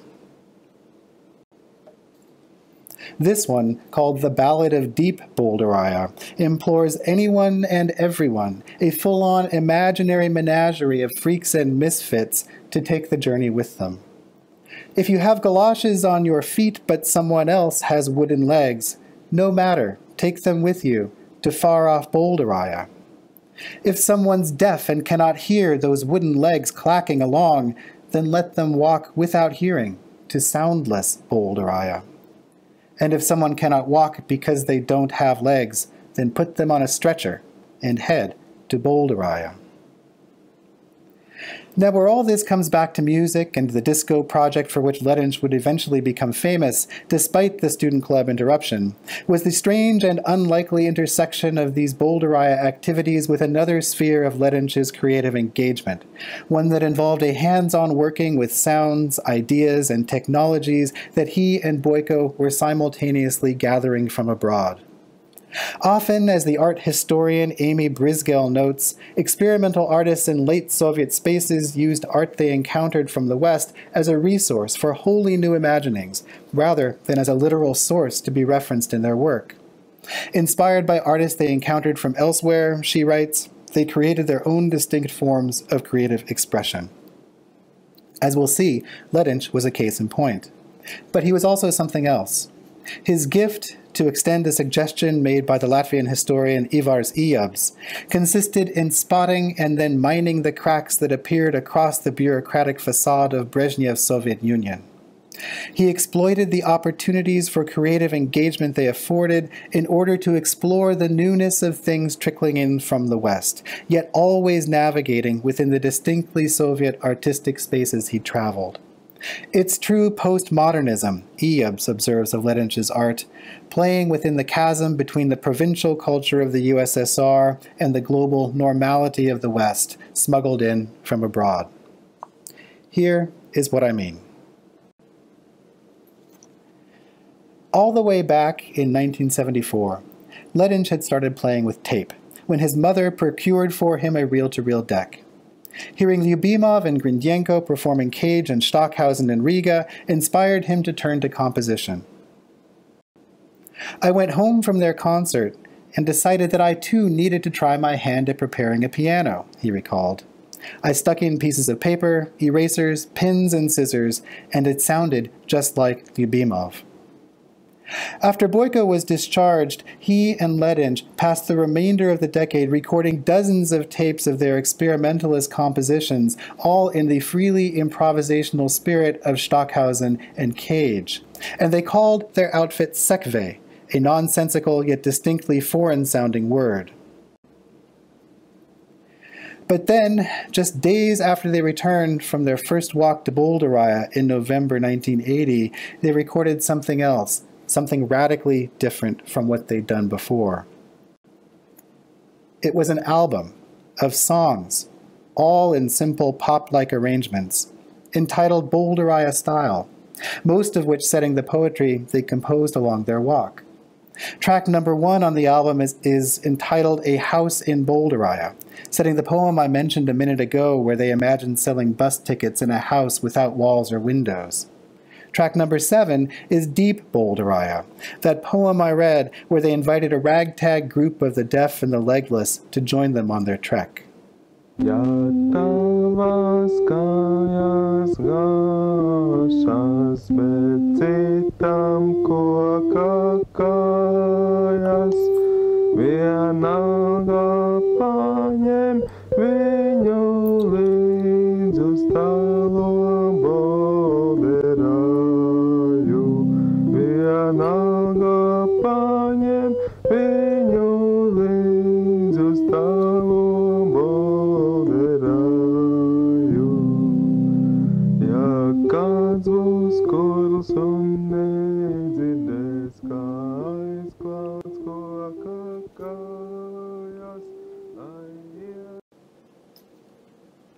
During this time, Lediņš was employed as an architectural theorist, but he seems to have spent nearly every available waking minute studying everything he could find about Western music.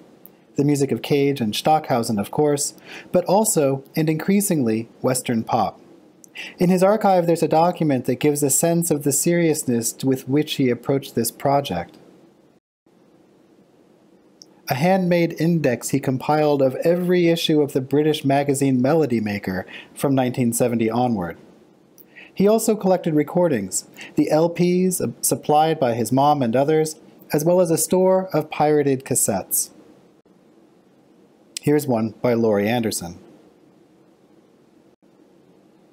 Whereas Bolderāja Style, his first album of songs, was produced using whatever instruments and soundful objects he and Boiko had on hand, their second album of songs, set to Bolderāja poetry, from 1982, shows that they had already acquired a synthesizer by that time, and they were working to mediate, with their own music, the sounds of some of what they'd been listening to.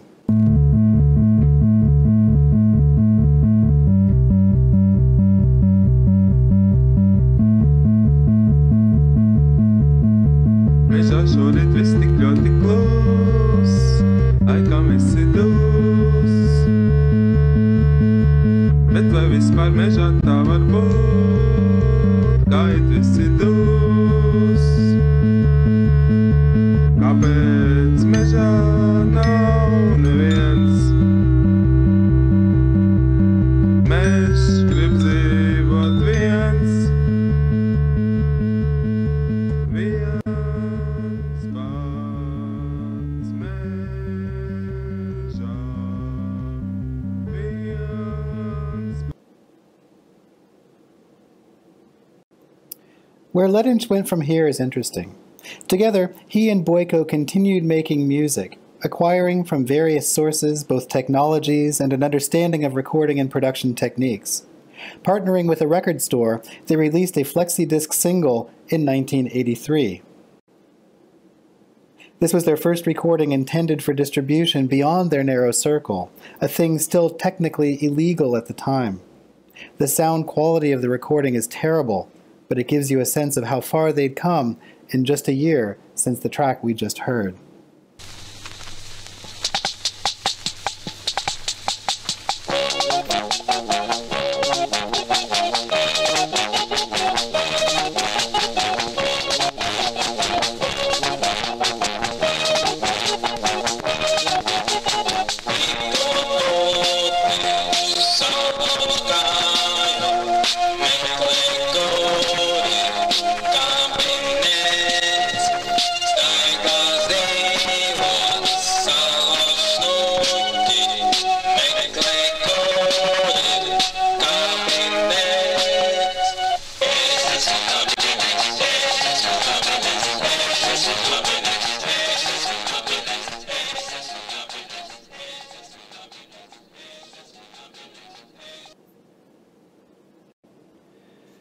With recordings like this, the music of Lediņš and Boiko soon became a staple on Riga's disco scene, which was among the most vital in the USSR. And shaping that scene was Lediņš himself, who had recently opened his own discotheque called Cosmos in a cultural center called October.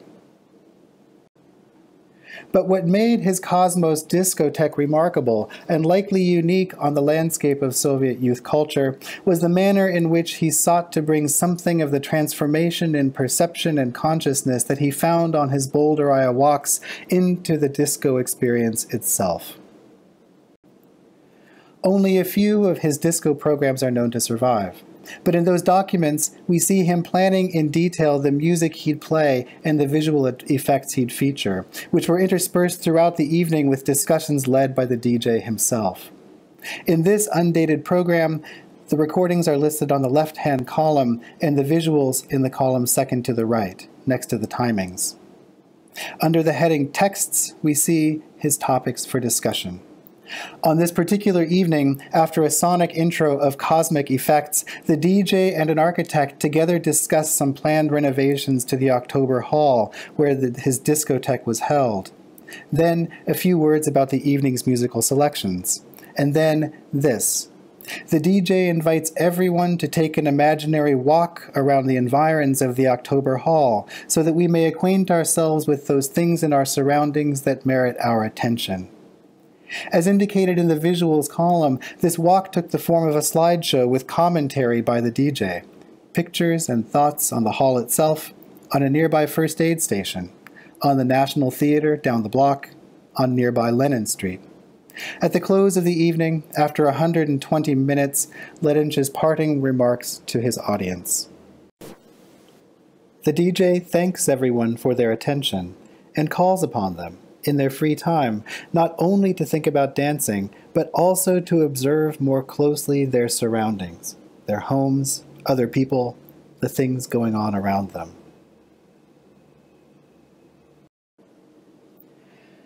In the quotation I read at the very start of this talk, Lediņš reflected on the significance of his Bolderāja walks.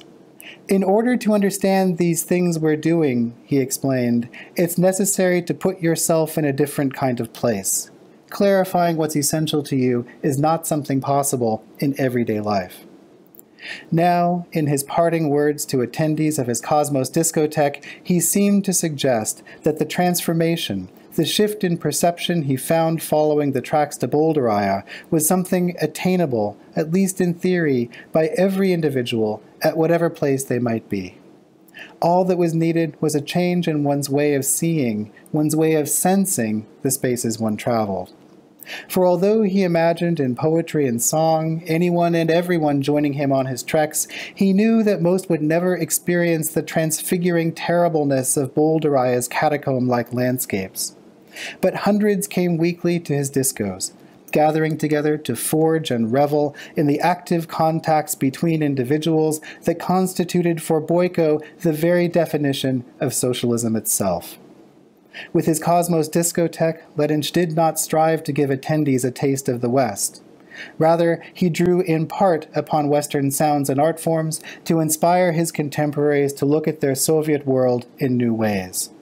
If he could give his audience something of the Bolderāja experience in his discotheque, if he could inspire them to look at their surroundings as if anew, as spaces where encounters might likewise prove enlightening, liberating, even transformational, he would have accomplished no small feat. He would have succeeded in bringing a utopian element, in Boiko's words, into the here and now.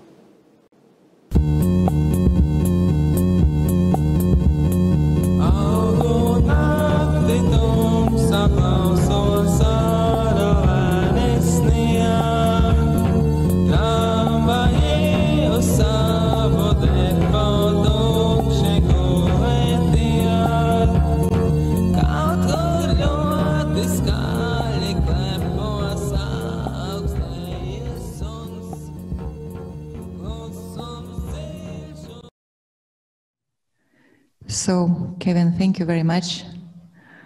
Probably uh, you could add something before I give floor for the audiences for questions. Yeah. Uh, hello. Uh, good morning. Hello. Good afternoon. Can Can you hear? Yeah. Okay. Um, first of all, I, I, just wish to say thank you deeply um, to Rūta and to the rest of the conference committee for um, uh, first of all, for inviting me to participate, and second of all, for making this happen, um, despite everything. And um, yes, it uh, it is true. I, I, woke up a little before five o'clock in the morning here, uh, and uh, to catch as much of the conference as I could. And uh, you know, I, am really looking forward to to hearing as much of the rest as I, I possibly can.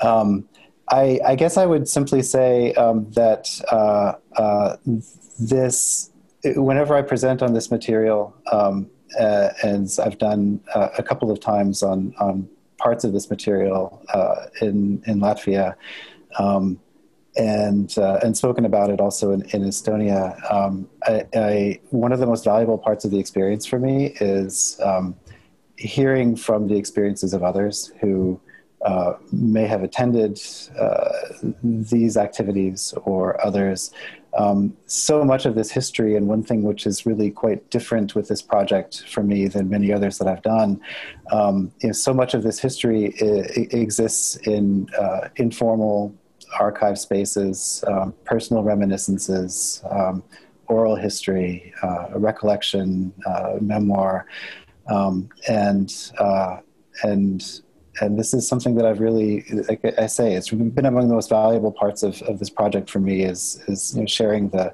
um, what I've found and uh, and having conversations with others who uh, also experienced and participated. It's it's not material that, that one can find walking into the National Library. Um, uh, it's it's really a different sort of uh, of, of archive that, uh, that that that I've been working in. So thank you very much for your uh, really fascinating and inspiring paper. And I hope that uh, we will have questions. So I welcome audiences. So we have already uh, one question by John uh, Vandevert. Uh, Kevin, you see this on chat? I do, yeah. Yes, so probably I, I, will not repeat it, and please answer to this question. Okay. Um, if anyone's watching on, on um, should I read the question? If, if people are watching on YouTube, do they have access?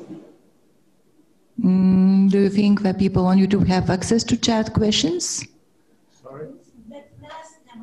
Uh, okay, so question is uh, wonderful talk. I had a question about labeling regarding the governance on the works.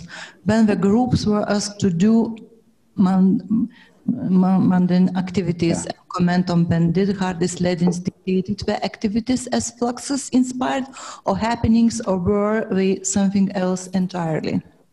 Yeah. So um, about the, the Boulder walks, uh, these started just with three friends uh, in 1980, and then it actually was reduced to two friends, simply Lediņš and Boiko, for the next couple of years afterwards. Um, and and they were um, very close friends and very close creative collaborators since they were um, in their early teenage years. Um, they were really um, as close as two artists could be. Um, and uh, by their accounts, they really proceeded spontaneously uh, with their projects. Again, they've been working together, creating together, living together at that time uh, already for well over a decade. Um, and we're very tuned in to each other uh, as, as creative uh, individuals and as explorers of, of, of their worlds. Um, and, uh, and they did not at first have a kind of a choreography or, or a plan for, for their walks. Um, but um, you know, over the course of, of the first couple, um, a certain you know, ritual element uh, did come into play, particularly in terms of leaving things for themselves um, along the tracks to find the following year, um, stopping at certain points to to listen or to to take in the scene or to take a photograph or to eat or or have some tea. Um, over the later 1980s, uh, the walks uh, attracted some attention. Um, in particular, uh, I did cite from an interview from 1988 uh, with Boiko. Um, there was a large uh, exhibition in West Berlin in 1988 um, that was curated by uh, a, a, West German curator who had spent some time in Riga, and this provided the uh, event for the first travel uh, by Boiko and Lediņš to West Germany, um, and you know spent some time there and, and, and met many artists there and others and one of the things that the curator was really attracted to, in fact, was the Bolderāja Walk. Uh, she was fascinated by the idea. She had seen some of the documentation of it, um, and the fact that uh, some some uh, reflections on this, so some of the poetry, uh, some of the photographs were included in the German exhibition, um, brought a lot of attention, uh, both in West Germany and also um, in some alternative and not so alternative art circles in Latvia at that time. So in the later 19 1980s into the early 1990s, the, the walks continued and they did become highly uh, choreographed. And uh, there are some YouTube videos, in fact, from some, I think, from the, the late 90s that, that you can watch. And it's really sort of like Lediņš is leading a group of, you know, 30 people uh, down the train track and stopping now and then to kind of conduct them singing a song and, and things like this. It really became a, a very different kind of a project than, than it was at first. So, if we were in person, I'd say, "Is that does that answer your question?" And I would see you nod or or not. I can't tell here. Oh, you, there is a follow up. So follow up a question. It's later the, the question of a, uh, a same participant. Follow up question. What do you think the benefits were that out of these works just not just one type of art was created? Recordings, music, poetry. Um, I mean, it, I, I, it's hard for me to say, you know, for what the benefits were. It's just this is what he, this is the way that Lediņš existed as an artist. Uh, he, he was was always engaging um, across media, uh, always engaging collaboratively. Um, you know, really a, a, a, creative mind that really transcended any one particular medium. Uh, I think uh, to the end of his life. Uh, he continued uh, writing music. He also became involved with um, uh, video art uh, increasingly. Um, and Boiko was the same. Uh, he really uh, returned toward the end of his life to poetry primarily, but um, was also a, a very active in the visual arts and in music, particularly in the visual arts later in his life, and became a very important curator of contemporary art in Latvia and of Latvian contemporary art for Germany in particular uh, in the 1990s.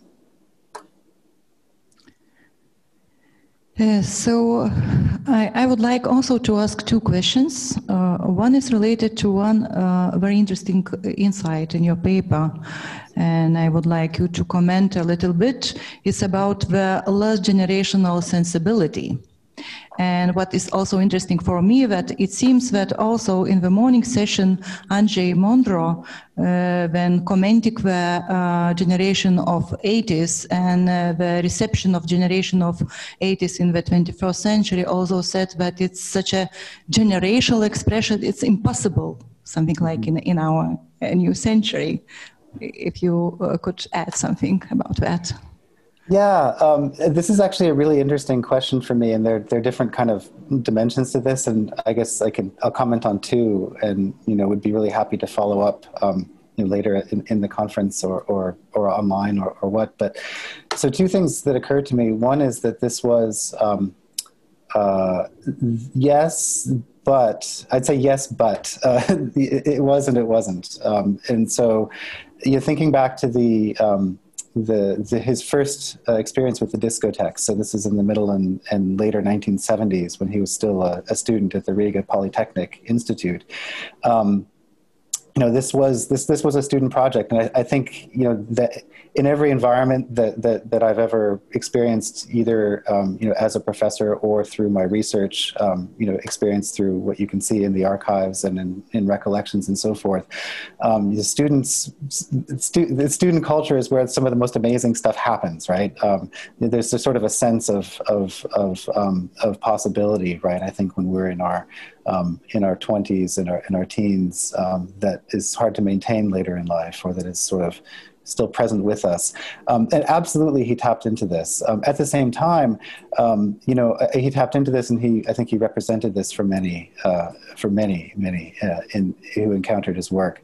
At the same time, um, there were a handful of um, artists of uh, one generation older uh, to whom uh, he uh, looked uh, for models for uh, not just aesthetic models, but for models of ways of being uh, and ways of living, um, in particular in relation to a certain kind of a spiritual commitment. Um, Lediņš was not did not identify as a as a as a religious individual at all, um, but his idol from fairly early on, one of his idols, and certainly late in life, was Arvo Pärt uh, who uh, Lediņš was born in 1955 and Pärt was born exactly 20 years earlier.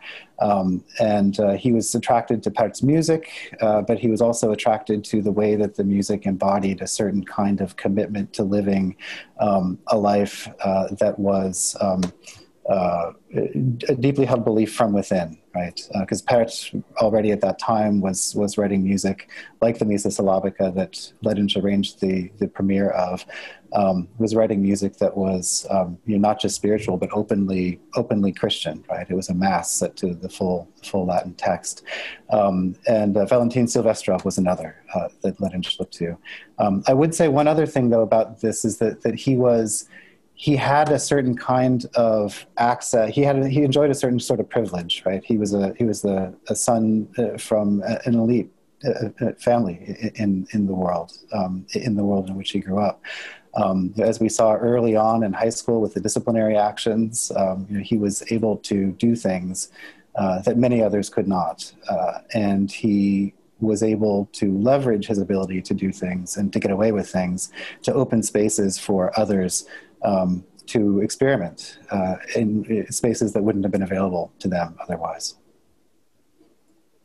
So thank you for your answer. And before my, my other question, I, I also would like to uh, read the question put by Dominika Misal from Krakow. Uh, you said that Riga's disco scene was very rich. Was all of it similarly subversive? Was participating in those activities considered as some kind of social or even political manifestation?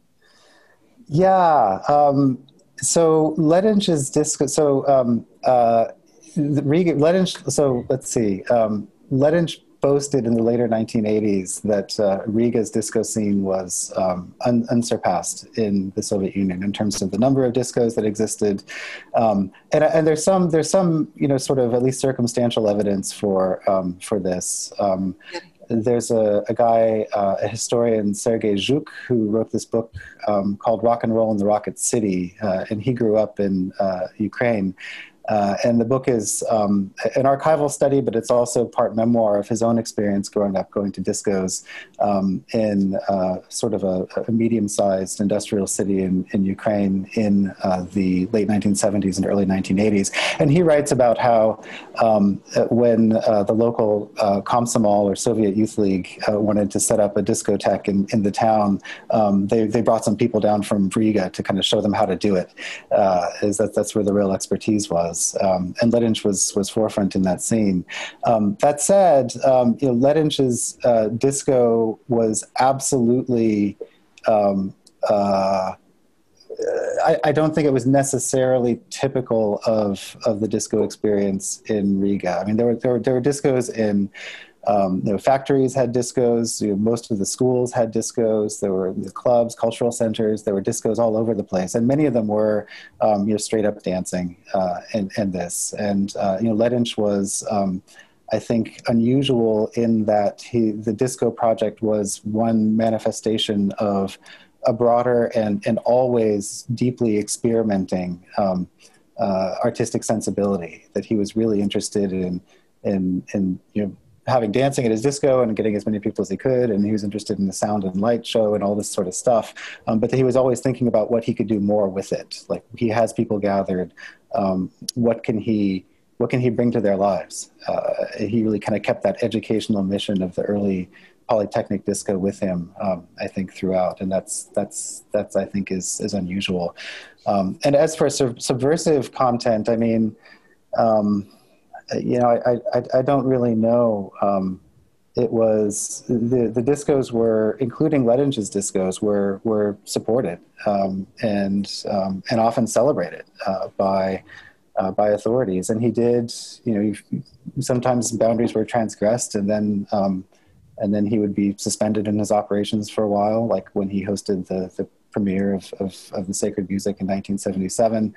Um, he couldn't hold any more discos at the Polytechnic, and he kind of stopped running any discos for a couple of years, but then he merged with his own disco two and a half years later and was allowed to proceed. So, um, you know, there was kind of this tension always between what was permissible and not. Um, and and as I said before, certainly in his case, um, he he seems to have been able to um, to push those boundaries repeatedly. So thank you. And we have one more question from our online audiences. And I will read it because our uh, audience in the hall, uh, now we can, can see, yes. So Lisa Jakelski, I am struck by the timbres of the instrument that were used for the, on the Bolderāja style and later albums. Is there something about the sound of this music that was also meant to contribute to their spiritual or ritual effect, or to help encourage listeners to perceive their surrounding in a different way? Yeah, um, I I don't I can't answer that definitively, but my my sense just as a as a listener and a student of this is that probably not. Um, in particular, um, you know, the real scarce resource uh, in certainly in the late 1970s or you know the turn of the 1980s for um, uh, alternative musicians, uh, it was the technology, were the instruments um, you know, how people could acquire these things. And, and you know, again, Lediņš had some ties. His mother traveled regularly um, and, and did bring him some instruments and had other connections. And he actually, uh, by some accounts, became, his, his, his home became something of a lending library of, of some of these instruments and, and tape recorders and so forth to other musicians um, in his scene. Um, but um, yeah, I mean, my sense of that. So in Bolderāja style, the album recorded largely in 1980, um, they uh, are really using whatever they had on hand, uh, and you can still hear um, the kind of detuned piano that. Uh,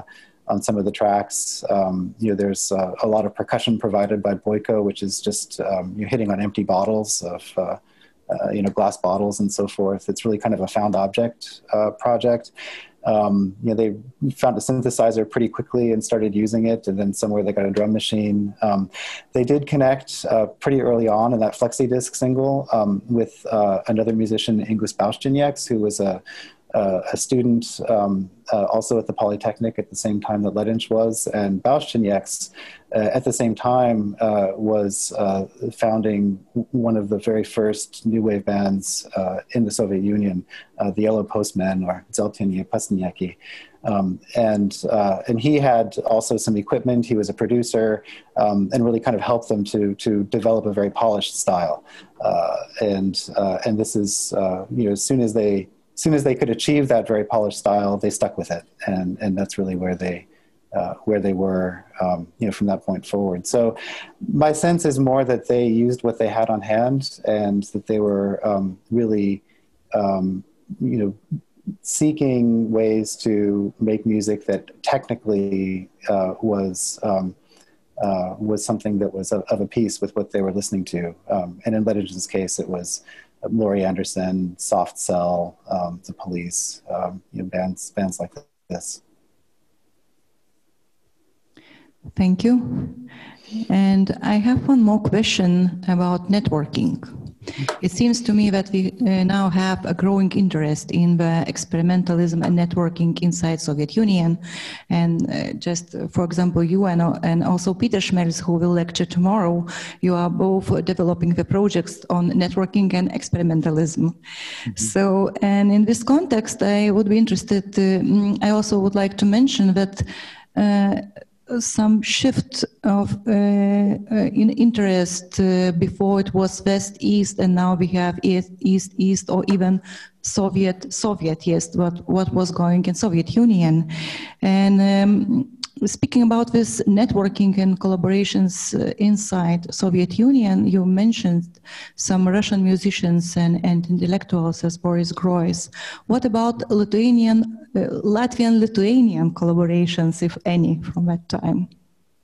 Yeah, you know, it, this is actually really interesting, and, and I would love to to hear from um, from you know, Lithuanian colleagues about you know your sense of this too. Like my my sense is that the Latvian scene um, uh, in this kind of a you know border between sort of art music and, and pop music, right? Uh, this kind of a scene, vernacular experimentalism, I guess. I think Ben Piekut calls it.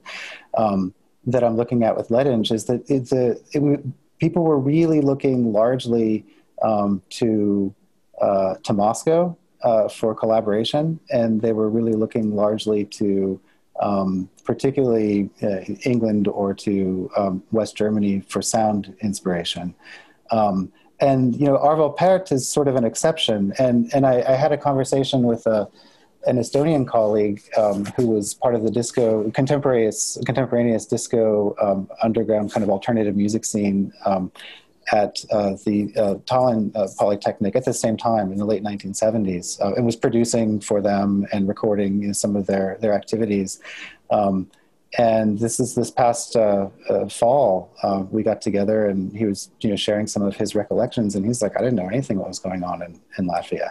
Um, and you know, and Lediņš came to to the the, the festival um, in in Tallinn in 1978, um, which was a continuation of the festivals that uh, that got him in trouble with the sacred music in Riga in 1977. Um, and he wasn't allowed to be an organizer, but he came and he was he was like he, he was the person who was putting these on in 1977, and it was his idea that Lyubimov brought to Tallinn in 1978 for their very famous festival of early and contemporary music in November. Um, and you know, by by all accounts of people that that that that I've, I've managed to connect with who attended the festival or who involved with the festival in 78 it's like nobody even knew he was there.